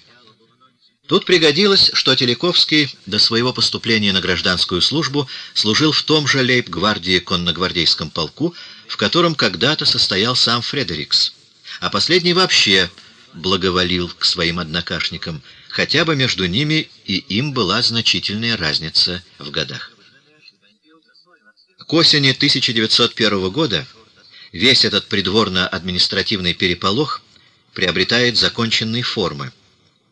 О кратковременном управлении Волконского вскоре все забыли. Терековский же, как только воцарился, так первым долгом счел нужным обратиться в Петербурге к тем же самым лицам, на которых возлагал свои надежды его предшественник, иначе говоря, ко мне и к Баксту, но не к Дягилеву. Новому директору не представлялось желательным приближать его к себе. Ему казалось, что энергией и вкусом он сам обладает в достаточной мере тогда как ему нужны были художественно-творческие силы. Он сразу выписал к себе в Петербург открытого им еще в 1898 году Головина, предоставив ему грандиозную декорационную мастерскую, помещавшуюся над зрительным залом Мариинского театра. Одновременно он окончательно заручился участием другого москвича, Константина Коровина. Когда Владимир Аркадьевич обратился ко мне и к Баксту, Дягилев попробовал было воздействовать на нас устройством с нашей стороны своего рода обструкции, требуя, чтобы мы поставили бы условием нашего участия привлечение вновь и его, Дягилева. Однако при первом же зондировании почвы в этом смысле мы получили со стороны Телековского такой отпор, что уже больше к этому вопросу не возвращались. Телековский рассыпался в похвалах Дягилеву, он сожалел, что все так для него несчастливо обернулось, но о том, чтобы брать Дягилева себе в помощники, не могло быть и речи. «Покорно благодарю», — высказался он откровенно. «Это для того, чтобы он через месяц стал интриговать против меня?» Манера «быть» Телековского представляла собой прямую противоположность манере «быть» и приемам Волконского. Насколько последний был элегантен, изящен, тактичен и осторожен, и вообще мог вполне сойти за подлинного вельможу былого времени, а всей своей внешностью вызывал образ какого-то итальянского принципе эпохи Возрождения, настолько Телековский любил щеголять чисто российской простотой и даже грубоватостью, с оттенком чего-то армейского. Так и в данном случае он прямо заявил и мне, и Баксту, что Дягилева он боится. Мы не сочли нужным скрыть от Сережи этот разговор, и его разочарованию в Телековском не было пределов. Баксту была заказана постановка на Александринской сцене Ипполита Еврипида. И, кроме того, он должен был закончить для Эрмитажного театра «Фею кукол». Мне же досталась «Гибель богов», одна из моих любимых опер.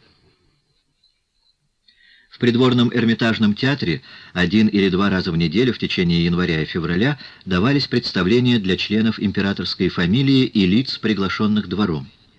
Премьера одноактного балета «Феи кукол» на музыку Байера, либретто Хасрейтера и Гауля в оформлении Бакста состоялась в феврале 1902 года.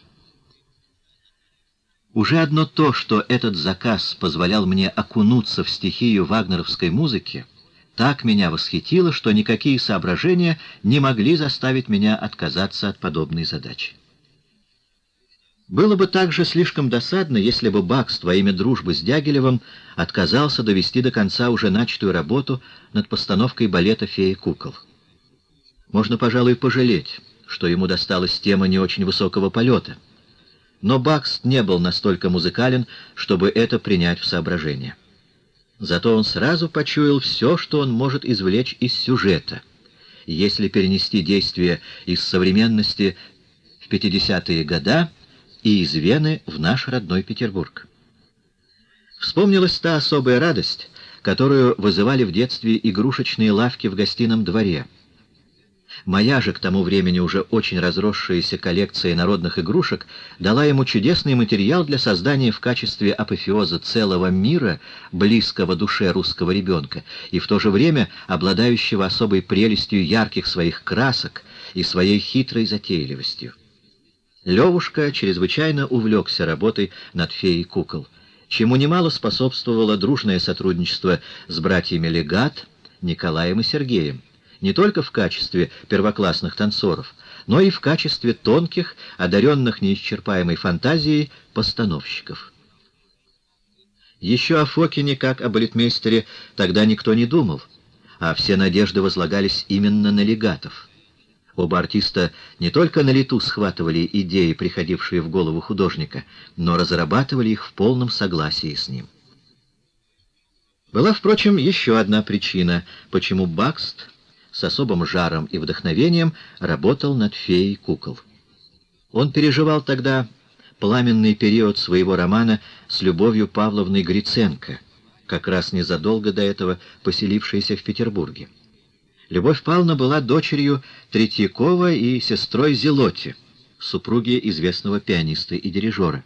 Александры Павловны Боткиной и Марии Павловны тоже Боткиной, две сестры, вышли за двух братьев. Со всеми этими дамами мы были знакомы, но с Александрой Павловной и ее мужем у нас в это время уже образовалась более тесная дружба, недели не проходило, чтобы мы не виделись с ними по крайней мере два раза. Вполне естественно поэтому, что Любовь Павловна тоже стала нашей частой гостьей, и это несмотря на некоторые стороны ее характера, которые казались нам не столь уже привлекательными. Рядом с сестрами, и особенно с совершенно простой Александрой, Любовь Павловна казалась несколько жеманной и претенциозной. И Левушка Бакст отнесся сначала к Любови Павловне так, как вся наша компания, с некоторым недоверием. Однако постепенно он первый стал менять свое отношение к ней. Когда мы его дразнили на эту тему, то он отвечал «Мне она нравится, это мой тип женщины». Встречая полную взаимность, его увлечение вскоре приобрело характер более пылкий, а еще через некоторое время — стало ясно, что это не простой флирт, а настоящий серьезный роман. Однако, как все в жизни Бакста, так и тут не обошлось в самом же начале без чего-то чудачески комического. Особенно поразило всех, что он поместил предмет своего поклонения на самую декорацию феи кукол. В поисках предлога и места для своих свиданий Левушка задумал написать портрет — Любовь Павловны. А так как он в это время заканчивал свою декорацию игрушечной лавки, то и сеансы происходили в этой же декорационной мастерской, лишь немного в стороне. Портрет получился очень схожим и удачным, и тогда, по странной прихоти, он решил его включить всем на показ в самую декорацию. Возможно, что любовь увидала в этом особый знак поклонения — и во всяком случае она не протестовала. Фигура ее на холсте была аккуратно вырезана и пришита к общей паддуге среди всяких паяцев, кукол, барабанов, мечей, тележек и прочих игрушек. Любовь Павловна висела в своем новомодном парижском черном платье и в своей огромной черной шляпе. Я помню изумление, охватившее ее зятя, Сергея Сергеевича Боткина, когда на генеральной репетиции в Эрмитажном театре взвился занавес, и перед его глазами на самом первом плане предстала его Бельсер. О, каким жирным смехом он тогда залился, приговаривая «Люба-то, Люба-то висит!» Он подвесил ее под потолок. И ведь как похоже!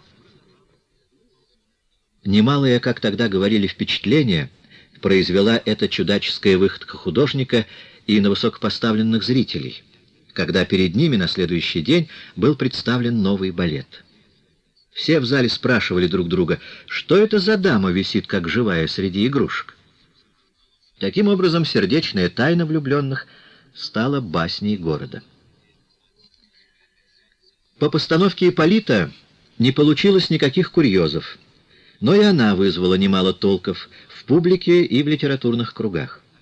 Ведь согласно плану энтузиаста-режиссера Юрия Эрастовича Азаровского, которому была поручена постановка, надлежало представить трагедию так, как ее видели афиняне полторы тысячи лет назад, не исключая религиозно-ритуального характера.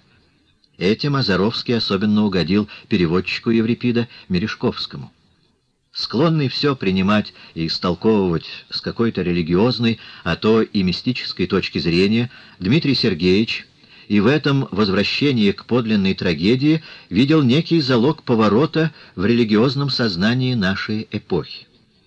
О, как возносился Дмитрий Сергеевич, вещая об этом в тех спорах, что велись по поводу постановки Ипполита! И с каким вдохновением он прочел перед началом спектакля свою прекрасную вводную речь. Замечу, однако, что за исключением Бакста, энтузиазм Мережковского не находил среди мира искусства поддержки. Он не находил ее даже в лице духовно порабощенного Мережковским Димы. И скептики оказались правы. Никакого религиозного воодушевления, торжественно и эротическое – передвижение учеников и учениц театрального училища вокруг картонного жертвенника, из которого курилась струйка пара, не вызвало.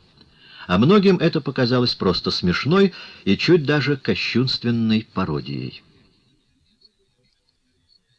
Гибелью богов я занялся с самой весны 1902 года, еще до переезда в Павловск на дачу.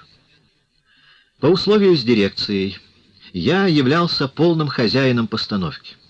Иначе говоря, мне была целиком и бесконтрольно поручена выработка режиссуры, вследствие чего я и не входил ни в какие предварительные совещания с кем бы то ни было, кроме как с главным машинистом Бергером, ведь от машиниста в вагнеровских операх столь многое зависит. Особенно озабочивал меня пол. Этот банальный, плоский театральный паркет, который особенно мешает всякой иллюзии в воссоздании природы. После долгих опытов мне, наконец, удалось создать модель скалистой поверхности. И я особенно был доволен тем, что придумал целую систему, как посредством не особенно сложных перегруппировок этих масс они могли бы служить не только в первой и в третьей картинах, но и во всех остальных. Что же касается до самого писания декораций, то я не отважился, несмотря на убеждение Телековского, взять эту работу на себя. Я не имел еще тогда никакого опыта, а настоял на том, чтобы мои декорации были написаны Коровиным. С ним я успел договориться обо всем, и он заверил меня, что относится к задаче с величайшим вниманием и даже с пиететом. «Тебе, Шура, — говорил он мне, — и в Москву нечего приезжать».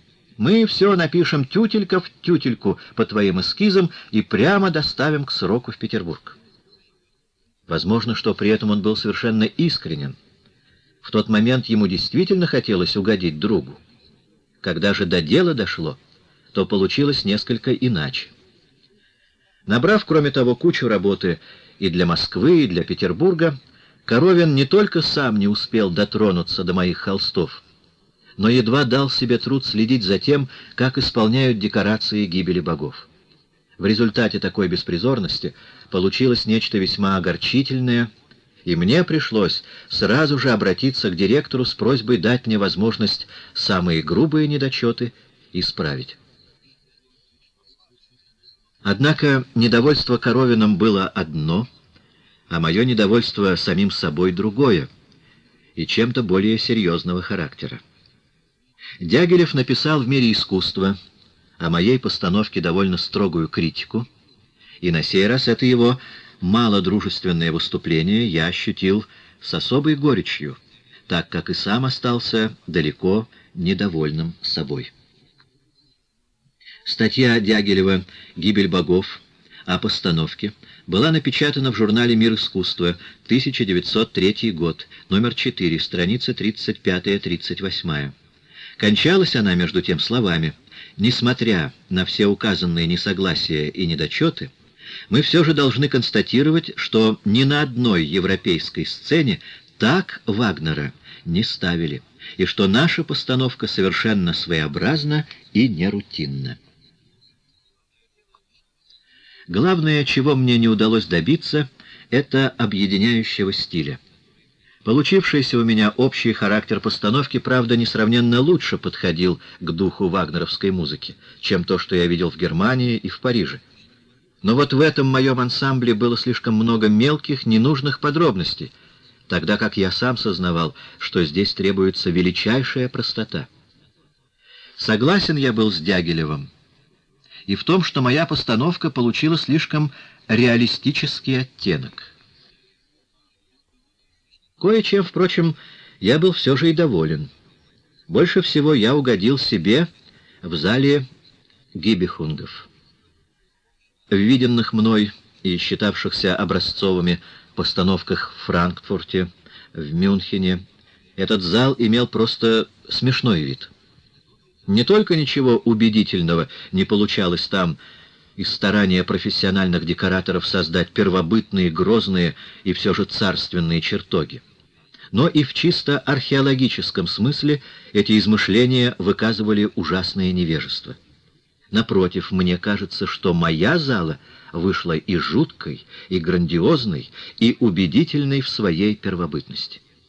В этих хоромах, состоящих из массивных каменных глыб, поддерживающих сложный переплет темных от древности стропил, покрытых загадочной резьбой, Только и могли жить такие дикие, но в своей символичности грандиозные существа, как Гунтер, Гудруна и Хаген.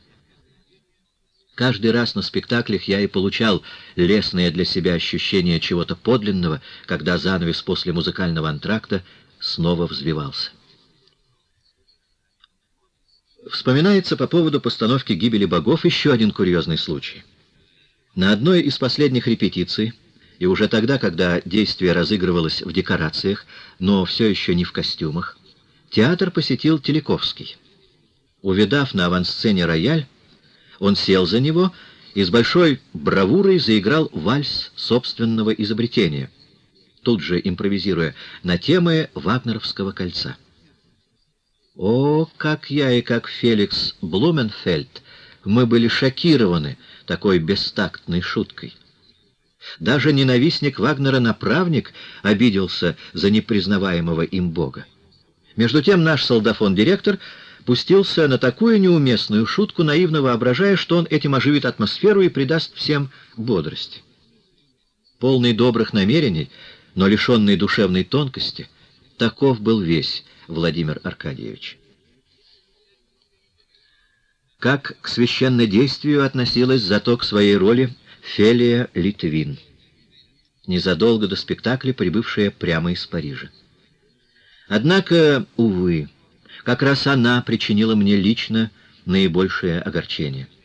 Началось с того, что она отказалась надеть мой костюм, над сочинением которого я так бился, в поисках чего-либо, что скрадывало бы ее чрезмерную полноту. Бедняжка не понимала, что в этом ночном пеньюаре, в котором она привыкла выступать, да еще с треном и сталией в рюмочку — из-за чего ее могучая грудь вздымалась под самый подбородок. Она была просто карикатурно смешна. Что и подмечено было в том чудесном рисунке, который набросал по живым впечатлениям Серов, подаривший мне его на память. Но история с неприятием костюма повредила только ей. Другое же требование Литвин искалечило мою декорацию — ту самую декорацию первого акта, в которой мне особенно хотелось уйти от шаблона и создать нечто действительно соответствующее действию и музыке. Мне казалось особенно важным, чтобы Брунгильда с Зигфридом при первых лучах восходящего солнца выступали из темных недр, служащих им обиталищем, ровно посреди картины. Я был убежден, что обданное ярким светом и окруженная темной массой священного бора, все в целом получит особенно ликующий, торжественный характер, что так удивительно выражено в музыке. Но увидев декорацию на сцене, мировая знаменитость чуть что не впала в истерику и решительно объявила, что она не будет петь, если ее выход не останется по традиции и справой от зрителей кулисы. Я было заупрямился и отказался вносить какие-либо изменения в свое создание, но перепуганный Телековский, день премьеры был уже назначен, и на ней должна была быть вся царская фамилия, так взмолился, так долго меня уламывал, что я уступил и тем самым буквально зарезал свою картину. Пришлось в три дня переиначить весь фон и вместо скалистой стены с пещерой открыть дальний вид на соседние возвышенности, а пещеру втиснуть на самом первом плане. Еще одну дискуссию мне пришлось выдержать со Славиной, исполнявшей роль валькирии Вальтрауты. Для нее я придумал, как для вестницы грозящих бед, воинственный, но необычайно мрачный костюм. Длинная юбка была раздвоена спереди, как бы для верховой езды, и развивалась во время ходьбы, открывая ноги, одетые в красное с чешуйчатым рисунком трико. При этом черный плащ, броня темной стали и на голове черный шлем с огромными вороньими крыльями. Все это очень шло красивой, тогда еще пленявшей своей молодостью артистки. Но вот товарищи, и особенно товарки, уверили Славину, что она в этом костюме с раздвоенной юбкой смешна, и что к тому же такой образ Валькирии противоречит все той же пресловутой традиции. Немало пришлось мне положить труда, чтобы переубедить Марию Александровну. Но в конце концов она отважилась сделать опыт и вышла из испытания победительницей. Все на перерыв ею восхищались в этой роли, и она сама сочла нужным выразить мне благодарность за мое упорство. Вполне удачным вышло все, что следует после сцены убиения Зигфрида. Все это вполне соответствовало моему замыслу. С самого момента, когда герой испускает дух, сцена заволакивалась идущим от Рейна туманом, вследствие чего стволы и осенние листва деревьев и самых человеческих фигур теряли свою отчетливость и получали какой-то призрачный характер. В то же время из-за лесистого противоположного берега выходила и тихо подымалась над горизонтом точно обогренная кровью луна. Охотники свиты Гунтера, положив тело Зигфрида на скрещенные копья, медленно направлялись с драгоценной ношей вверх по той самой тропе, на которой мы только что видели Зигфрида живым, весело беседующим с водяными девами. После знаменитого антракта, заполненного погребальным маршем, сцена прояснялась, и мы снова видели палаты Гунтера, особенно зловещими в ночном полумраке. И тут же они озарялись заревом, идущим от пылающих факелов в руках воинов, несущих тело убитого. Чтобы добиться именно того, чтобы эти факелы действительно пылали, и чтобы от них шел дым, мне стоило чрезвычайных усилий.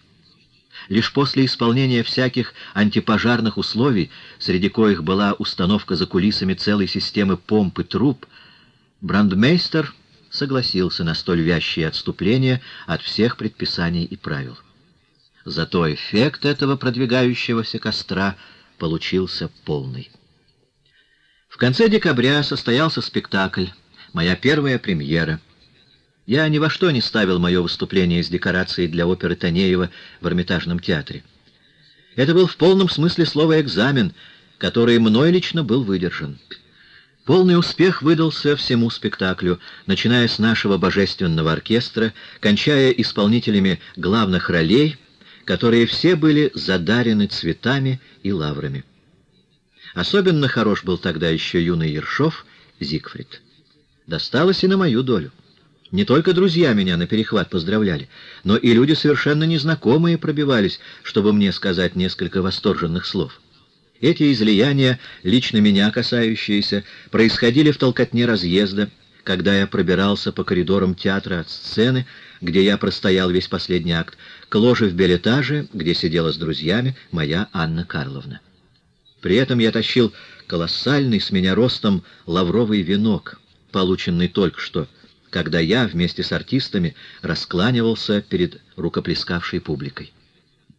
Венок был перевязан широкой алой лентой, пригодившейся затем для всяких детских нарядов, а лавры частью ушли на супы и соусы. Увы, этот венок так и остался единственным за всю мою театральную карьеру.